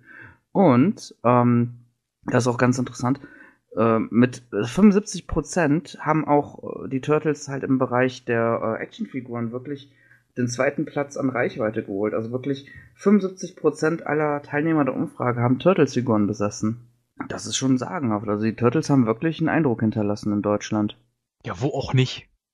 Ja, Ja, in halt in Lampukistan Deutschland- oder so Ja, vielleicht also nicht. Nein, aber da wir halt hier in Deutschland sind und wir ein deutschsprachiger Podcast sind, ähm, ist es natürlich legitim, dass ich mich jetzt halt auf Deutschland beziehe. Ich Aber sag halt- mal so, Okay. ich hatte keine Turtles-Figuren zum Spielen. Also als die rauskamen, habe ich keine gekauft und auch keine bekommen. Oh, ich hatte schon einiges. Also ich hatte auf jeden Fall die vier Hauptcharaktere. Ich hatte dann aus der Mutations-Reihe hatte ich ein paar. Oh, ähm, die waren so toll, ey. Ja, die waren cool. Ich hatte ähm, Mutating Donatello, glaube ich. Also Donatello ist eh mein Lieblingsturtle, ne, dieser verkappte Nerd. Ähm, Welchen hattest du denn da? Den, den Mutating, der sich in nee, äh, eine Schildkröte verwandelt, Ja, oder? Schildkröte. Und von denen hatte ich nur, hatte ich nur den Leonardo. Und ich hatte Razar aus dem Film. Da habe ich Größe. weißt du noch? Da waren wir auf der RebelCon. Ja. Und da habe ich auf einmal diesen, äh, den Tokka gesehen. Und den wollte ich damals auch unbedingt haben. Aber gab, habe ich nicht gekriegt. Und dann habe ich den da oh, ohne, ohne Teile, ohne Accessoires, aber das war mir eh egal. Äh, für drei Euro habe ich gesagt, jo, alles klar, musst du mitnehmen. Und den habe ich immer noch irgendwo. Der kuschelt dich in den Schlaf. Nee, der ist. Scheiße, wo ist der? Der habe ich du bestimmt in die. In, aufgepasst. ja, nee, den habe ich. Ach nee, jetzt weiß ich, wo der ist. Ich hab, ich hab dir doch auch diese äh, zur neuen Turtles-Serie, diese Lunchbox ja, äh, ja. äh, gekauft. Hast du Hm. die eigentlich noch? ja. Cool. Am Schreibtisch. Oh, unter Ähm, da habe ich so ein paar Goodies halt reingepackt. Dieses Top Trumps Turtles zur neuen Serie, so also Kleinigkeiten, die ich von Turtles habe, die habe ich alle reingepackt. Und ich glaube, da habe ich den mit eingepackt und dann habe ich den mit meinen Classics und Neckar Turtles zuerst mal im Moment in die Kiste verbannt, bis Mhm. hier das Nerd-Zimmer äh, fertig ist. Ja, Turtles war schon cool. Die hatten ja auch, ähm, die hatten ja auch, ähm, da wieder sehr coole Playsets halt auch, ne, wie ich eben schon gesagt habe, hier die Kanalisation und den, ähm, Terror. Das Technodrome. Ich krieg's irgendwann noch hin. Irgendwann rall ich's noch. Ich habe Hoffnung. Hofft ihr mit mir bitte. Ähm, nee, das war schon ziemlich cool. Und halt eben auch der Party-Van und ähm, das Zeppelin. Ich fand diesen, das Zeppelin fand ich so geil als Kind. Ich hatte es leider nie, aber ich fand's geil. Ja, ich weiß, ich habe den damals, in irgendeinem Podcast habe ich den schon mal gebracht, den Spruch, aber den muss ich jetzt einfach wiederholen. Wo Donatello sagt, ja, willkommen am Bord des Turtle Zeppelins. Und äh, Raphael sagt, ja, müssen wir dich jetzt mit Graf anreden? Aha. Das waren, das waren aber auch so Dinger, die konnten die nur in der deutschen, deutschen Synchro bringen. Mm, Deutsche Synchro sowieso genial. ja, Stimmt, die hat auch Spaß gemacht. Ja. Ja, Turtles ist so eine Serie, die abgedreht. alte Serie, die gucke ich nicht auf Englisch. Die gucke ich definitiv auf Deutsch, weil mit deutscher Synchro aufgewachsen. Ist auch wie bei den Simpsons. Ich gucke keine Simpsons auf Englisch. Weil auf Englisch sind das für mich Zeichentrick-Charaktere. Mhm. Auf Deutsch sind das für mich richtige, fast schon für mich real existierende Personen. Das sind, ist, das ist einfach viel, viel menschlicher, kommen die rüber. Ich bin ja echt gespannt, um da jetzt nochmal kurz einen ähm, Ausflug zu den Simpsons zu machen, ähm, wie es halt jetzt ohne Sprecher von Homer auf Deutsch weitergeht. Norbert, Norbert Gastel, rest in peace. Also das war wirklich der ultimative Homer. Ähm, ich sag selten, dass die deutsche Synchro besser ist, aber Norbert Castell halt als Homer wirklich allein schon dieser ähm, für mich geniale Schachzug aus diesem Do ein Nein zu machen, fand ich schon wirklich ähm, super. Also es gab für halt dieses Do halt keine adäquate Übersetzung. Und Nein passt halt einfach in nahezu jeder Situation von Homer, in die er kommt, wo er Do verwendet. Von daher fand ich das schon wirklich super passend. Ja, aber auch, ähm, wo wir gerade bei deutscher Synchro sind, auch das deutsche Intro zu Hero Turtles. Frank Zander. weg! Frank Zander, Jetzt perfekt. kommen die Hero Turtles. Frank Zander mit seiner Rauchigen, Stimme. Stimme. Dieser völlig abgefuckten Stimme. Er hat auch lange dran gesoffen an der, an der Stimme. Und wir wissen alle, sieht's für dich mal finster aus. Die Turtle-Jungs holen dich da raus. Herrlich. Also, Ja, ist schon krank, das Teil. Das war das geil. Das, das war sowieso die, ähm, eine der ikonischsten Intros überhaupt in der Zeit. Ja. Und Tatsache, dass wir es immer noch mitsingen können, aus dem Stegreif, sagt ja schon einiges ja, aus. eben. Sa- Ich Von mein- den, von den äh, Intros her auf jeden Fall und von den Intros, die auch dann verdeutscht wurden, auf jeden Mhm. Fall das markanteste. Ja, stimmt wohl. Ja, doch, durchaus. Ähm, aber ich finde auch den Werdegang der Turtles super interessant. Ähm, das ist halt wirklich als ziemlich dark and gritty Comicserie von, ähm, von Peter Laird und ähm, Kevin Eastman? Kevin Eastman angefangen hat. Äh, der ein, ich glaube, Laird hat, glaube ich, die Rechte dann, seine, seinen Anteil der Rechte dann an Eastman verkauft oder umgekehrt. Ja, auf einfach einer. Ich glaube an, ich glaube an Eastman, weil der ja auch äh, hauptsächlich dann auch mit den äh, äh, Filmen halt dann auch äh, immer als Supervisor dabei war. Ja. Und ähm, dann die etwas lockere Cartoon-Serie, wo die dann auch ihre unterschiedlich farbenen Bandanas bekommen haben. Und dann der erste Realfilm. Ey, Ich fand den geil damals. Als Kind bin ich da voll Definitiv, Ja. absolut. Der zweite war noch mal irgendwie noch einen Ticken geiler, irgendwie fand ich. Also ich fand den zweiten geiler, allein schon wegen Tokan Razar. Ähm, weil die da halt einfach mal Fand ich damals auch, weil der auch bunter, irgendwie mehr, der Hauptaugenmerk war halt auch mehr auf mehr auf lustig Ja, halt, ne? ja. Ähm, aber jetzt so im Nachhinein äh, mit dem Erwachsenwerden, wo ich sage, ja, ich möchte meine Cartoons ein bisschen dunkler haben und so. Mir gefällt der erste mittlerweile dann doch etwas besser, aber der zweite hat definitiv seine Momente. Und dann der dritte Teil, den man am besten schnell wieder vergisst. Den habe ich nie gesehen. Das war dieser Ninja-Zeitreise-Dings, oder? Ja, das, Ja, nee, da hab echt ich raus. Wobei ich muss ja sagen, äh, wenn du danach gehst, der hat sich ja dann, sagen wir mal, ja auch schon so ein bisschen mehr an, äh, an der Zeichentrickserie auch hier orientiert. Von Ja. wegen so, ja, die Turtles ah, müssen jetzt innerhalb eines ganzen Films, wie damals innerhalb einer Episode halt, sich mit einer völlig neuen Situation zurechtfinden. Die sind irgendwo anders, mit anderen Charakteren, gegen andere Gegner, nicht immer nur Shredder, Krang und so weiter. Ähm, aber da hätte man definitiv äh, eine andere Richtung einschlagen müssen. Ein bisschen mehr down to earth, ein neuer Gegner, irgendwie sowas. Mhm. Aber gerade Ja. Turtles, Turtles ist ja auch so ein Franchise, das kriegst du ja nicht tot. Nee. Es ist ja schon wieder erst, so erst mit der Nickelodeon, Pausen, aber- ja genau, Nickelodeon-Serie, ja, dann die Realverfilmung, Teil 1, jetzt kommt Teil 2. Der 2007er äh, CGI-Film, Ja, der war gar nicht mal so schlecht eigentlich. ja, der ist storymäßig auch so ein bisschen so, hä, what the fuck, in was für eine Richtung wollt ihr damit eigentlich Ja. gehen? Aber, Aber allein Look. Charaktere, äh, Fights, Animation, allein deswegen äh, ist es, als Turtles-Fan braucht man den ganz einfach Mhm. irgendwie in der Sammlung. Wobei Für ich mich jetzt als, persönlich ja, Für mich persönlich brauchbarer als jetzt der letzte Realfilm. Also hier der 2015er war das? Ja, kann er, er war nee, ich glaub, unterhaltsam, ich er, hat, hatte, Nee, er hatte ich ein paar den- gute Szenen, also ein Ich fand paar, den strunzdumm. Der hat mich auch null unterhalten können. Die einzige gute Szene war, wie sie den Schneeabhang runterrasen. Das, nee, das fand ich gerade latal. Nee, ich fand das gut, wo sie gezeigt haben, wie die Turtles da quasi mutiert sind. Die kleine, dieser kleine Storyfetzen, das fand ich interessant zu sehen. Aber das war interessant, aber ja, so, so das fand ich gut. Der Rest, der Rest des Films fand ich scheiße. Vor allem Megan Komm, Fox. der hat aber, der hat aber viele geile Momente. Ich sag alleine schon nur diese Szene, wo die den Turm hochfahren und dann in dem, äh, Ja. in dem Aufzug sind. Dem Leute, Mikey? das, das sind für mich, einer fängt an und die anderen steigen ein. Jo Leute, das sind vier Brüder und die haben auch mal Bock zusammen, äh, Also selbst in einem todernsten Moment, so, keine Ahnung, die, die wissen ja eigentlich alles gleich, wir kämpfen gleich gegen Shredder, wir könnten Ja. auch gleich alle draufgehen. Und dann, nee, wir machen jetzt hier mal eben noch ein bisschen Mucke, wir Aber müssen uns ein bisschen abreagieren. für mich kam dieses Zusammengehörigkeits- und Brüder, Brüdergefühl über, so, im Vergleich zur, zur Nick-Serie nicht drüber, gar nicht. Schlimmste Also, Szene, schlimmste Szene im Film war die Abschlussszene, wo Megan Fox dann irgendwie gefühlte fünf Stunden in die Kamera lächelt mit ihren Silikon aufgepuschten Mhm. Lippen. Das überhaupt nicht wie ein Lächeln, wo man richtig sieht, sie kann nicht lächeln. Sie, es geht nicht. Es ist äh, verzerrt, das Gesicht. Also die Szene hätten sie echt rauslassen können.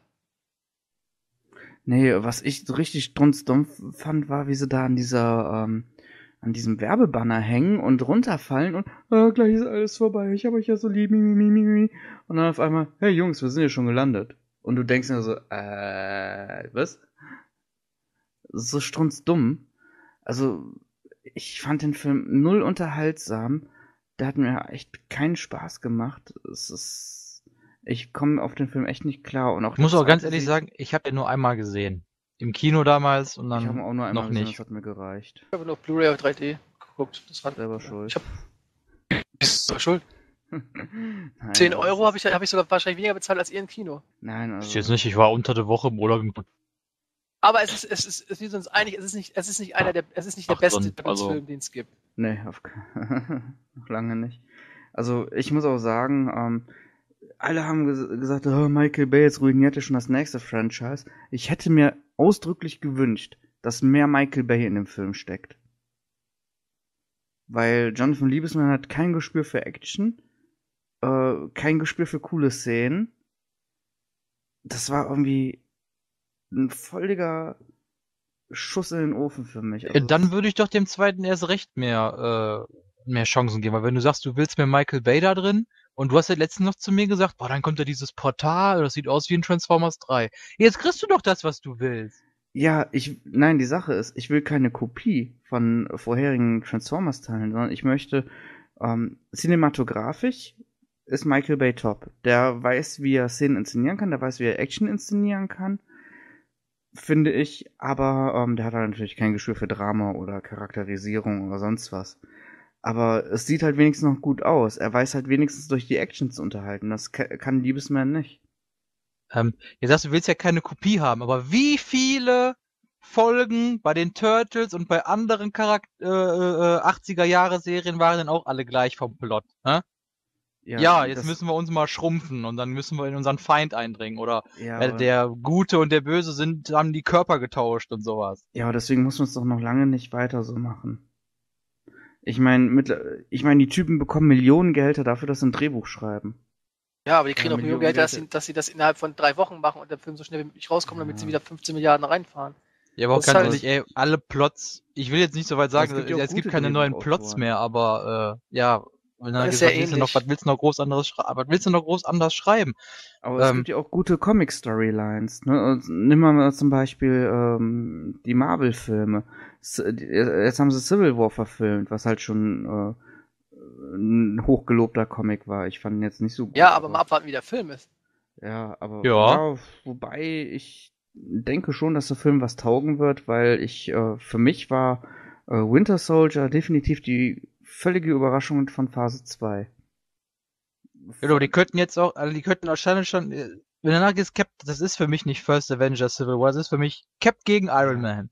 So, und wenn, und wenn der Falsche gewinnt am Ende, ne, dann äh, heult das Fan, die Fanbase sowieso rum. Ja. Nur die hätten halt natürlich nicht sagen können, äh, wir nennen den Film jetzt Iron Man vs. Captain America, wenn vorher schon DC gesagt hat, ja, wir nennen unseren Film Batman vs. Superman. Oder Batman wie Superman. Ja, die nennen ihn lieber First Avenger. Ja, First Avengers ist, nennen sie ja schon seit dem ersten Teil. Der hieß First- Captain America. und Captain dann war The America, First First Avenger, Avenger. der Untertitel. Ja, weil er der erste Avenger überhaupt war. Ja. Und äh, Titel, äh, äh, der Film 2 hieß ja dann schon First Aven äh, Return of the First Avenger oder sowas. Winter Ja. Soldier. Und jetzt First Avenger äh, Civil War. Das ist eigentlich The, The First Avenger Strikes Back heißen. dann war alles. Ja. Und dann heißt der nächste Attack Avenger of the First. Avenger. The First Avenger Menace. Ja, das ist schon ein bisschen bescheuert, aber na gut, das The First das, Avenger Awakens. Das ist hier die Filmbenennungskultur in Deutschland ist stellenweise schon sehr ähm, bescheuert. Taken mit ähm, mit ähm, hier äh, Liam Neeson. Originaltitel Taken, wie nennen sie ihn in Deutschland? 96 Hours. Erklär mir die Logik dahinter. Der Typ hatte, hatte äh, drei, paar Tage Zeit, genau die Zeit an, an Anzahl an Stunden, bis er seine Tochter wiederfinden musste. Nein, das ist Ja, die klar, haben, aber vielleicht hatten warum? die Angst, dass sie sich mit Tekken ver, verhauen oder so. Oh, natürlich.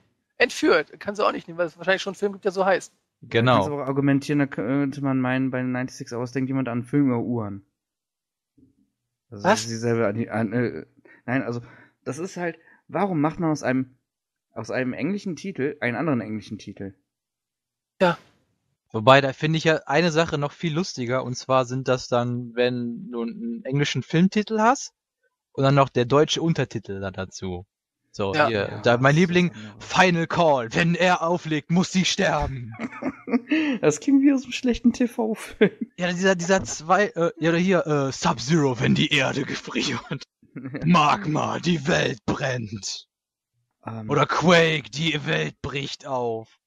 Ja, und nochmal um zurück zu Teenage Ninja Turtles zu kommen.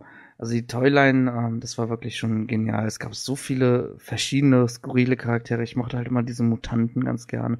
Es gab ja wirklich so verschiedene ähm, Mutantencharaktere, die es halt jetzt auch eben wieder in der äh, Toyline Sonic-Serie gibt, welche übrigens absolut großartig ist. Also die Serie kann ich wirklich jedem, der ansatzweise was mit Turtles anfangen kann, empfehlen. Die Serie ist lustig, die Serie hat, ähm, hat echt gutes Drama. Ähm, Führt neue Sachen ein, ist aber auch sehr nah an äh, Stories aus den, aus den Comics. Und aber äh, benutzt auch viele Elemente und spielt damit aus den alten Serien. Ja. Aber die hat für mich ein wirklich gutes Mischung, eine wirklich gute Mischung, um halt eben ähm, Fans von damals zu begeistern, als auch neue Fans. Vor allem, ey Leute, es will auch schon was aussagen, ey. Michael Bell, der den Raphael in der alten Serie gesprochen hat, spricht jetzt Donatello. Also der ist auch so dabei, der hat auch wieder so ein bisschen Retro-Feeling. Finde ich zumindest. Mhm. Auch wenn er jetzt einen anderen Turtle spricht, aber trotzdem, das Feeling ist doch irgendwie da. Also ich muss sagen, ich hänge leider noch total hinterher, aber ich finde die Serie großartig. Was ich hier Du hast, du hast auch nur bis Staffel 2 gesehen, ne? Ähm, ich habe die erste Folge von Staffel 3 gesehen. Das ist ja schon das, wo sie dann halt in diesem Farmhaus sind, meine ich, ne?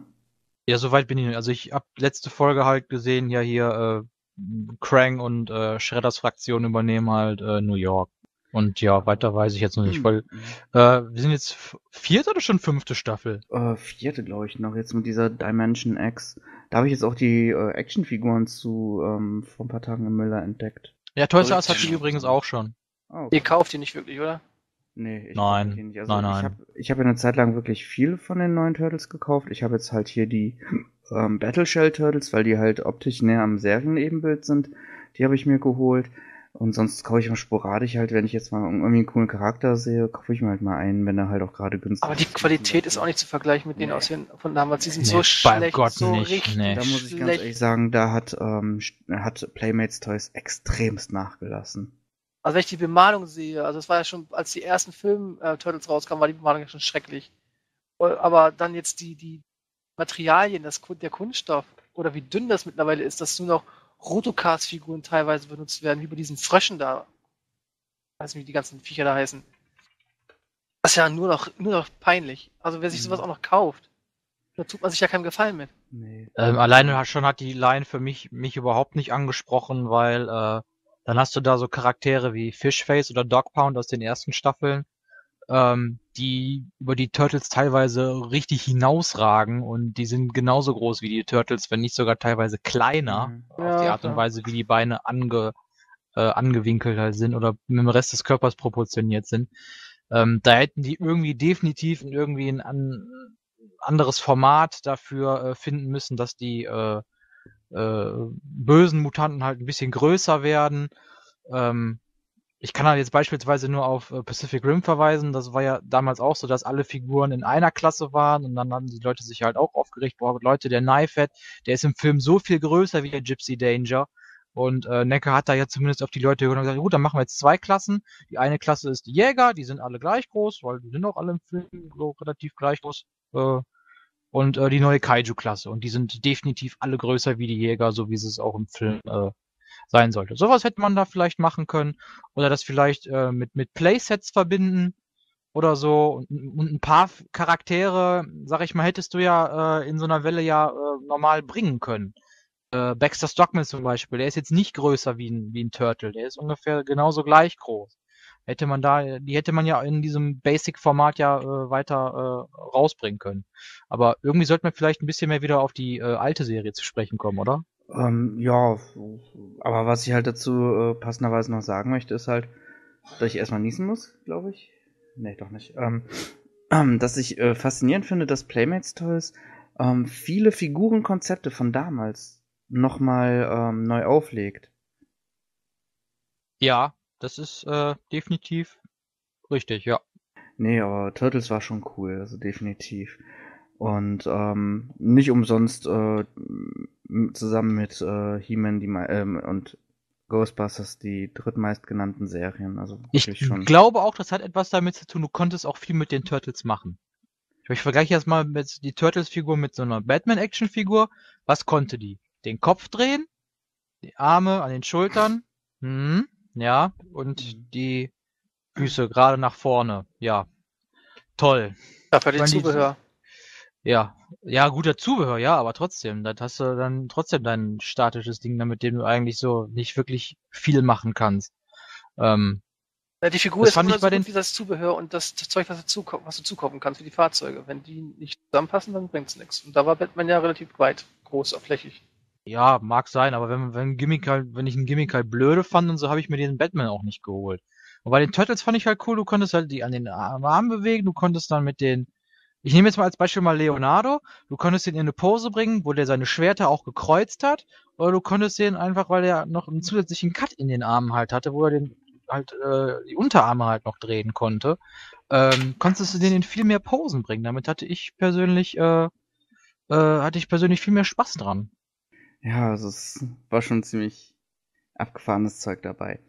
Ja, damit würde ich fast sagen, schließen wir dann auch ähm, die Ninja Turtles und ähm, den Hauptteil mit Serien ab und haben eigentlich jetzt noch, ja, ich sag mal kurz durch, vier Toylines, äh, zu denen es jetzt keine passenden Serien gibt. Ähm, dazu kommen wir aber nach einer ganz kurzen Pause und sind dann gleich wieder für euch da. Mask. Die Neuen sind da. Das Abenteuer beginnt. Auf der heißen Jagd verwandelst du deinen Käfer in Motorrad und Luftkissenboot. Plötzlich der Angriff. Schnell, Hilfe von der Basis. Sportwagen klar machen für Hubschrauber und Shuttle-Einsatz. Wie wird es ausgehen? Mask. Deine Fantasie ist ihre Stärke. Back von the Pod, im Ruhrpott, im Starcast. Genau, mit uns drei Vollchaoten. Hallo? Und ja, wir sind chaotisch. Nein, ich bin äh, normal. Du bist normal chaotisch. Okay, gut. ähm, nein, also wir haben ja jetzt über Serien gesprochen und halt eben auch äh, in Kombination dessen halt auch eben über Actionfiguren zu den Serien. Ähm, jetzt haben wir halt noch ein paar reine oder fast reine Toy-Reihen oder Actionfiguren rein, ähm, über die wir noch sprechen wollten. Ähm, die eine oder andere Serie wird halt auch eben eine Cartoon-Serie gehabt haben, aber die wurde halt eben auch noch nicht von euch in die Top 20 gewählt sozusagen. Daher gehen wir da halt jetzt auch eher nur mal kurz drauf ein. Und ähm, den Anfang machen die GoBots, welche ja eigentlich so den Ruf weg haben als äh, billiges Transformers-Imitat. You can pretend the evil Psykill has sent two new renegade GoBots to trap the Guardians. GoBots sold separately. Und ironischerweise lief die GoBots Zeichentrickserie so gut ein halbes, wenn nicht sogar ein ganzes Jahr vor den Transformers damals im US-Fernsehen. Ich muss sagen, ähm, ich kann mich nur an den äh, Film erinnern, Challenge of the GoBots. Ja, Rise of the Rocklords oder so ähnlich, ne? Ne, es war glaube ich was anderes wieder, oder? Hm, wüsste ich jetzt nicht. Also so viel habe ich nicht. Ich habe Gobots hier geguckt, die liefen damals auch auf Tele 5. Den Scheiß kenne ich sogar. Entschuldigung. Ja, siehst du? Ich habe gerade das, das, äh, das Cover mal aufgerufen. Bescheuerte Grinsen von den Leuten, also von diesen Gobots, das kenne ich ja doch. Das lief Ja, echt auf Tele Viecher waren 5. schon teilweise grenzdebil. Ja, das Also- war. Und vor allem das, was ich bei denen richtig blöd fand, ist, sie hatten irgendwie auch keine Waffen, ne? Die kamen immer nur Energiestrahlen so aus der Fäuste rausgeschossen. Richtig so, bäh, weiß ich nicht, ja so voll unkreativ fand ich das. Bei den Transformers, da haben sich dann die äh, Unterarme wenigstens noch verwandelt. Dann kam da noch so ein Blaster raus oder so. Oder die Hand war Ah. generell schon ein Blaster wie Shockwave, weil er sich sagt, ich brauche nur eine Hand, mit der anderen blase ich dich weg. Chris ist gerade im Flashback. Ja, das ist das Ziel des Podcasts. Er hat Ich ein Déjà-vu. Ich sehe jetzt nicht gerade die ganzen Charaktere. Dieser, dieser, diese gibt halt die Bösen und die Guten logischerweise. Und bei Genau, den Bösen die gab es eine, Guardians und die Renegades. eine schwarze Rennfahrer Tussi und Das ein war blauer Crasher. und ein blauer. Der war glaube ich, ein- das war glaube ich ein Jet. Nee, ein Helikopter, das war Coptour. Der war, der sieht auch schon so bescheuert aus. Der Chef war der Rennwagen, ne? Ja. Nee, der war äh, ein Motorrad, das war Ach, Cycle. Motorrad. Ja, Ah. und bei den Guardians war es der Jet. Genau, Leader One, dann das rote Sportauto war der Turbo ähm, und dieser ja Mini-Scooter hieß halt ähm, Scooter. Originell, ne? Eigentlich. Ja, genau. Ähm, aber ich muss sagen, die Serie war irgendwie nicht so schlecht, aber die hat für mich auch irgendwie keinen bleibenden Eindruck hinterlassen, wie es halt natürlich jetzt bei den Transformers war. Nee, das äh, definitiv nicht. Das war halt auch so, ja, jetzt mehr so, mh, ich- nicht Monster of the Week oder so, aber die Renegades wollten halt immer auf der Erde irgendwas stehlen, so wie eine gewisse andere äh, Gruppe von bösen Robotern. Und die ähm, Guardians, die wollten das dann halt immer auch äh, verhindern, wie so eine andere gewisse Gruppe von äh, Robotern von einer anderen Serie. Ähm, und was dann immer äh, dann neu dabei war, du hattest immer dieses klassische Line-up, die drei Guten und die drei Bösen, mit auf auf der Heldenseite natürlich noch die menschlichen äh, Kumpane, sag ich jetzt mal. Und ähm, in jeder Folge war das dann so, dass entweder auf der Seite der Guten oder der Bösen dann ein neuer Charakter dann dabei war, der dann auch genau für diese Mission dann auch irgendwie ausgerüstet war. Zum Beispiel war dann so ein Bereich, da brauchtest du unbedingt ein Wasserflugzeug und dann hatten die Bösen auch einen, einen dann dabei, der sie unterstützt hat, aber auch dann ein Wasserflugzeug. Oder ein U-Boot oder wie auch immer. Also das hat dann irgendwie, was heißt, was heißt Sinn gemacht, aber die haben dann wenigstens die Charaktere auch so eingeführt, dass dann noch die Alternativmodi dann auch irgendwie auch einen, einen praktischen Nutzen hatten. Die Rechte hat sich ja dann auch irgendwann an Goberts Hasbro gesichert. Die haben ja Genau. Also sowohl der Name GoBots als Genau, auch die als auch Charaktere. Namen und so weiter, Profile, die liegen alle bei Hasbro. Aber Mhm. die GoBots waren ja auch nur äh, importierte äh, ähm, äh, Roboter-Designs von einem anderen Hersteller. Ähm, und diese Rechte äh, liegen aber in Japan. Ich m, weiß jetzt aber nicht, wer die jetzt aktuell hat. Ich m, Takara nicht, weil sonst hätten wir da schon, glaube ich, längst irgendwie was von gesehen. Mhm. Ähm, ich glaube, dass Bandai Japan die hat. Da bin ich mir aber nicht sicher. Seit zwei Jahren oder so wird auf den japanischen äh, äh, Hobby-Messen immer wieder auch so Prototypen gezeigt von äh, neuen, äh, ich sage jetzt einfach mal Go-Bots einfach, äh, mit verbesserter Artikulation, verbessertes Design, die äh, Alternativmodi halt eher auf realistisch getrimmt. Ja, zumindest wo, real, wo es realistisch halt geht. Coptor und äh, Cycle beispielsweise, die waren halt auch als Fahrzeugmodi halt äh, sehr äh, futuristisch. Ähm, ja. Ja, immer wieder so mit geplant mit, ja, kommt jetzt vielleicht demnächst, vielleicht auch nicht, müssen wir noch ein bisschen verhandeln.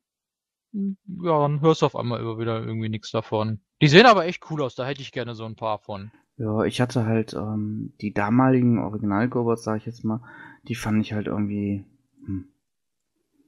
Ich fand die nie so gut. Die waren, die Roboter-Modi sahen nicht gut aus. Das ist stellenweise auch, äh, ich kann mich an ein Fahrzeug erinnern, das war hier so ein Oldtimer-Auto, äh, das, die Füße waren halt wirklich die Front des Fahrzeugs und der Kopf bestand aus dem, ähm, aus Ja, das war auch ein VW Beetle, kann das, also VW Käfer damals, ne? Nee.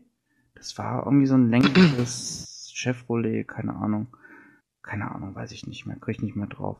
Aber das war halt irgendwie, das sah echt mies aus. Die waren auf jeden Fall sehr, sehr merkwürdig. Den Vorteil, den die GoBots aber irgendwo hatten, fand ich, ich meine, mich erinnern zu können, die liefen häufiger im Fernsehen als Transformers.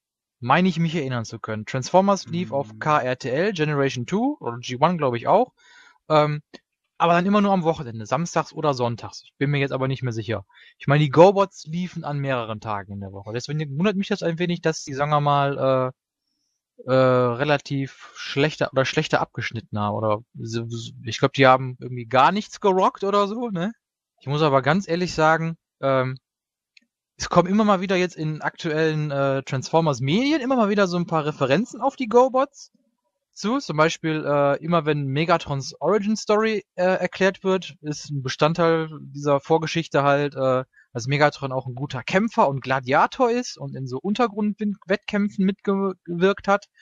Und der bringt immer irgendwie Cycle um. Und das finde ich einfach immer so richtig super, wie der dem, wie der Decepticon-Chef dem Renegade-Chef so richtig ein äh, auf die Mütze gibt und den umlegt.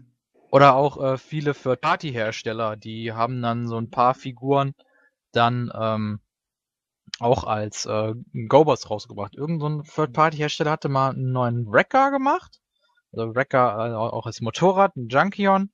Und dann haben sie den äh, sehr realistisch gehalten auch. Ähm, verwandelt sich irgendwie so, so ein an, eine Harley Davidson angehauchtes äh, Motorrad. Und äh, dann haben sie den einfach in den Farben von Cycle auch rausgebracht. Oder eine, eine, eine Version von Mirage in den Farben von Crasher. Äh, und die sehen echt toll aus. Die habe ich mir jetzt halt nicht als, würde ich mir nicht als Transformers holen, aber als GoBots äh, finde ich, die sind die äh, an für sich ganz interessant. Ich warte eigentlich nur noch darauf, dass irgendeiner, der, der, äh, der einen Hubschrauber gemacht hat oder noch einen Hubschrauber machen wird vielleicht, da einen Koptour macht. Weil dann hätte ich da so die drei Bösen zusammen und die würde ich mir dann, glaube ich, auch holen und einfach mal zu meinen Decepticons stellen. So, aber ich hätte kein Interesse daran, mir die Guten zu holen. Den Scooter, den fand ich scheiße, der war langweilig. Der Turbo, ja, im Auto. Äh, die Leader One könnte, äh, die könnten mal so einen Jet machen. So einen Seeker in Grau mit gelbe Augen oder mit einem neuen Kopf von mir aus auch. Das wäre lustig. Das wäre echt lustig. Ja, lustig fand ich persönlich auch die Zoids. Zoids, Mechanoid Combat Warriors.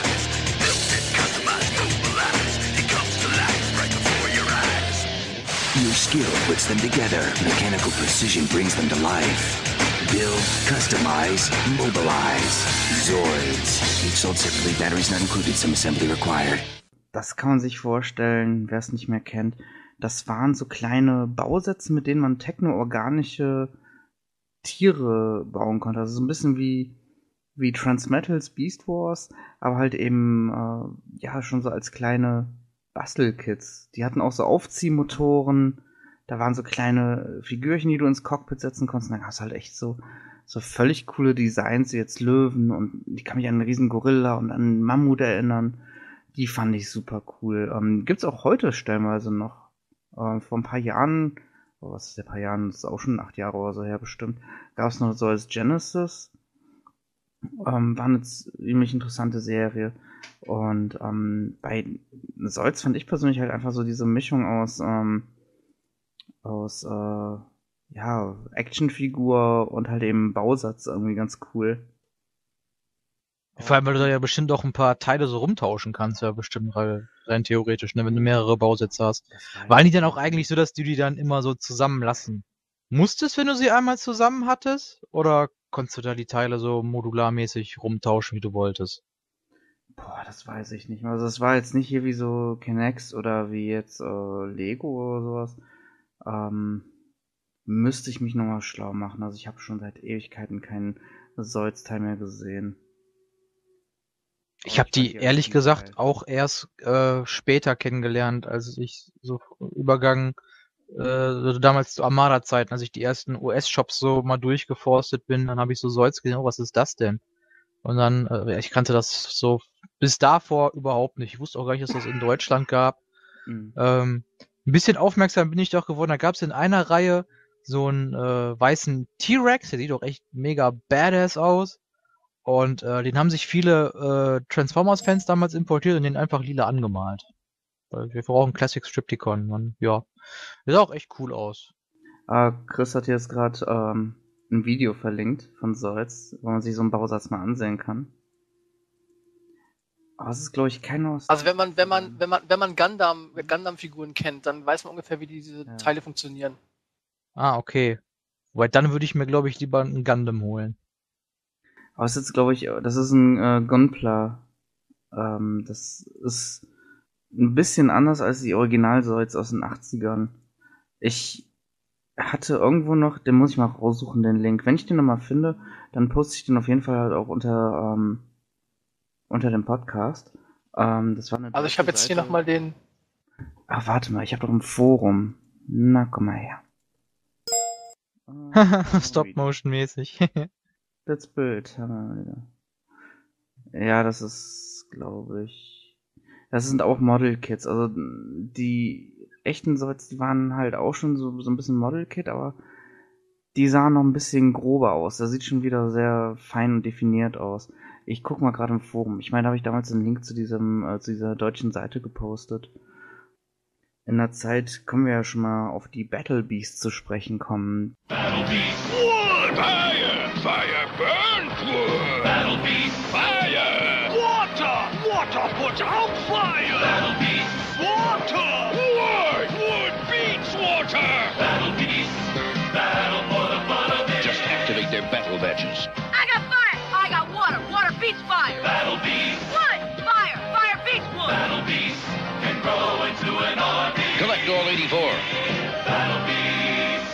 Das war nämlich äh, auch eine Serie, ähm, die ich ziemlich cool fand. Ähm, gab ja auch eine Crossover-Folge mit Transformers und Also zu Battle Beast kann ich mein, meine 5 Cent direkt vorweghauen. Ich habe davon zwei Figuren zu Hause rumfliegen, also hier irgendwo. Und ähm, ja, das war schon. ich hab, Damit du sagen kannst, ich hab Battle Beasts. Genau, ich hab Battle Beast. Was ich halt sehr cool finde, ist dieses Hologramm, was du dann, wo man immer schön mit dem Finger draufhalten musste und das sichtbar zu machen. War Ja, die Rub Signs, ja. Genau, das war früher sehr modern, dass man dann solche Sachen, Aufkleber gemacht hat, wo man mit Wärme arbeitet oder mit Körperkontakt, wo man dann Finger drauf hält oder halt drüber ruppelt, damit man sieht, ah, was für ein Item hat denn mein Battle Beast jetzt auf der Brust oder auf dem Kopf? Nee, also es war halt, die hatten, da hat halt, es gab drei Symbole, Feuer, Wasser, Holz.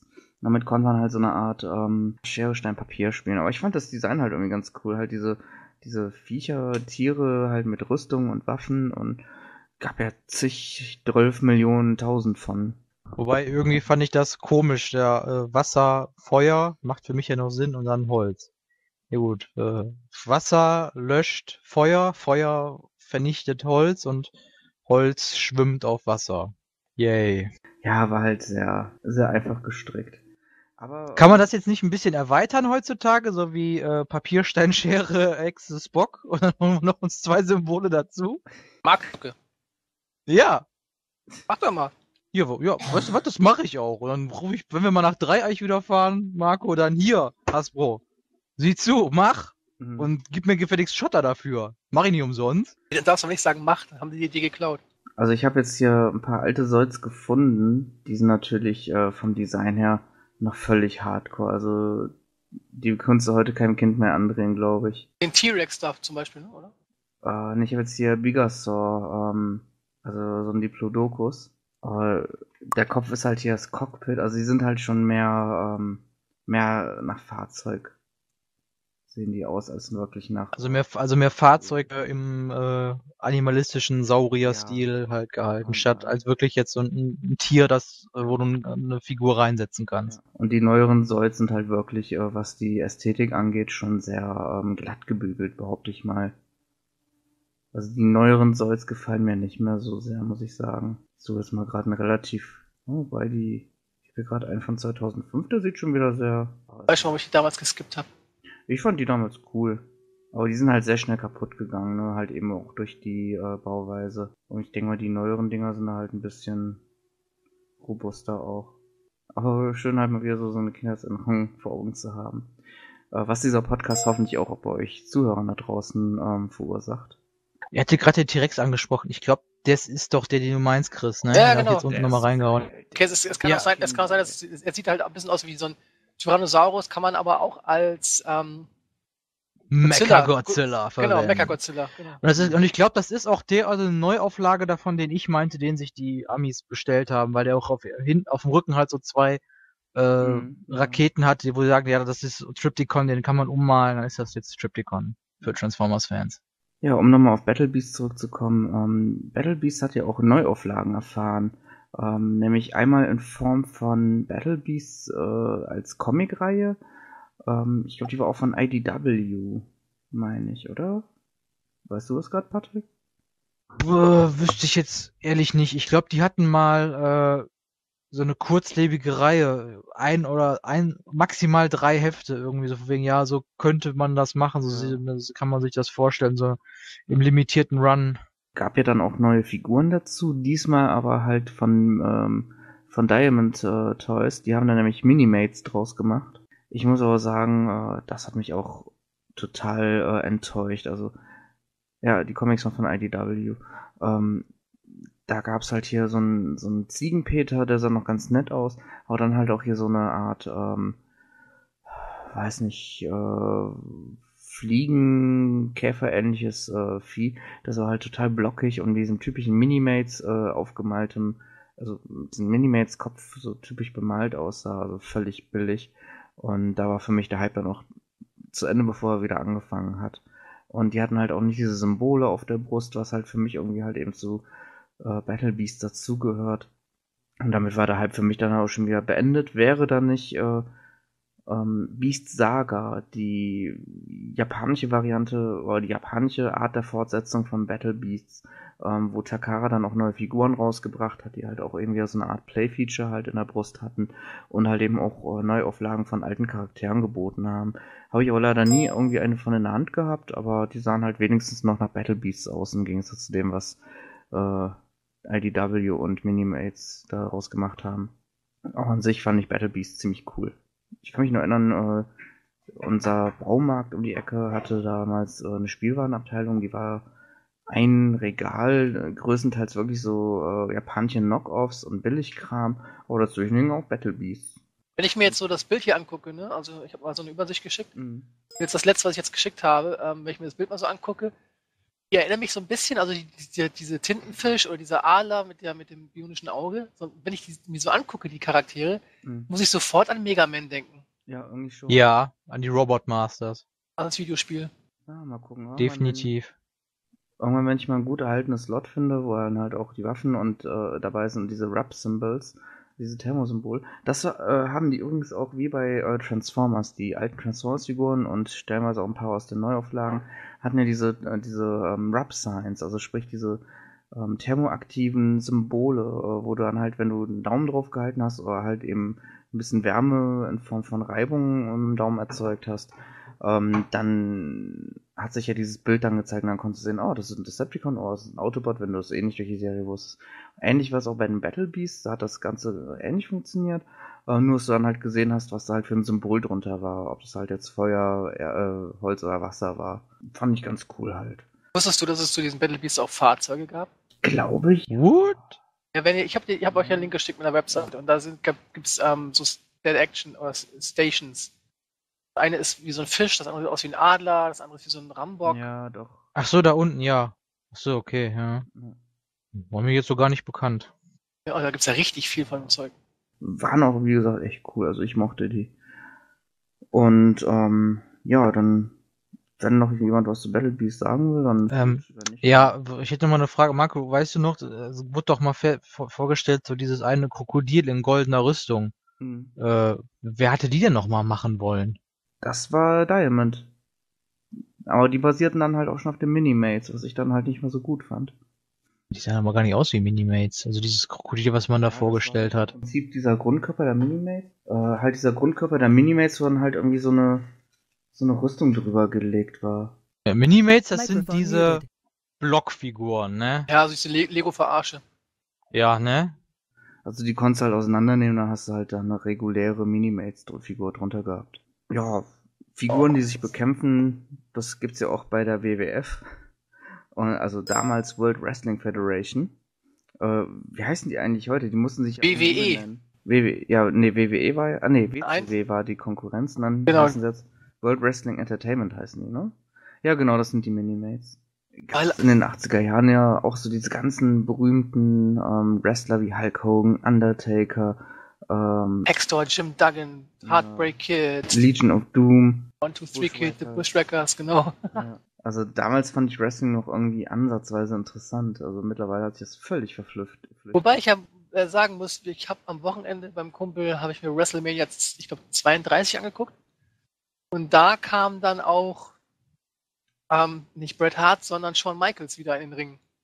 Boah, wie alt ist denn der mittlerweile? 60? Der ist, der ist über 50, aber der hat, der sieht noch genauso aus wie damals. Ein bisschen, die Haare sind halt ein bisschen äh, melierter geworden, aber vom Bau, Körperbau her und von den Proportionen, leck mich am Arsch, du. Der hat da noch ordentlich was ausgeteilt am Ring. Hätte ich nicht gedacht. Da kam sogar so ein bisschen, so ein bisschen Feeling wieder, aber die anderen Charaktere, die neuerdings da so rumdödeln, naja, Ist da nicht auch The Rock jetzt nochmal einen kurzen Gastauftritt oder so? der hatte bestimmt auch einen, aber so lange habe ich nicht geguckt. Irgendwann bin ich auch Bei mir eingepennt. hat so mit der Phase aufgehört, wo dann äh, Razor Ramon äh, gegen, damals hieß der One Two Three Kid noch, der hat Ja, genau. irgendwann umbenannt. Äh, das war ja dieser legendäre Kampf äh, und das war so das letzte, wo ich mich wirklich groß dran erinnern kann. Danach Also, wirklich Yokozuna war noch dabei, dieser fette Ja. Japaner da. Ja. Jack the Snake, äh, ne, wie hieß der? Jack Snake Roberts? Irgendwie sowas, keine Ahnung. Ähm, Macho Man Randy, Randy Savage, diese Unreal the Giant und so weiter. Ultimate Warrior. Ja, war ja schon ziemlich cool. Also die Figuren waren irgendwie lustig. Mein Bruder hatte halt auch ein paar davon. Ich hatte irgendwie, ich glaube, ich hatte Hulk Hogan. Die hatten ja alle so ein, es gab ja so drei oder vier äh, Action-Features, die halt sich durch die komplette Figurenlinie gezogen haben. Der eine, den konntest du halt irgendwie so ein bisschen den Körper zusammendrücken, da war eine Feder drin, der ist dann gesprungen. Der andere hatte halt irgendwie hier so Schlag-Action, da konntest du den Arm nach hinten ziehen. Sowas halt, also so komische Sachen halt. Aber einer hatte, glaube ich, einen Arm, den du drehen konntest, so eine Feder aufgezogen hast. War eine interessante Zeit, aber mittlerweile hat sich das bei mir total verflüchtigt. Ich kann mich nur erinnern, ein Bekannter von mir hatte halt auch diesen Ring. Ja, die hatten wir auch. Also im Prinzip war die, waren die Action-Features bei den Figuren nicht so toll. Die hatten im Prinzip das gleiche Action-Feature. Ja, Allerdings, die Arme waren halt anders positioniert. Der eine Ja, hat einen angewickelten Arm, der andere hat einen Arm nach oben gehabt und sowas Mhm. alles. Und die Figuren sahen auch gar nicht mal so gut aus. Stimmt, und dafür waren es auch relativ teuer. Ja, dann kommen wir auch schon fast zum Abschluss und äh, der findet statt in einer weit, weit entfernten Galaxie, nämlich Star Wars. Äh, Yeah. Star Wars hat ja auch so seine gute Zeit halt auch mit in den 80ern natürlich gehabt. Äh, das ganze Merchandise hat ja auch dazu geführt, dass ähm, George Lucas sich da wirklich äh, ein gutes Leben mitmachen konnte. Und ähm, ich muss persönlich aber auch sagen, dass ich äh, von Star Wars in den 80ern eigentlich nur wirklich rein die Filme miterlebt habe. Ich habe da keine ähm, Figuren gehabt. Ich habe durch Zufall mal im Keller einen äh, Jedi Blue gefunden.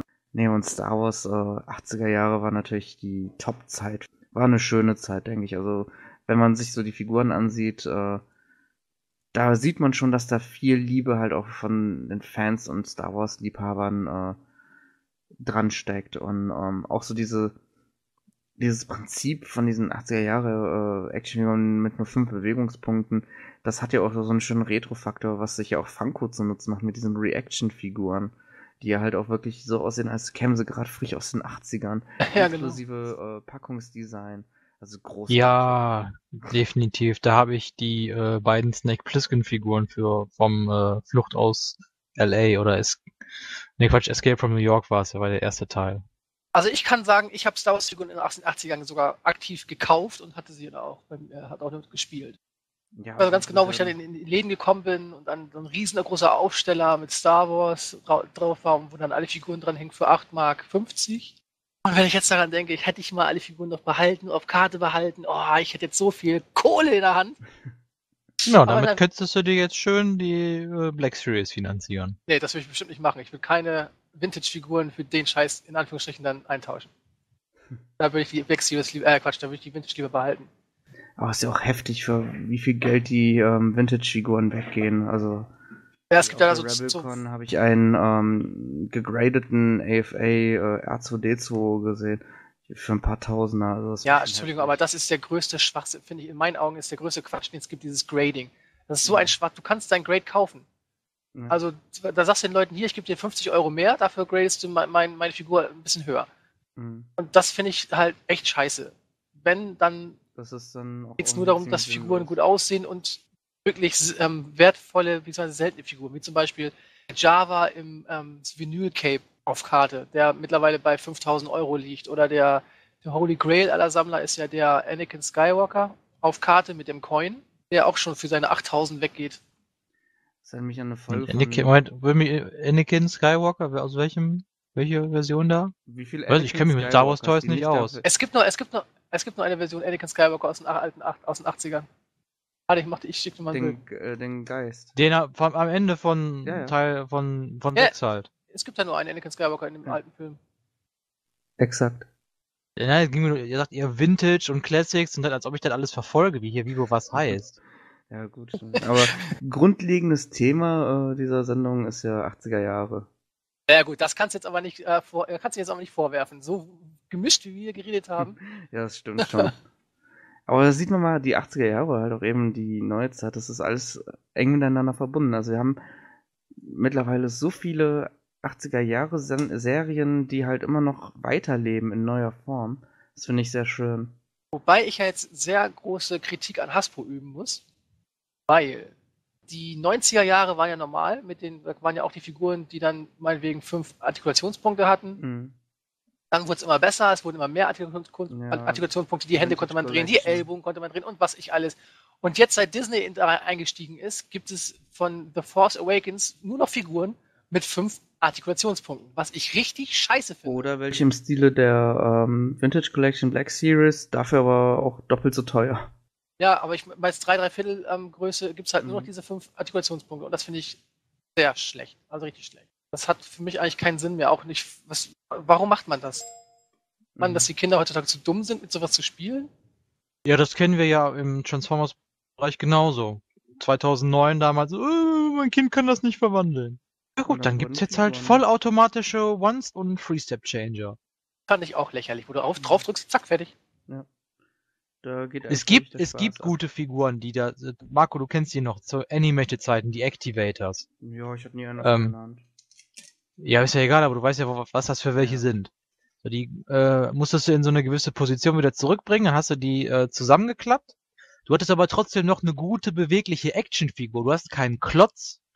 Du hattest da, äh, du konntest, äh, Arme und Arme hatten immer noch Balljoints. Ähm, ich kann da immer nur auf den äh, äh, Activator Starscream verweisen. Das ist dafür, dass es eigentlich so eine simple Figur ist, trotzdem immer noch eine gute Actionfigur. Und die heutigen Figuren, die sind alle für'n Arsch. Oh, the Popo. Richtig. Mit diesen philosophischen Worten führe ich diesen Podcast jetzt auch zum Ende. Ich bedanke mich auf jeden Fall bei euch beiden, dass ihr mit mir gemeinsam diesen Ausflug in unsere Kindheit gewagt habt. Bitte, bitte, war Spaß gemacht. Was heißt denn hier Ausflug? Das lebe ich tagtäglich. Ja, ich sage ja gemeinsamen Ausflug. Die Details sind das, Patrick. Die Details. Ah, wie heikel. Aha. Deine Mutter sind wie heikel. Ich will auch so ein T-Shirt. Alles klar, mach ich fertig. Auf der nächsten Con. Wie Heikel Club 2016. Ja. Jeder, der mir mit einem wie Heikel-Shirt entgegenkommt, der kriegt einen Tritt in die Nüsse oder sowas. Nein, der kriegt dann irgendwie ein kleines Get äh, Goodie oder sowas. Mal gucken. Wir sind, stehen ja noch ein paar Conventions an dieses Jahr. Mal gucken, ist die Domain noch frei? Wer heikel.de? Die sie alle gespannt jetzt auf die Antwort warten. Glaubst du, ich guck das doch jetzt nicht nach? Och, Menno.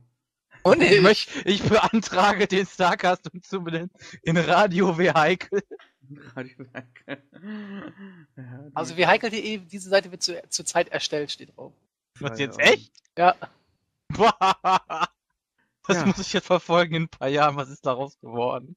Das ist ja kein Livecast, sonst hätte ich fast schon vermutet, die Adresse hat sich schnell jemand gesichert. Deswegen machen wir keine Livecasts, weil wir Angst haben, dass er uns die ganzen guten Ideen klaut. Du machst, das Einzige, was du live machst, ist dich mit Findy besaufen und dann spielt ihr Minecraft. Gut, damit beenden wir dann auch, wie gesagt, den Ausflug in unsere Kindheit. Ich bedanke mich bei euch, den Gästen, bedanke mich natürlich auch bei euch, den Zuhörern. Ja. Wir bedanken uns bei all den Firmen, die uns all diese schönen Toys und Cartoons gebracht haben. Natürlich. An unsere Mütter und Väter, die uns dieses Spielzeug auch gekauft haben. Und ich appelliere an alle to äh, Toys-Hersteller und Firmen, die in Zukunft noch Toys bringen wollen. Lasst die Qualitätsstandard oben. Schraubt das nicht zurück. Bitte. dieser Bitte schließe ich mich natürlich an. Ich hoffe, ihr auch. Und sonst, ähm, ja, war's das dann für heute. Ich hoffe, ihr hört dann auch beim nächsten Mal wieder zu. Und äh, sonst schaut natürlich auch mal auf unsere Internetseite starblight.de. Schaut auch mal in den YouTube-Kanal von Chris, Christainment. Verlinke ich auch unter dem Podcast. Ja. Und ähm, sonst vielleicht sieht man sich auf einer Convention. Als nächstes steht äh, zum Beispiel die Roleplay Convention an. Da werden wir garantiert auch irgendwie in irgendeiner Form rumhüpfen. Gamescom mal gucken. Und sonst, äh, was ist das nächste, was ansteht? Ich glaube, FedCon, Comic-Con Hannover, Comic-Con Ja. Berlin, gibt ja Comic-Con doch mittlerweile einen ganzen Stuttgart. Cons.